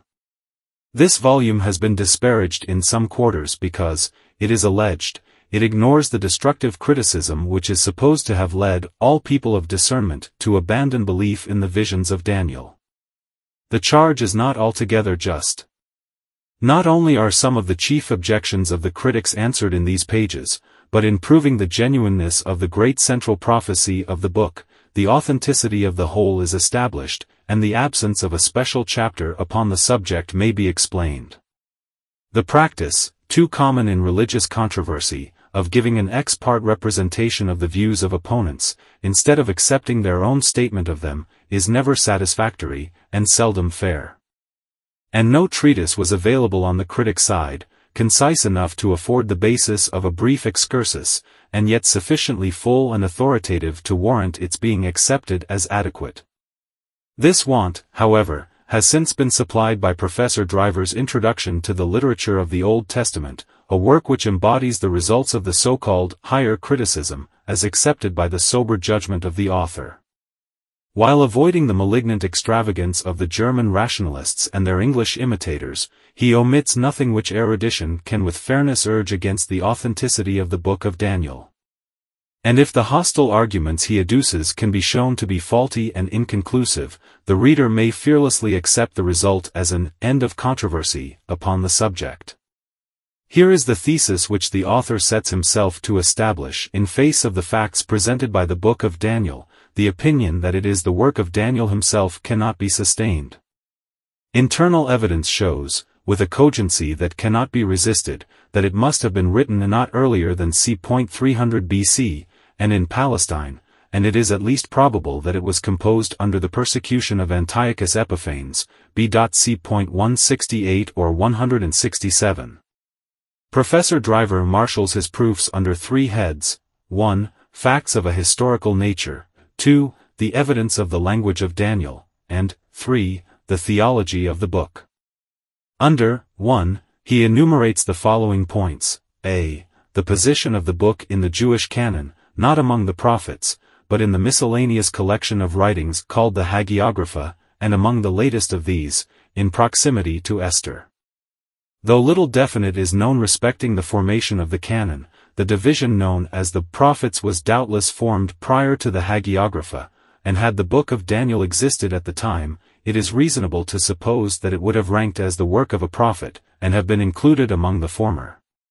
B. Jesus, the son of Sirach, writing c. 200 BC, in his enumeration of Israelitish worthies, c. 44-50, though he mentions Isaiah, Jeremiah, Ezekiel, and, collectively, the twelve minor prophets, is silent as to Daniel. See, that Nebuchadnezzar besieged Jerusalem and carried away some of the sacred vessels in, the third year of Jehoiakim, Daniel 1 verse 1f, though it cannot, strictly speaking, be disproved, is highly improbable, not only is the book of Kings silent, but Jeremiah, in the following year, Jeremiah 25, etc., speaks of the Chaldeans in a manner which appears distinctly to imply that their arms had not yet been seen in Judah. d. The Chaldeans are synonymous in Daniel with the caste of wise men. This sense is unknown to the Assyro-Babylonian language, has, wherever it occurs, formed itself after the end of the Babylonian Empire, and is thus an indication of the post-exilic composition of the book, Schrader. E. Belshazzar is represented as king of Babylon, and Nebuchadnezzar is spoken of throughout chapter 5, verses 2, 11, 13, 18, 22, as his father. F. Darius, son of Ahasuerus, a Mede, after the death of Belshazzar, is made king over the realm of the Chaldeans. There seems to be no room for such a ruler. According to all other authorities, Cyrus is the immediate successor of Nabu-Nahid, and the ruler of the entire Persian Empire. G. In 9:2 it is stated that Daniel understood by the books the number of years for which, according to Jeremiah, Jerusalem should lie waste.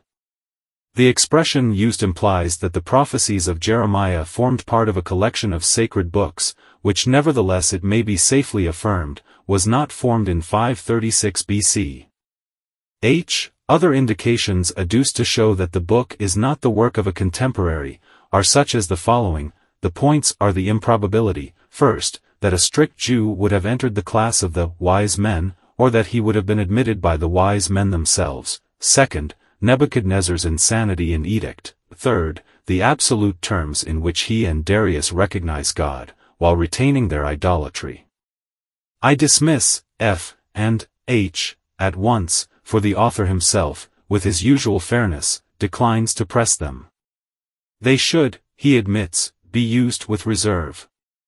The mention of Darius the Mede is perhaps the greatest difficulty which confronts the student of Daniel, and the problem it involves still awaits solution. The unqualified rejection of the narrative by many eminent writers only proves the incapacity even of scholars of repute to suspend their judgment upon questions of the kind. The history of that age is too uncertain and confused to justify dogmatism, and, as Professor Driver justly remarks, a cautious criticism will not build too much on the silence of the inscriptions, where many certainly remain to be brought to light. In Mr. Sayce's recent work this caution is neglected. He accepts, moreover, with a faith which is unduly simple, all that Cyrus says about himself. It was obviously his interest to represent the acquisition of Babylonia as a peaceful revolution, and not a military conquest. But the Book of Daniel does not conflict with either hypothesis. Mr. Sayce here reads into it, as is so constantly done, what it in no way states or even implies. There is not a word about a siege or a capture. Belshazzar was slain, and Darius received the kingdom, but how these events came about we must learn from other sources. Professor Driver here admits in express terms, that Darius the Mede may prove, after all, to have been a historical character, and this is enough for our present purpose. The remaining points I proceed to discuss seriatim. A. This is rightly placed first, as being the most important. But its apparent importance grows less and less the more closely it is examined. Our English Bible, following the Vulgate, divides the Old Testament into 39 books. The Jewish canon reckoned only 24. These were classified under three heads, the Torah, the Nevi'im, and the Ketuvim, the Law, the Prophets, and the other writings. The first contained the Pentateuch. The second contained eight books, which were again classified in two groups. The first four, viz. Joshua, Judges, Samuel, and Kings, were called the former prophets, and the second four, viz. Isaiah, Jeremiah, Ezekiel, and the twelve, i.e. the minor prophets reckoned as one book, were called the latter prophets. The third division contained eleven books, viz. Psalms, Proverbs, Job, Song of Songs, Ruth, Lamentations, Ecclesiastes, Esther, Daniel, Ezra and Nehemiah, reckoned as one, and Chronicles. Now, an examination of this list makes either of two conclusions irresistible. Either the canon was arranged under divine guidance, or else the classification of the books between the second and third divisions was an arbitrary one. If anyone adopts the former alternative, the inclusion of Daniel in the canon is decisive of the whole question. If, on the other hand, it be assumed that the arrangement was human and arbitrary, the fact that Daniel is in the third group proves, not that the book was regarded as of doubtful repute, for in that case it would have been excluded from the canon, but that the great exile of the captivity was not regarded as a prophet. To the superficial this may seem to be giving up the whole case. But using the word prophet, in its ordinary acceptation, Daniel has no claim whatever to the title, and but for Matthew 24 verse 15 it would probably never have been applied to him. His visions have their New Testament counterpart, but yet no one speaks of the prophet John. According to 2 Peter 1 verse 21 the prophets spake as they were moved by the Holy Ghost. This characterized the utterances of Isaiah, Jeremiah, Ezekiel, and the Twelve. They were the words of Jehovah by the mouth of the men who uttered them. The prophets stood apart from the people as witnesses for God, but Daniel's position and ministry were wholly different. Neither have we hearkened unto thy servants the prophets which spake in thy name, such was his humble attitude. Higher criticism may slight the distinction here insisted on, but the question is how it was regarded by the men who settled the canon, and in their judgment its importance was immense. Daniel contains the record, not of God-breathed words uttered by the seer, but of the words spoken to him, and of dreams and visions accorded him.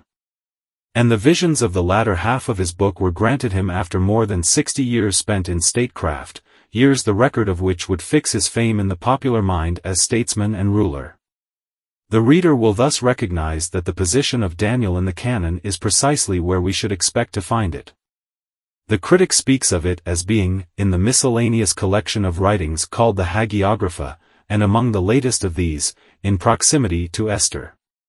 But, in adopting this from earlier writers, the author is guilty of what may be described as unintentional dishonesty. Daniel comes before Ezra, Nehemiah, and Chronicles in a group of books which includes the Psalms, those Psalms than which no part of their canon was prized more highly by the Jews, those Psalms, many of which they rightly regarded as prophetic in the highest and strictest sense. But Daniel, we are told, was placed in proximity to Esther. What does the critic mean by this? He cannot wish to suggest that Esther is held in low repute by the Jews, for he himself declares that it came to be ranked by them as superior both to the writings of the prophets and to all other parts of the Hagiographa. As to Esther coming before Daniel, he cannot have overlooked that it is bracketed in the canon with the four books which precede it, the Megilloth. He cannot mean to imply that the books of the Ketuvim are arranged chronologically, and he certainly cannot wish to create an ignorant prejudice. The statement therefore is an enigma, and the discussion under this head may be dosed by the general remark that, a, implies that the Jews esteemed the books in the third division of their canon as less sacred than the prophets. But this is wholly baseless. In common with the rest, they were, as Josephus tells us, justly believed to be divine, so that, rather than speak against them, they were ready to suffer torture, or even death. b. But little need be said in answer to this. Canon Driver admits that the argument is one inch which, standing alone, it would be hazardous to press, and this is precisely its position if, a, be refuted. If it were a question of the omission of Daniel's name from a formal list of the prophets everything above urged would apply here with equal force, but the reader must not suppose that the son of Sirach gives any list of the kind. The facts are these. The apocryphal book of Ecclesiasticus, which is here referred to, ends with a rhapsody in praise of famous men. This panegyric, it is true, omits the name of Daniel. But in what connection would his name be included? Daniel was exiled to Babylon in early youth, and never spent a single day of his long life among his people, never was openly associated with them in their struggles or their sorrows. The critic, moreover, fails to notice that the son of Sirach ignores also not only such worthies as Abel, and Melchizedek, and Job, and Gideon, and Samson, but also Ezra, who, unlike Daniel, played a most prominent part in the national life, and who also gave his name to one of the books of the canon. Let the reader decide this matter for himself after reading the passage in which the names of Daniel and Ezra ought to appear. If any one is so mentally constituted that the omission leads him to decide against the authenticity of these two books, no words of mine would influence him. See, the historical statement with which the book of Daniel opens is declared to be improbable on two grounds, first, because the book of Kings is silent on the subject, and, secondly, because Jeremiah 25 appears inconsistent with it. The first point is made apparently in error, for 2 Kings 24 verse 1 states explicitly that in Jehoiakim's days Nebuchadnezzar came up against Jerusalem, and that the Jewish king became his vassal. And the second point is overstated. Jeremiah 25 is silent on the subject, and that is all that can be said. Now the weight to be given to the silence of a particular witness or document on any matter is a familiar problem in dealing with evidence. It entirely depends on circumstances whether it counts for much, or little, or nothing. Kings being a historical record, its silence here would count for something. But why should a warning and a prophecy like Jeremiah 25 contain the recital of an event of a few months before, an event which no one in Jerusalem could ever possibly forget? But further discussion on these lines is needless, for the accuracy of Daniel's statement can be established on grounds which the critic ignores altogether. I refer to the chronology of the eras of the servitude and the desolations. Both are commonly confounded with the captivity, which was only in part concurrent with them. These several eras represented three successive judgments upon Judah. The chronology of these is fully explained in the sequel, and a reference to the excursus, within this work, or indeed a glance at the tables which follow, will supply proof absolute and complete that the servitude began in the third year of Jehoiakim, precisely as the book of Daniel avers. D. I will refer under the second head of the inquiry to the philological question here involved. It is not in any sense a historical difficulty. E. The reader will find this point dealt with. Canon Driver remarks, it may be admitted as probable that Belshazzar held command for his father in Babylon, but it is difficult to think that this could entitle him to be spoken of by a contemporary as king. If Belshazzar was regent, as the narrative indicates, it is difficult to think that a courtier would speak of him otherwise than as king. To have done so might have cost him his head.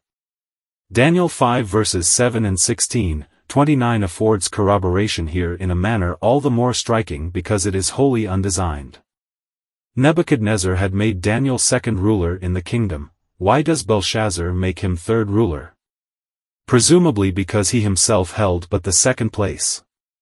To avoid this the critics, trading upon a possible alternative rendering of the Aramaic, as given in the margin of the revised version, conjecture a board of three but assuming that the words used may mean a triumvirate in the sense of chap.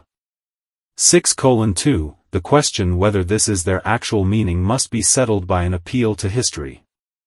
And history affords not the slightest hint that such a system of government prevailed in the Babylonian Empire. A true exegesis, therefore, must decide in favor of the alternative and more natural view, that Daniel was to rule as third, the absent king being first, and the king regent second.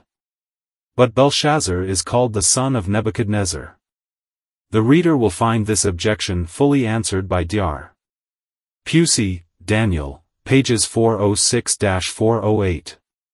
He justly remarks that, intermarriage with the family of a conquered monarch, or with a displaced line, is so obviously a way of strengthening the newly acquired throne, that it is a priori probable that Nebuchadnezzar would so fortify his claim, and Professor Driver himself allows, p. For 68, that possibly the king may have married a daughter of Nebuchadnezzar, in which case the latter might be spoken of as Belshazzar's father, equals grandfather, by Hebrew usage. I will only add two remarks. First, the critics forget that even on their own view of Daniel the existence of a tradition is prima facie proof of its truth, and, secondly, if the usurper chose to be called the son of Nebuchadnezzar, though with no sort of claim to the title, no one in Babylon would dare to thwart him. G. Here are the words of Daniel 9 verse 2, RV, I Daniel understood by the books the number of the years, whereof the word of the Lord came to Jeremiah the prophet, for the accomplishing of the desolations of Jerusalem, even seventy years. The prophecy here referred to is admittedly Jeremiah 25 verses 11 and 12. Now the word sephar, rendered book in Daniel 9 verse 2, means simply a scroll. It may denote a book, as it often does in scripture, or merely a letter. cex.gr Jeremiah 29 verse 1, the letter which Jeremiah wrote to the exiles in Babylon, or Isaiah 37 verse 14, Sennacherib's letter to King Hezekiah. They conjecture the career of another Daniel of equal, or even greater eminence, whose very existence has been forgotten. It is not easy to deal with such casuists. But there is one argument, at least, which they cannot rob us of. They have got rid of the second chapter and the seventh, and the closing vision of the book, but the great central prophecy of the seventy weeks remains, and this affords proof of the divine authority of Daniel, which cannot be destroyed. Let them fix the date of the book where they will, they fail to account for this. From one definitely recorded historical event, the edict to rebuild Jerusalem, to another definitely recorded historical event, the public manifestation of the Messiah, the length of the intervening period was predicted, and with accuracy absolute and to the very day the prediction has been fulfilled. To elucidate that prophecy this volume has been written, and as the result constitutes my personal contribution to the controversy, I may be pardoned for explaining the steps by which it has been reached. The vision refers to 77s of years, but I deal here only with the 69-inch weeks, of the 25th verse. Here are the words, Know therefore and discern that from the going forth of the commandment to restore and to build Jerusalem unto the Messiah, the Prince, shall be seven weeks and threescore and two weeks, it shall be built again with street and moat, even in troublous times. Now it is an undisputed fact that Jerusalem was rebuilt by Nehemiah, under an edict issued by Artaxerxes, Longimanus, in the twentieth year of his reign. Therefore, notwithstanding the doubts which controversy throws upon everything, the conclusion is obvious and irresistible that this was the epoch of the prophetic period. But the month date was Nisan, and the sacred year of the Jews began with the phases of the paschal moon. I appealed, therefore, to the astronomer royal, the late Sir George Airy, to calculate for me the moon's place for March in the year in question, and I thus ascertained the date required, March 14, B.C.445. This being settled, one question only remained, of what kind of year does the era consist? And the answer to this is definite and clear. That it is the ancient year of 360 days is plainly proved in two ways. First, because, according to Daniel and the Apocalypse, 31 of two prophetic years are equal to 1, 260 days, and, secondly, because it can be proved that the 70 years of the desolations were of this character, and the connection between the period of the desolations and the era of the weeks is one of the few universally admitted facts in this controversy. The desolations began on the 10th Tevath, B.C.589, a day which for four and twenty centuries has been commemorated by the Jews as a fast, and ended on the 24th Chisleu, B.C.520. Having thus settled the terminus a quo of the weeks, and the form of year of which they are composed, nothing remains but to calculate the duration of the era. Its terminus ad quem can thus with certainty be ascertained. Now 483 years, 69 by 7, of 360 days contain 173, 880 days. And a period of 173, 880 days, beginning March 14, BC. For 45, ended upon that Sunday in the week of the crucifixion, when, for the first and only time in his ministry, the Lord Jesus Christ, in fulfillment of Zechariah's prophecy, made a public entry into Jerusalem, and caused his messiahship to be openly proclaimed by the whole multitude of the disciples. Luke 19, I need not discuss the matter further here. In the following chapters every incidental question involved is fully dealt with, and every objection answered. Suffice it to repeat that in presence of the facts and figures thus detailed no mere negation of belief is possible. These must be accounted for in some way. There is a point beyond which unbelief is impossible, and the mind, in refusing truth, must take refuge in a misbelief which is sheer credulity. It was not till after the preceding pages were in print that Archdeacon Farrar's Daniel reached my hands. Some apology is due, perhaps, to Professor Driver for bracketing such a work with his, but the expositor's Bible will be read by many to whom the introduction is an unknown book. Both writers agree in impugning the authenticity of the book of Daniel, but their relative positions are widely different, and no less so are their arguments and methods. The Christian scholar writes for scholars, desirous only to elucidate the truth.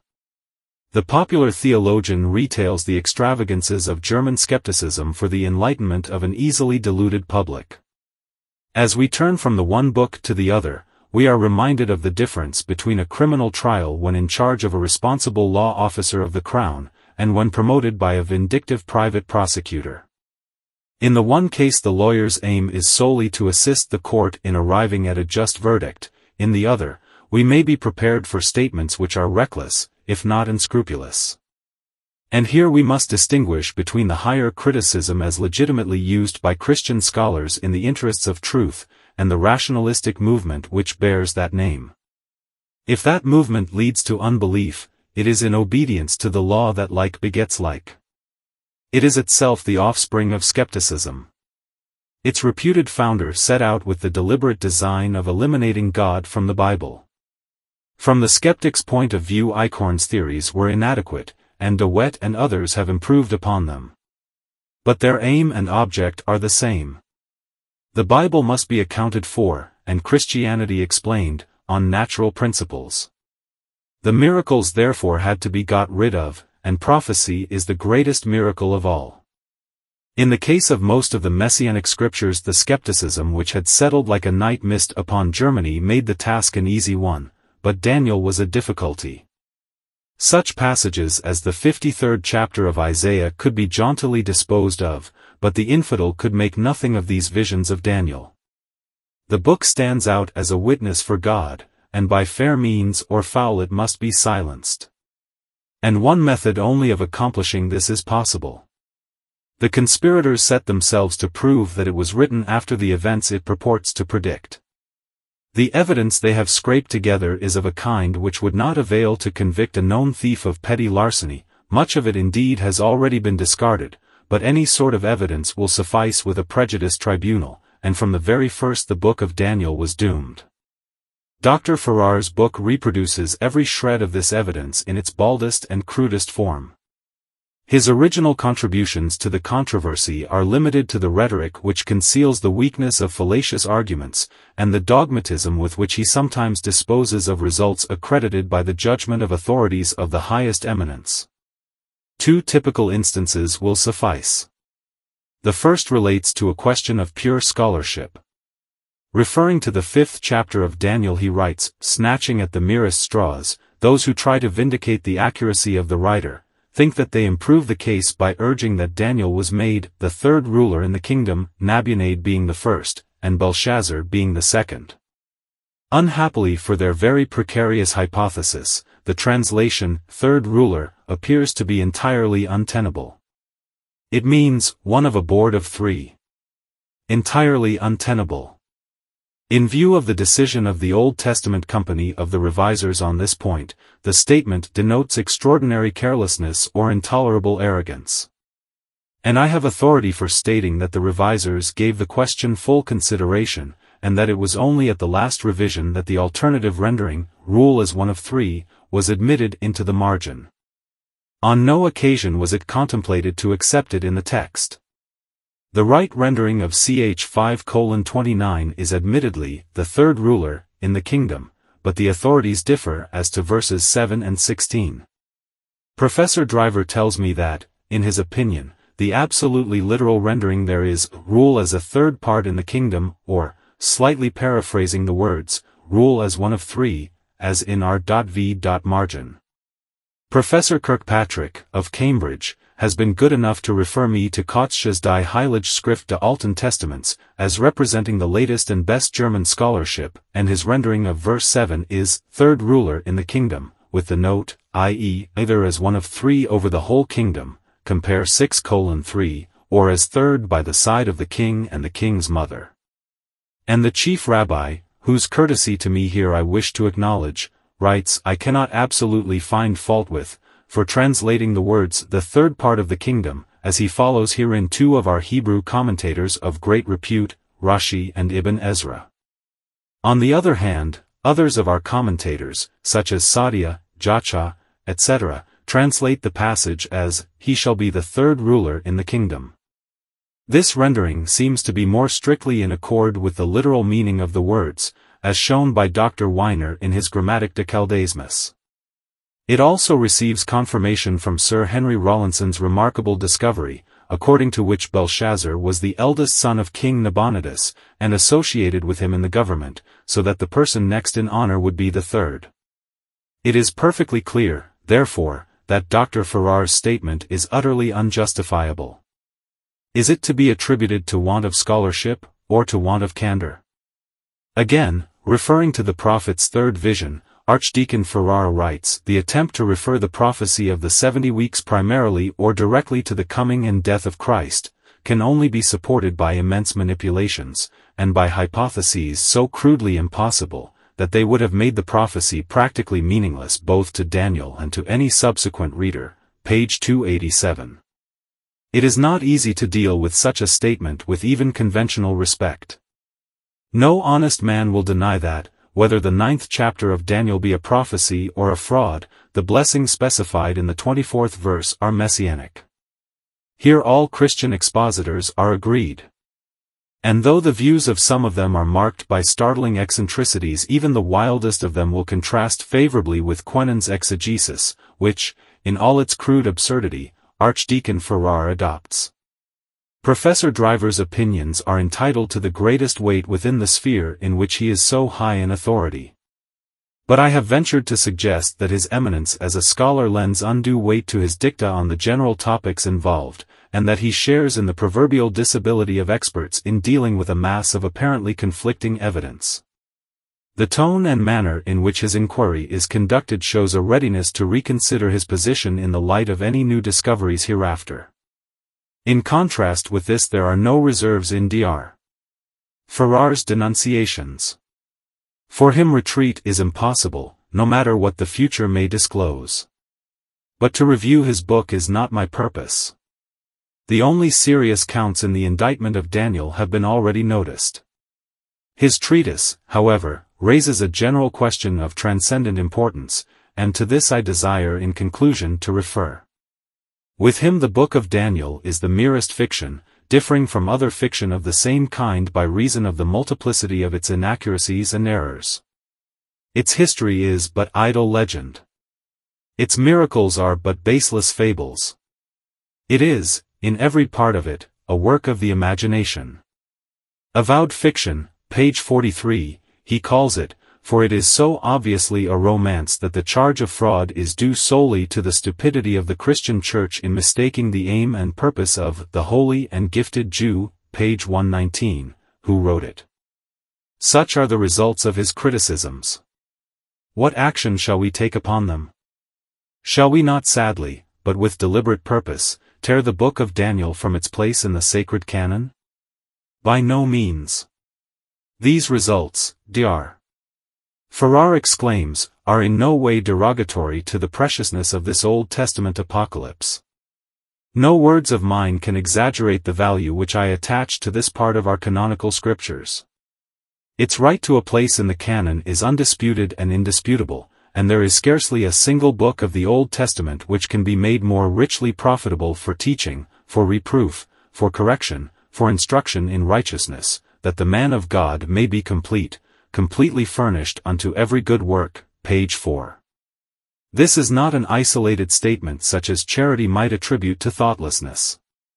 Like words are used again and again in praise of the book Daniel is nothing more than a religious novel, and yet, there is scarcely a single book of the Old Testament of greater worth.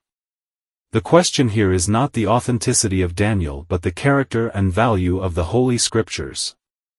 Christian scholars whose researches lead them to reject any portion of the canon are wont to urge that, in doing so, they increase the authority, and enhance the value, of the rest. But the Archdeacon of Westminster, in impugning the Book of Daniel, takes occasion to degrade and throw contempt upon the Bible as a whole. Bishop Westcott declares that no writing in the Old Testament had so great a share in the development of Christianity as the Book of Daniel. Or, to quote a hostile witness, Professor Bevan writes, in the New Testament Daniel is mentioned only once, but the influence of the book is apparent almost everywhere. There are few books, says Hengstenberg, whose divine authority is so fully established by the testimony of the New Testament, and in particular by our Lord himself, as the Book of Daniel. Just as mist and storm may hide the solid rock from sight, so this truth may be obscured by casuistry and rhetoric, but when these have spent themselves it stands out plain and clear. In all this controversy one result of the rejection of the Book of Daniel is entirely overlooked or studiously concealed. If the Apocalypse of the Old Testament be banished from the canon, the Apocalypse of the New Testament must share in its exclusion. The visions of St. John are so inseparably interwoven with the visions of the great prophet of the exile, that they stand or fall together. This result the critic is entitled to disregard. But the homilist may by no means ignore it. And it brings into prominence the fact so habitually forgotten, that the higher criticism claims a position which can by no means be accorded to it. Its true place is not on the judgment seat, but in the witness chair.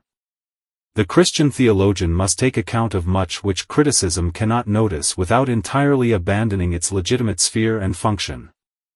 No one falls back upon this position more freely when it suits his purpose, than Archdeacon Farrar. He evades the testimony of the 24th chapter of St. Matthew by refusing to believe that our Lord ever spoke the words attributed to him. But this undermines Christianity, for, I repeat, Christianity rests upon the Incarnation, and if the Gospels be not inspired, the Incarnation is a myth. What is his answer to this? I quote his words, but our belief in the Incarnation, and in the miracles of Christ, rests on evidence which, after repeated examination, is to us overwhelming. Apart from all questions of personal verification, or the inward witness of the Spirit, we can show that this evidence is supported, not only by the existing records, but by myriads of external and independent testimonies.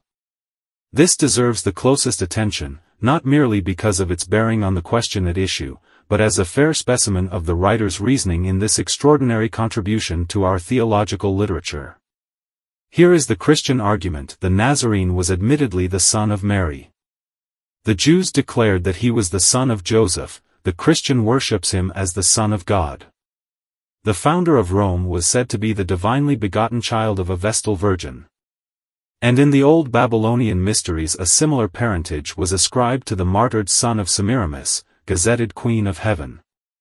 What grounds have we then for distinguishing the miraculous birth at Bethlehem from these and other kindred legends of the ancient world?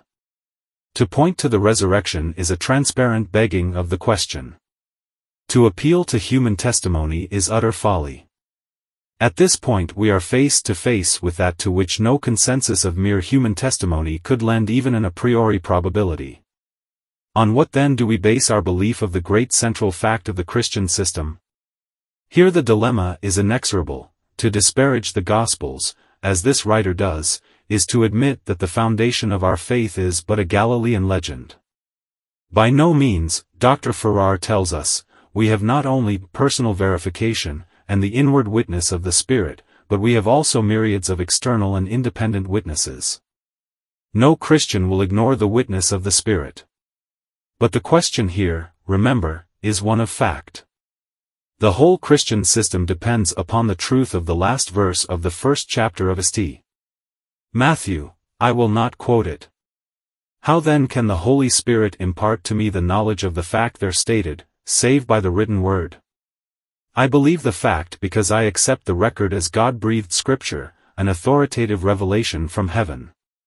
But to talk of personal verification, or to appeal to some transcendental instinct, or to tens of thousands of external witnesses, is to divorce words from thoughts, and to pass out of the sphere of intelligent statement and common sense.